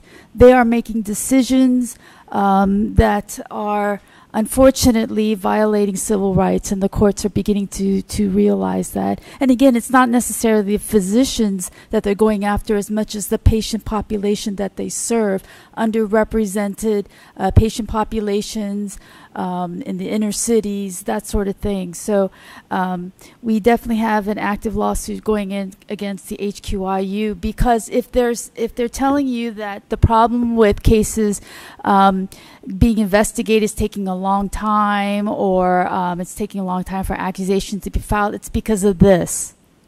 The reason why it's taking a long time is because of the thousands and thousands of complaints and cases and, and numbers of patient complaints that are made. They are selecting a few and they're trying to make that circle fit into that square opening. That's why the cases are taking so long. In my case, the ISO was denied. There's no mental illness, but because of their bias, whatever's going on in their office, they chose to go after it, and now it's going to be appealed. And now there's two federal civil rights lawsuits active, ongoing in two separate courts. Please conclude. So, medical board, of course, no one wants to sue a physician. No one wants to go through lawsuits, Your time is up. but it's effective. Thank you. Thank you. And is there anyone else in the audience that wants to make a comment? Anyone on the line? There is no one on the phone lines at this Okay. time. We're going to move to item number 26, update from the Department of Consumer Affairs. Mr. Lay.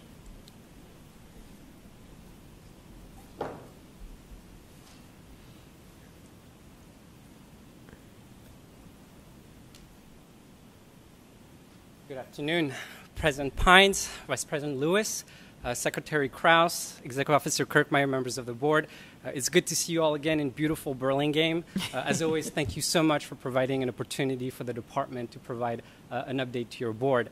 Uh, but before I start, I want to take a quick minute of personal privilege and extend the warmest welcomes to your four brand new board members uh, Dr. Thorp, Mr. Watkins, uh, Dr. Mahmood, and Dr. Casillas, although she uh, was not able to be here today. Uh, welcome to the Department of Consumer Affairs family. Uh, we're incredibly honored to have received your appointment from the Governor's Office and Senate Rules Committee, and we are very much looking forward uh, to be working with you. I know I had uh, opportunities to speak with you over the phone during the appointment process, but it's really great to finally uh, meet you in person.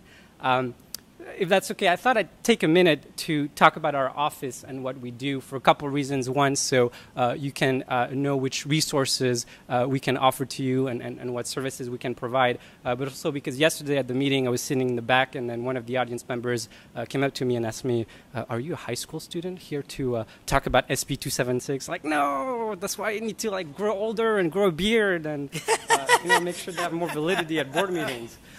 so, for the purposes of introductions, my name is Patrick Lay. I'm the Assistant Deputy Director for Board and Bureau Services at the Department of Consumer Affairs.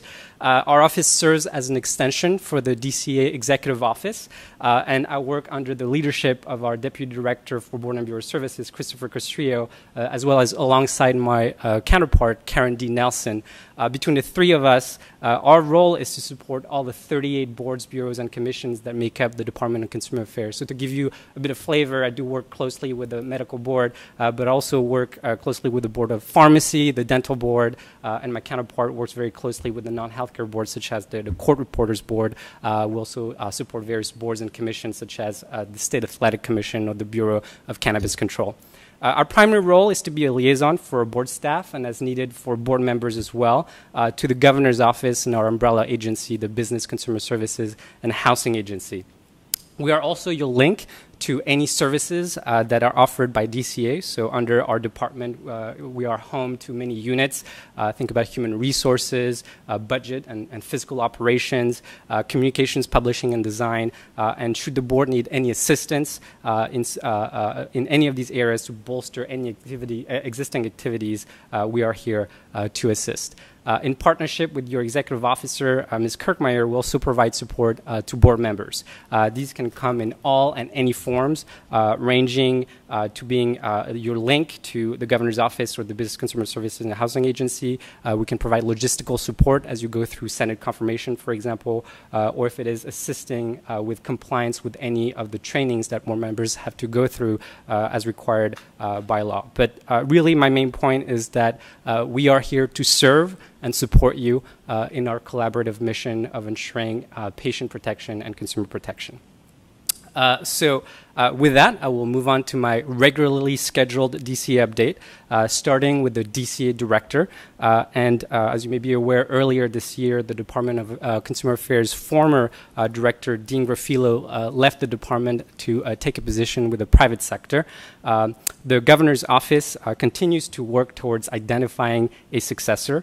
Uh, and the DC Executive Office is preparing to ensure a smooth transition uh, the moment a new director uh, is appointed. Uh, we will let you know as soon as we have news of a leadership transition.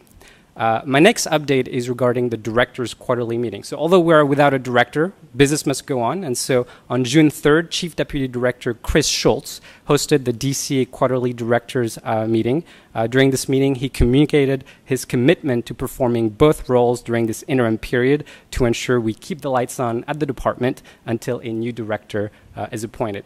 Uh, during this transition period, uh, Mr. Schultz encouraged executive officers and board members to send ideas uh, regarding cross cutting projects that we could collectively accomplish or suggestions where new leadership uh, and the administration uh, could focus. My next update is regarding the executive officer salary study, uh, a topic that I know is important to the board. Uh, and as a refresher, the department uh, retained KH Consulting to conduct an in depth executive officer salary study. Uh, the study aimed to provide an in depth analysis of programmatic and operational complexities of DCA boards and determine how, over the years, the role of an executive officer uh, has evolved. Uh, the study also provided a benchmark salary comparison uh, survey from other states. On July 8th, uh, the executive officer salary study was distributed to executive officers and board presidents. In addition, the executive office uh, hosted a meeting to discuss the findings uh, on July 12th. In terms of next steps, we are currently reaching out to each boards to set up one-on-one meetings with the executive officers and board president to discuss program-specific findings. We have an opportunity to do so with President Pines and Executive Officer Kirchmeyer, and we will continue to do so with other programs in order to gather input and feedback from all of our programs. Uh, our team would like to extend our sincere uh, appreciation for everyone's patience uh, on the release uh, of this study. My last and final update uh, is regarding board member training. Uh, I provided uh, our new board members with a welcome letter that outlines some of the key trainings required by law, uh, but there are two that I would like to specifically highlight. Uh, the first one is the board member orientation training, or BMOT. It is a one day uh, training, usually in Sacramento, that outlines the important responsibilities and functions of a board members. Uh, board members are required by law to take this training within one year of appointment or reappointment on a board. Uh, the next one is scheduled to be on October 23rd, with additional dates to be uh, announced soon. Uh, you can register for this training online, or you can contact either your executive officer or any members of the Board and Bureau Services team uh, for registration or additional information. And the last training that I would like to highlight is sexual harassment prevention training. Uh, 2019 is a mandatory uh, training year for the Department of Consumer Affairs. This means that all employees and board members are required to complete this training this year, even if it was completed last year.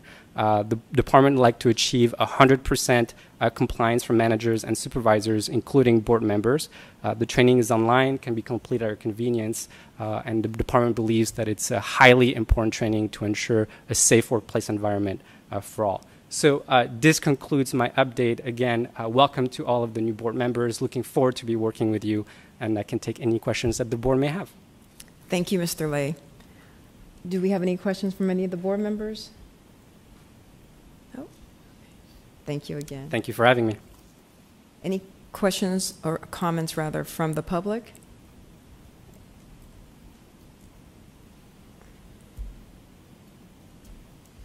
Uh, yes, just me again. Um, so, um, I guess uh, in the past, um, it sounds like um, there was a, a nonprofit uh, advocate group here that um, had sued you all as well, and but it, it ended up that. Um, I guess you all had been working together to develop new legislation, and I, as I recall, one of the, I think maybe Miss Pines had, had um, awarded her uh, something for working together on that legislation. So here at Black Patients Matter, we don't want to be marginalized. If in fact, um, you know, despite our lawsuits, and I, I, do apologize for that, despite our lawsuits, could we also work with members of the board Are you commenting in developing on the DCA update?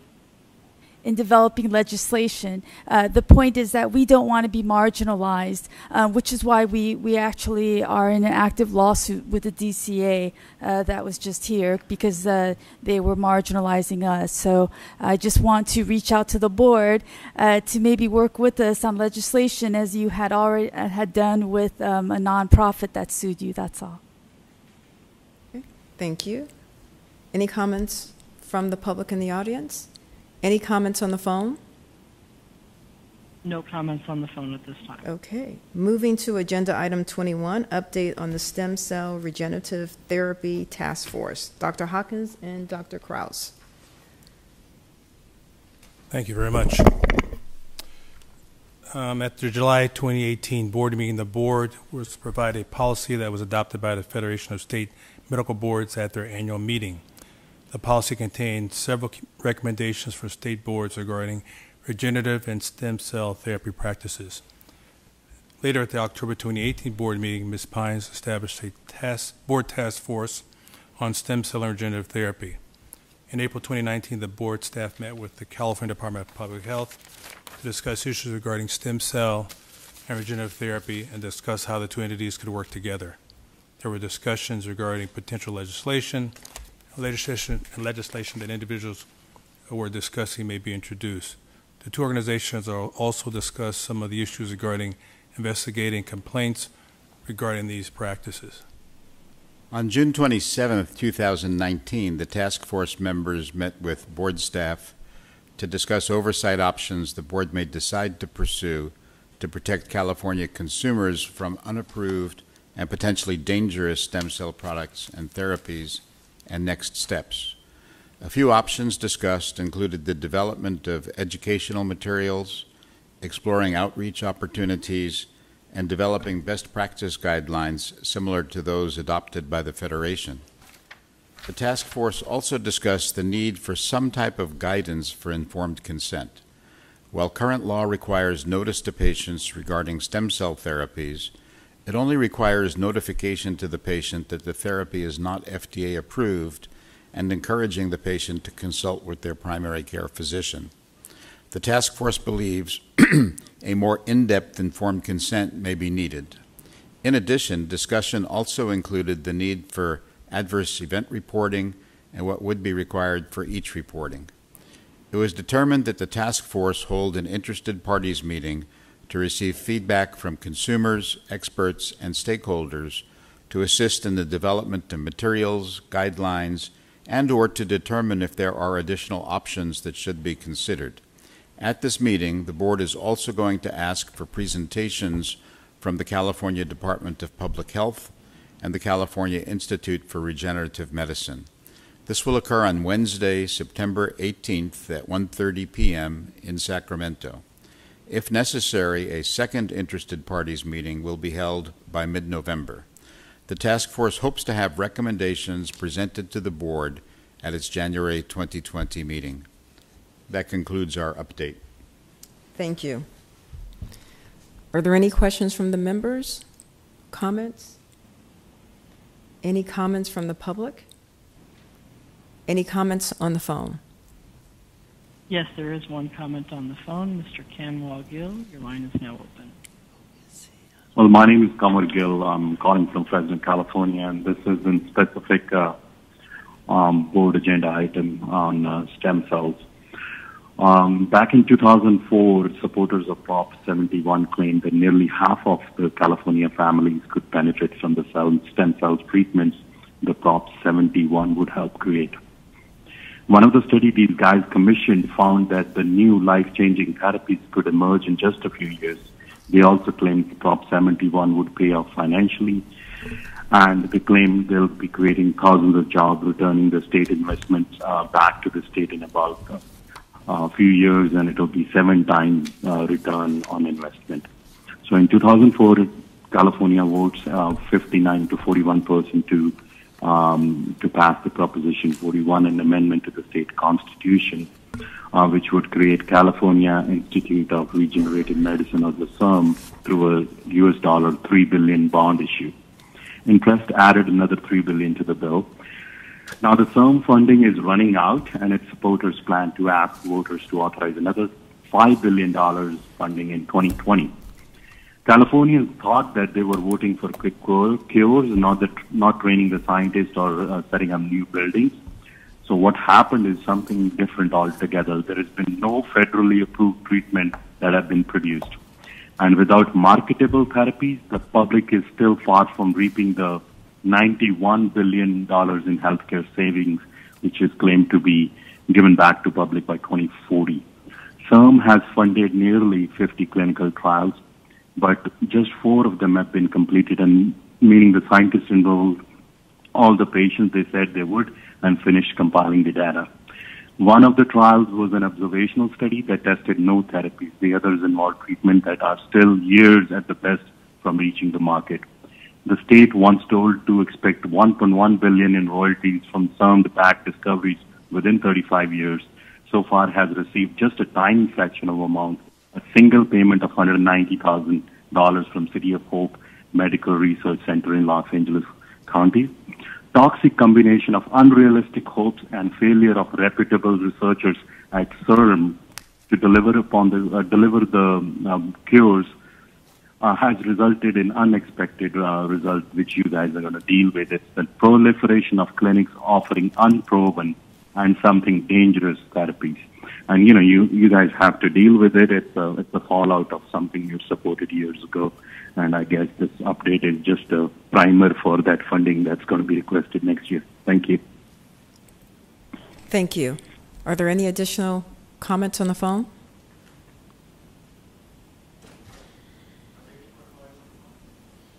There are no additional comments at this time. Okay. Moving to agenda item 25, presentation on the posting requirements for public documents. Ms. Kirchmeyer. Well, since I'm standing between you and the door, this will be the fastest presentation you've had today. Um, so we had had a, a request um, from one of the board members asking if we could just go over real quickly the documents and how long they stay on the web, how you obtain documents for the public or for anybody else, just to let licensees know as well about the documents that the medical board posts. So it's really important for the medical board, unlike a lot of the other departments um, or other boards under the Department of Consumer Affairs, we actually have very specific public disclosure laws that, that basically state what information we have to post on our website, what information is available to the public. So first, there's two code sections in 2027 and 2221.05 that state specifically what the medical board will post on its website, and we post that information on a physician's profile. If you go out and look at a, a physician, um, one that has disciplinary action or other actions, you'll see there all of the information that we post. All of that is basically defined by those code sections, and we adhere very strictly to those code sections. Then there's another code section 803.1 which actually talks about what information is available to the public upon request. We those two laws sometimes um, we make sure that we're always in coordination with those laws for what needs to be on the website, what information we can provide to the public. Um, and then we also have two uh, California Code of Re- uh, Regulation sections that actually further clarify the information that is available to the public. One is particular to citations only, and one is a general code um, section that talks about all of the different documents that the medical board has and that we use and that we post. We actually have an exceptional document that's actually out on the website that provides information by document type as to what information is available and where it's available. That's one of the biggest thing for our board that's a difference is because you have the 803.1 section that says information is public um, and here's where you can go to get it. But then we have sections in 2027 that says, well, it can only be posted on the board's website for this amount of time or under only under these circumstances. So it, there's sometimes it's not a conflict. It's just that you can't always get all of the information on the board's website. You actually have to, in some instances, contact the board to get the information as well. So that's why we actually put this document together, and it, it does go by um, section and whether you can get it on the website and how long, and then whether you can get it in for, through co- contacting the medical board, either writing to the board or calling in. So just to go real briefly over each of the different um, types of documents that we have. So if there's a suspension or restriction order, that would be something like an interim suspension order, a, a PC23 code section, um, automatic suspension order. Those are only available on the website for the time that the physician is actually under that suspension or restriction. Once that time frame ends, usually what happens is a decision becomes effective. That um, suspension is no longer in, uh, uh, that individual is no longer under that suspension. They're uh, now under this disciplinary action. It's removed from the website but it's always a public document. So it's always going to be va- available at the medical board. So if an individual were to write to us, that would information would be provided to them. Accusations and petitions to revoke and, and documents like that, those are available on the board's website until the final disposition of that accusation um, or petition to revoke or accusation and petition to revoke. And usually what happens is if, if there's an outcome where there's some type of disciplinary action, then it's going to be attached to that disciplinary action. If, if its um, accusation is withdrawn, it is immediately remo- removed from the board. And this is one that's a little bit different because, um, per our government codes or our uh, CCR section, that actually is with, once it's withdrawn, one year after that, that is purged. So that is no longer a public document. So that one, if it's withdrawn, it's completely gone after that year. However, if it's an accusation that's been dismissed, that one actually is a public document um, which is actually available at the board. So it comes off the website, but it's still a document that an individual can write in and get a copy of, and it's something that an individual can have from the medical board because, again, it is a public document because it's a, a proposed decision from an administrative law judge. For all of our disciplinary actions, for the most part, they are on the website indefinitely. So you have a, a, revocation, a surrender, probation, those documents are on the website. It's on that profile indefinitely. If it is a public letter of reprimand or a public reprimand, it's only available on that physician's profile for 10 years. After that time, it gets removed from their profile, but it is a document that is available to, again, to the public, but they'd have to call in or write in to get a copy of it. Probationary licenses. This is something that we're currently in the process of changing through the legislative process, but for right now, if an individual is issued a probationary license at the time they apply to the medical board and we put them on probation, it is removed immediately from their profile as soon as that probation is done. Again, it's a public document though, and it's always available at the board. Um, we're working on right now legislation that would make that a 10 year time frame, so it would be available for 10 years from the effective date. Citation orders, they're available um, from the date it is resolved. So the individual either pays the, the fee for that citation or they've gone through a process and it, has been upheld. That is actually available on our website for three years. Um, as long as it has not been withdraw, withdrawn or dismissed. If it's withdrawn or dismissed, it's immediately pulled from the website and it's no longer public. And then the last one is a public letter of reprimand that's issued at the time of licensure. Um, per the law, and that's that 2221.05, this is actually only available for three years. And unlike the other documents, it was written into the statute that not only does it come off the website in three years, but it also is no longer public. So those documents are purged. So they're no longer available for those individuals. These are actually items that are on a physician's profile. However, we do not have any public documents on these. So we have to post information pursuant to 2027 or 803.1. But if an individual wanted documents on these, we would not have these documents. Again, these are pretty much for the most part all documents that are not board documents. These are a court, other court document um, that that happens or a hospital peer review document. We don't have these documents. So if it's a judgment or arbitration award or a malpractice settlement, we're going to put the information out there, but we don't have the documents to back it up. But it has information about those two types of uh, activities. Again, malpractice settlements, please remember that those are only available on the board's website. If a physician has had three or more malpractice settlements within a five-year time frame, um, three malpractice settlements if it is in a um, low risk category and four or more if it's in a high risk category. Felony convictions, those are always posted on the medical board's website. Uh, But again, just information about them, not the documents. You'd have to go to the court to get those. Misdemeanor convictions is an interesting one.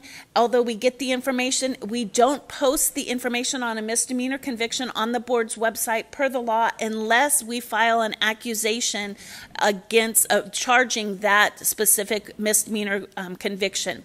If that happens, then it gets posted on the website. If it is not listed in an accusation, it or if that accusation is dismissed or withdrawn, it comes off the website. 805 reporting, the only 805 information that you get out there is if a physician's privileges have actually been terminated or revoked, if they're suspended, if they get some type of restriction on them, those are not public. That's only for the medical board's use. But if they're terminated or revoked, it gets placed on the board's website, and that information is out there. And then the last one is out of state action. We post if when another state takes action against a physician, put it on our website. Again, the documents are not available from our board unless we've actually filed an accusation and we're going to take action, and it's attached to that accusation, as all of you've seen in certain cases. And with that, any questions? No questions? All right. Well, you did a great job. Approach. That was very fast. Are there any comments from the audience? Faster than Jennifer. Any comments on the phone? No comments on the phone at this time. Okay. Before we move to our final uh, agenda item, um, I'd like to um, congratulate Dr. Krauss and Dr. Lewis for joining and maintaining on the, the executive team, joining the executive team. And I'd like to officially welcome to the board Dr. Thorp, Mr. Watkins, Dr. I always get it wrong, Mahmood, and Dr. Casillas, who is not here with us.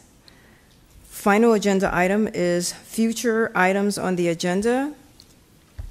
Are there any board members, Dr. GnanaDev? Yeah, I think we talked about it a lot today, so I would like to have our staff look into what the licensing fee in the other states are, number one. Mm-hmm. Number two, what states are actually recovering the cost of investigation compared to California? So these are the two issues which came up, so let's get some, some intelligent information before we go somewhere with it. You want medical uh, for medical boards, not for. No, no, it's only for the medical boards, yes. There are, uh, in California, there are boards that. No, this is the other states. Other states. What other states? What's the, like New York, Texas, I mean the bigger states where the licensing fee is, and also see which states are recovering the fee uh, when they go for investigation. There is there is a reason why we don't. There is also could be there that could be also the one which delays what we do because there is nothing to lose for somebody is being investigated when uh, other than their own attorney fee they don't have to pay anything here so we want to really look at it a little more carefully Okay, great. Any other future agenda items from any members? Dr. Hawkins? So uh, telemedicine seems to be the one we should look at. Future uh, telemedicine. Can you be more specific so we know what you're looking for? Because we Um, just had a, We just a had it. presentation on telemedicine, so I know, I need to know exactly what, what you're looking for. Let me think about it then. Let me think about it. Okay. Okay. Um, uh, we have a comment from the audience. Doug Halstead.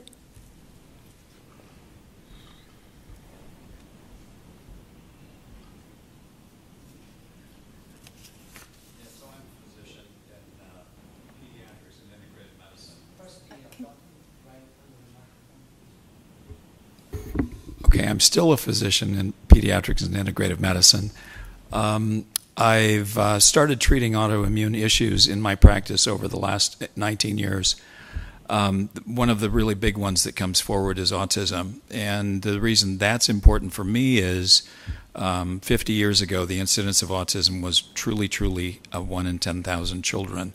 Presently, the incidence of autism in our communities is 1 out of 40 children, and it's actually 1 out of 25 children uh, who are males. Um, I have seen predictions of future um, incidents of autism as running up to 1 in 2 by 2024. I don't think I believe that, but in the 19 years that I've been seeing autistic children, I saw the incidence rise from 1 out of 567 to the 1 out of 40. I would be happy to give the board a presentation on what autism is and the various um, components of it in, in a future date. Um, the big things are epigenetics, genetics, and the environment. Thank you. Are there any other comments? Can't,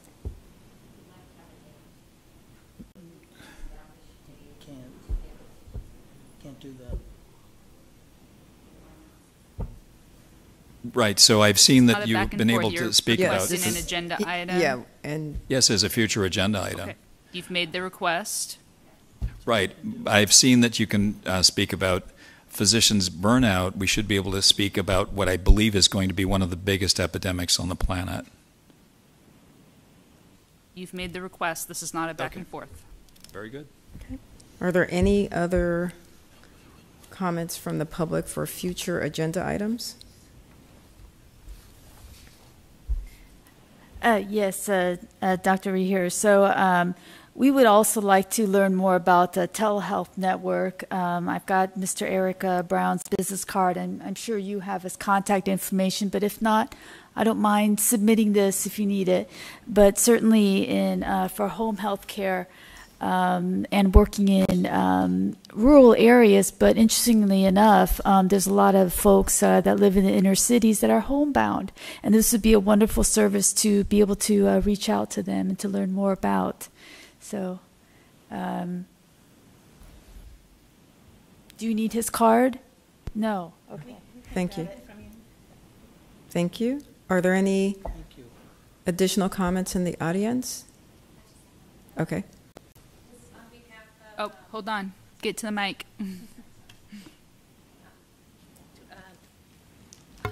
Thank you. Just on uh, on behalf of the um, interest of the conflicts of interest and or financial disclosure of conflicts of interest uh, law, I was going to ask to add that on behalf of the bill and and um, the Center for Public Interest Law, just to add that to the agenda for next next time. And I can provide you with more information if you need before the next meeting. Thank you.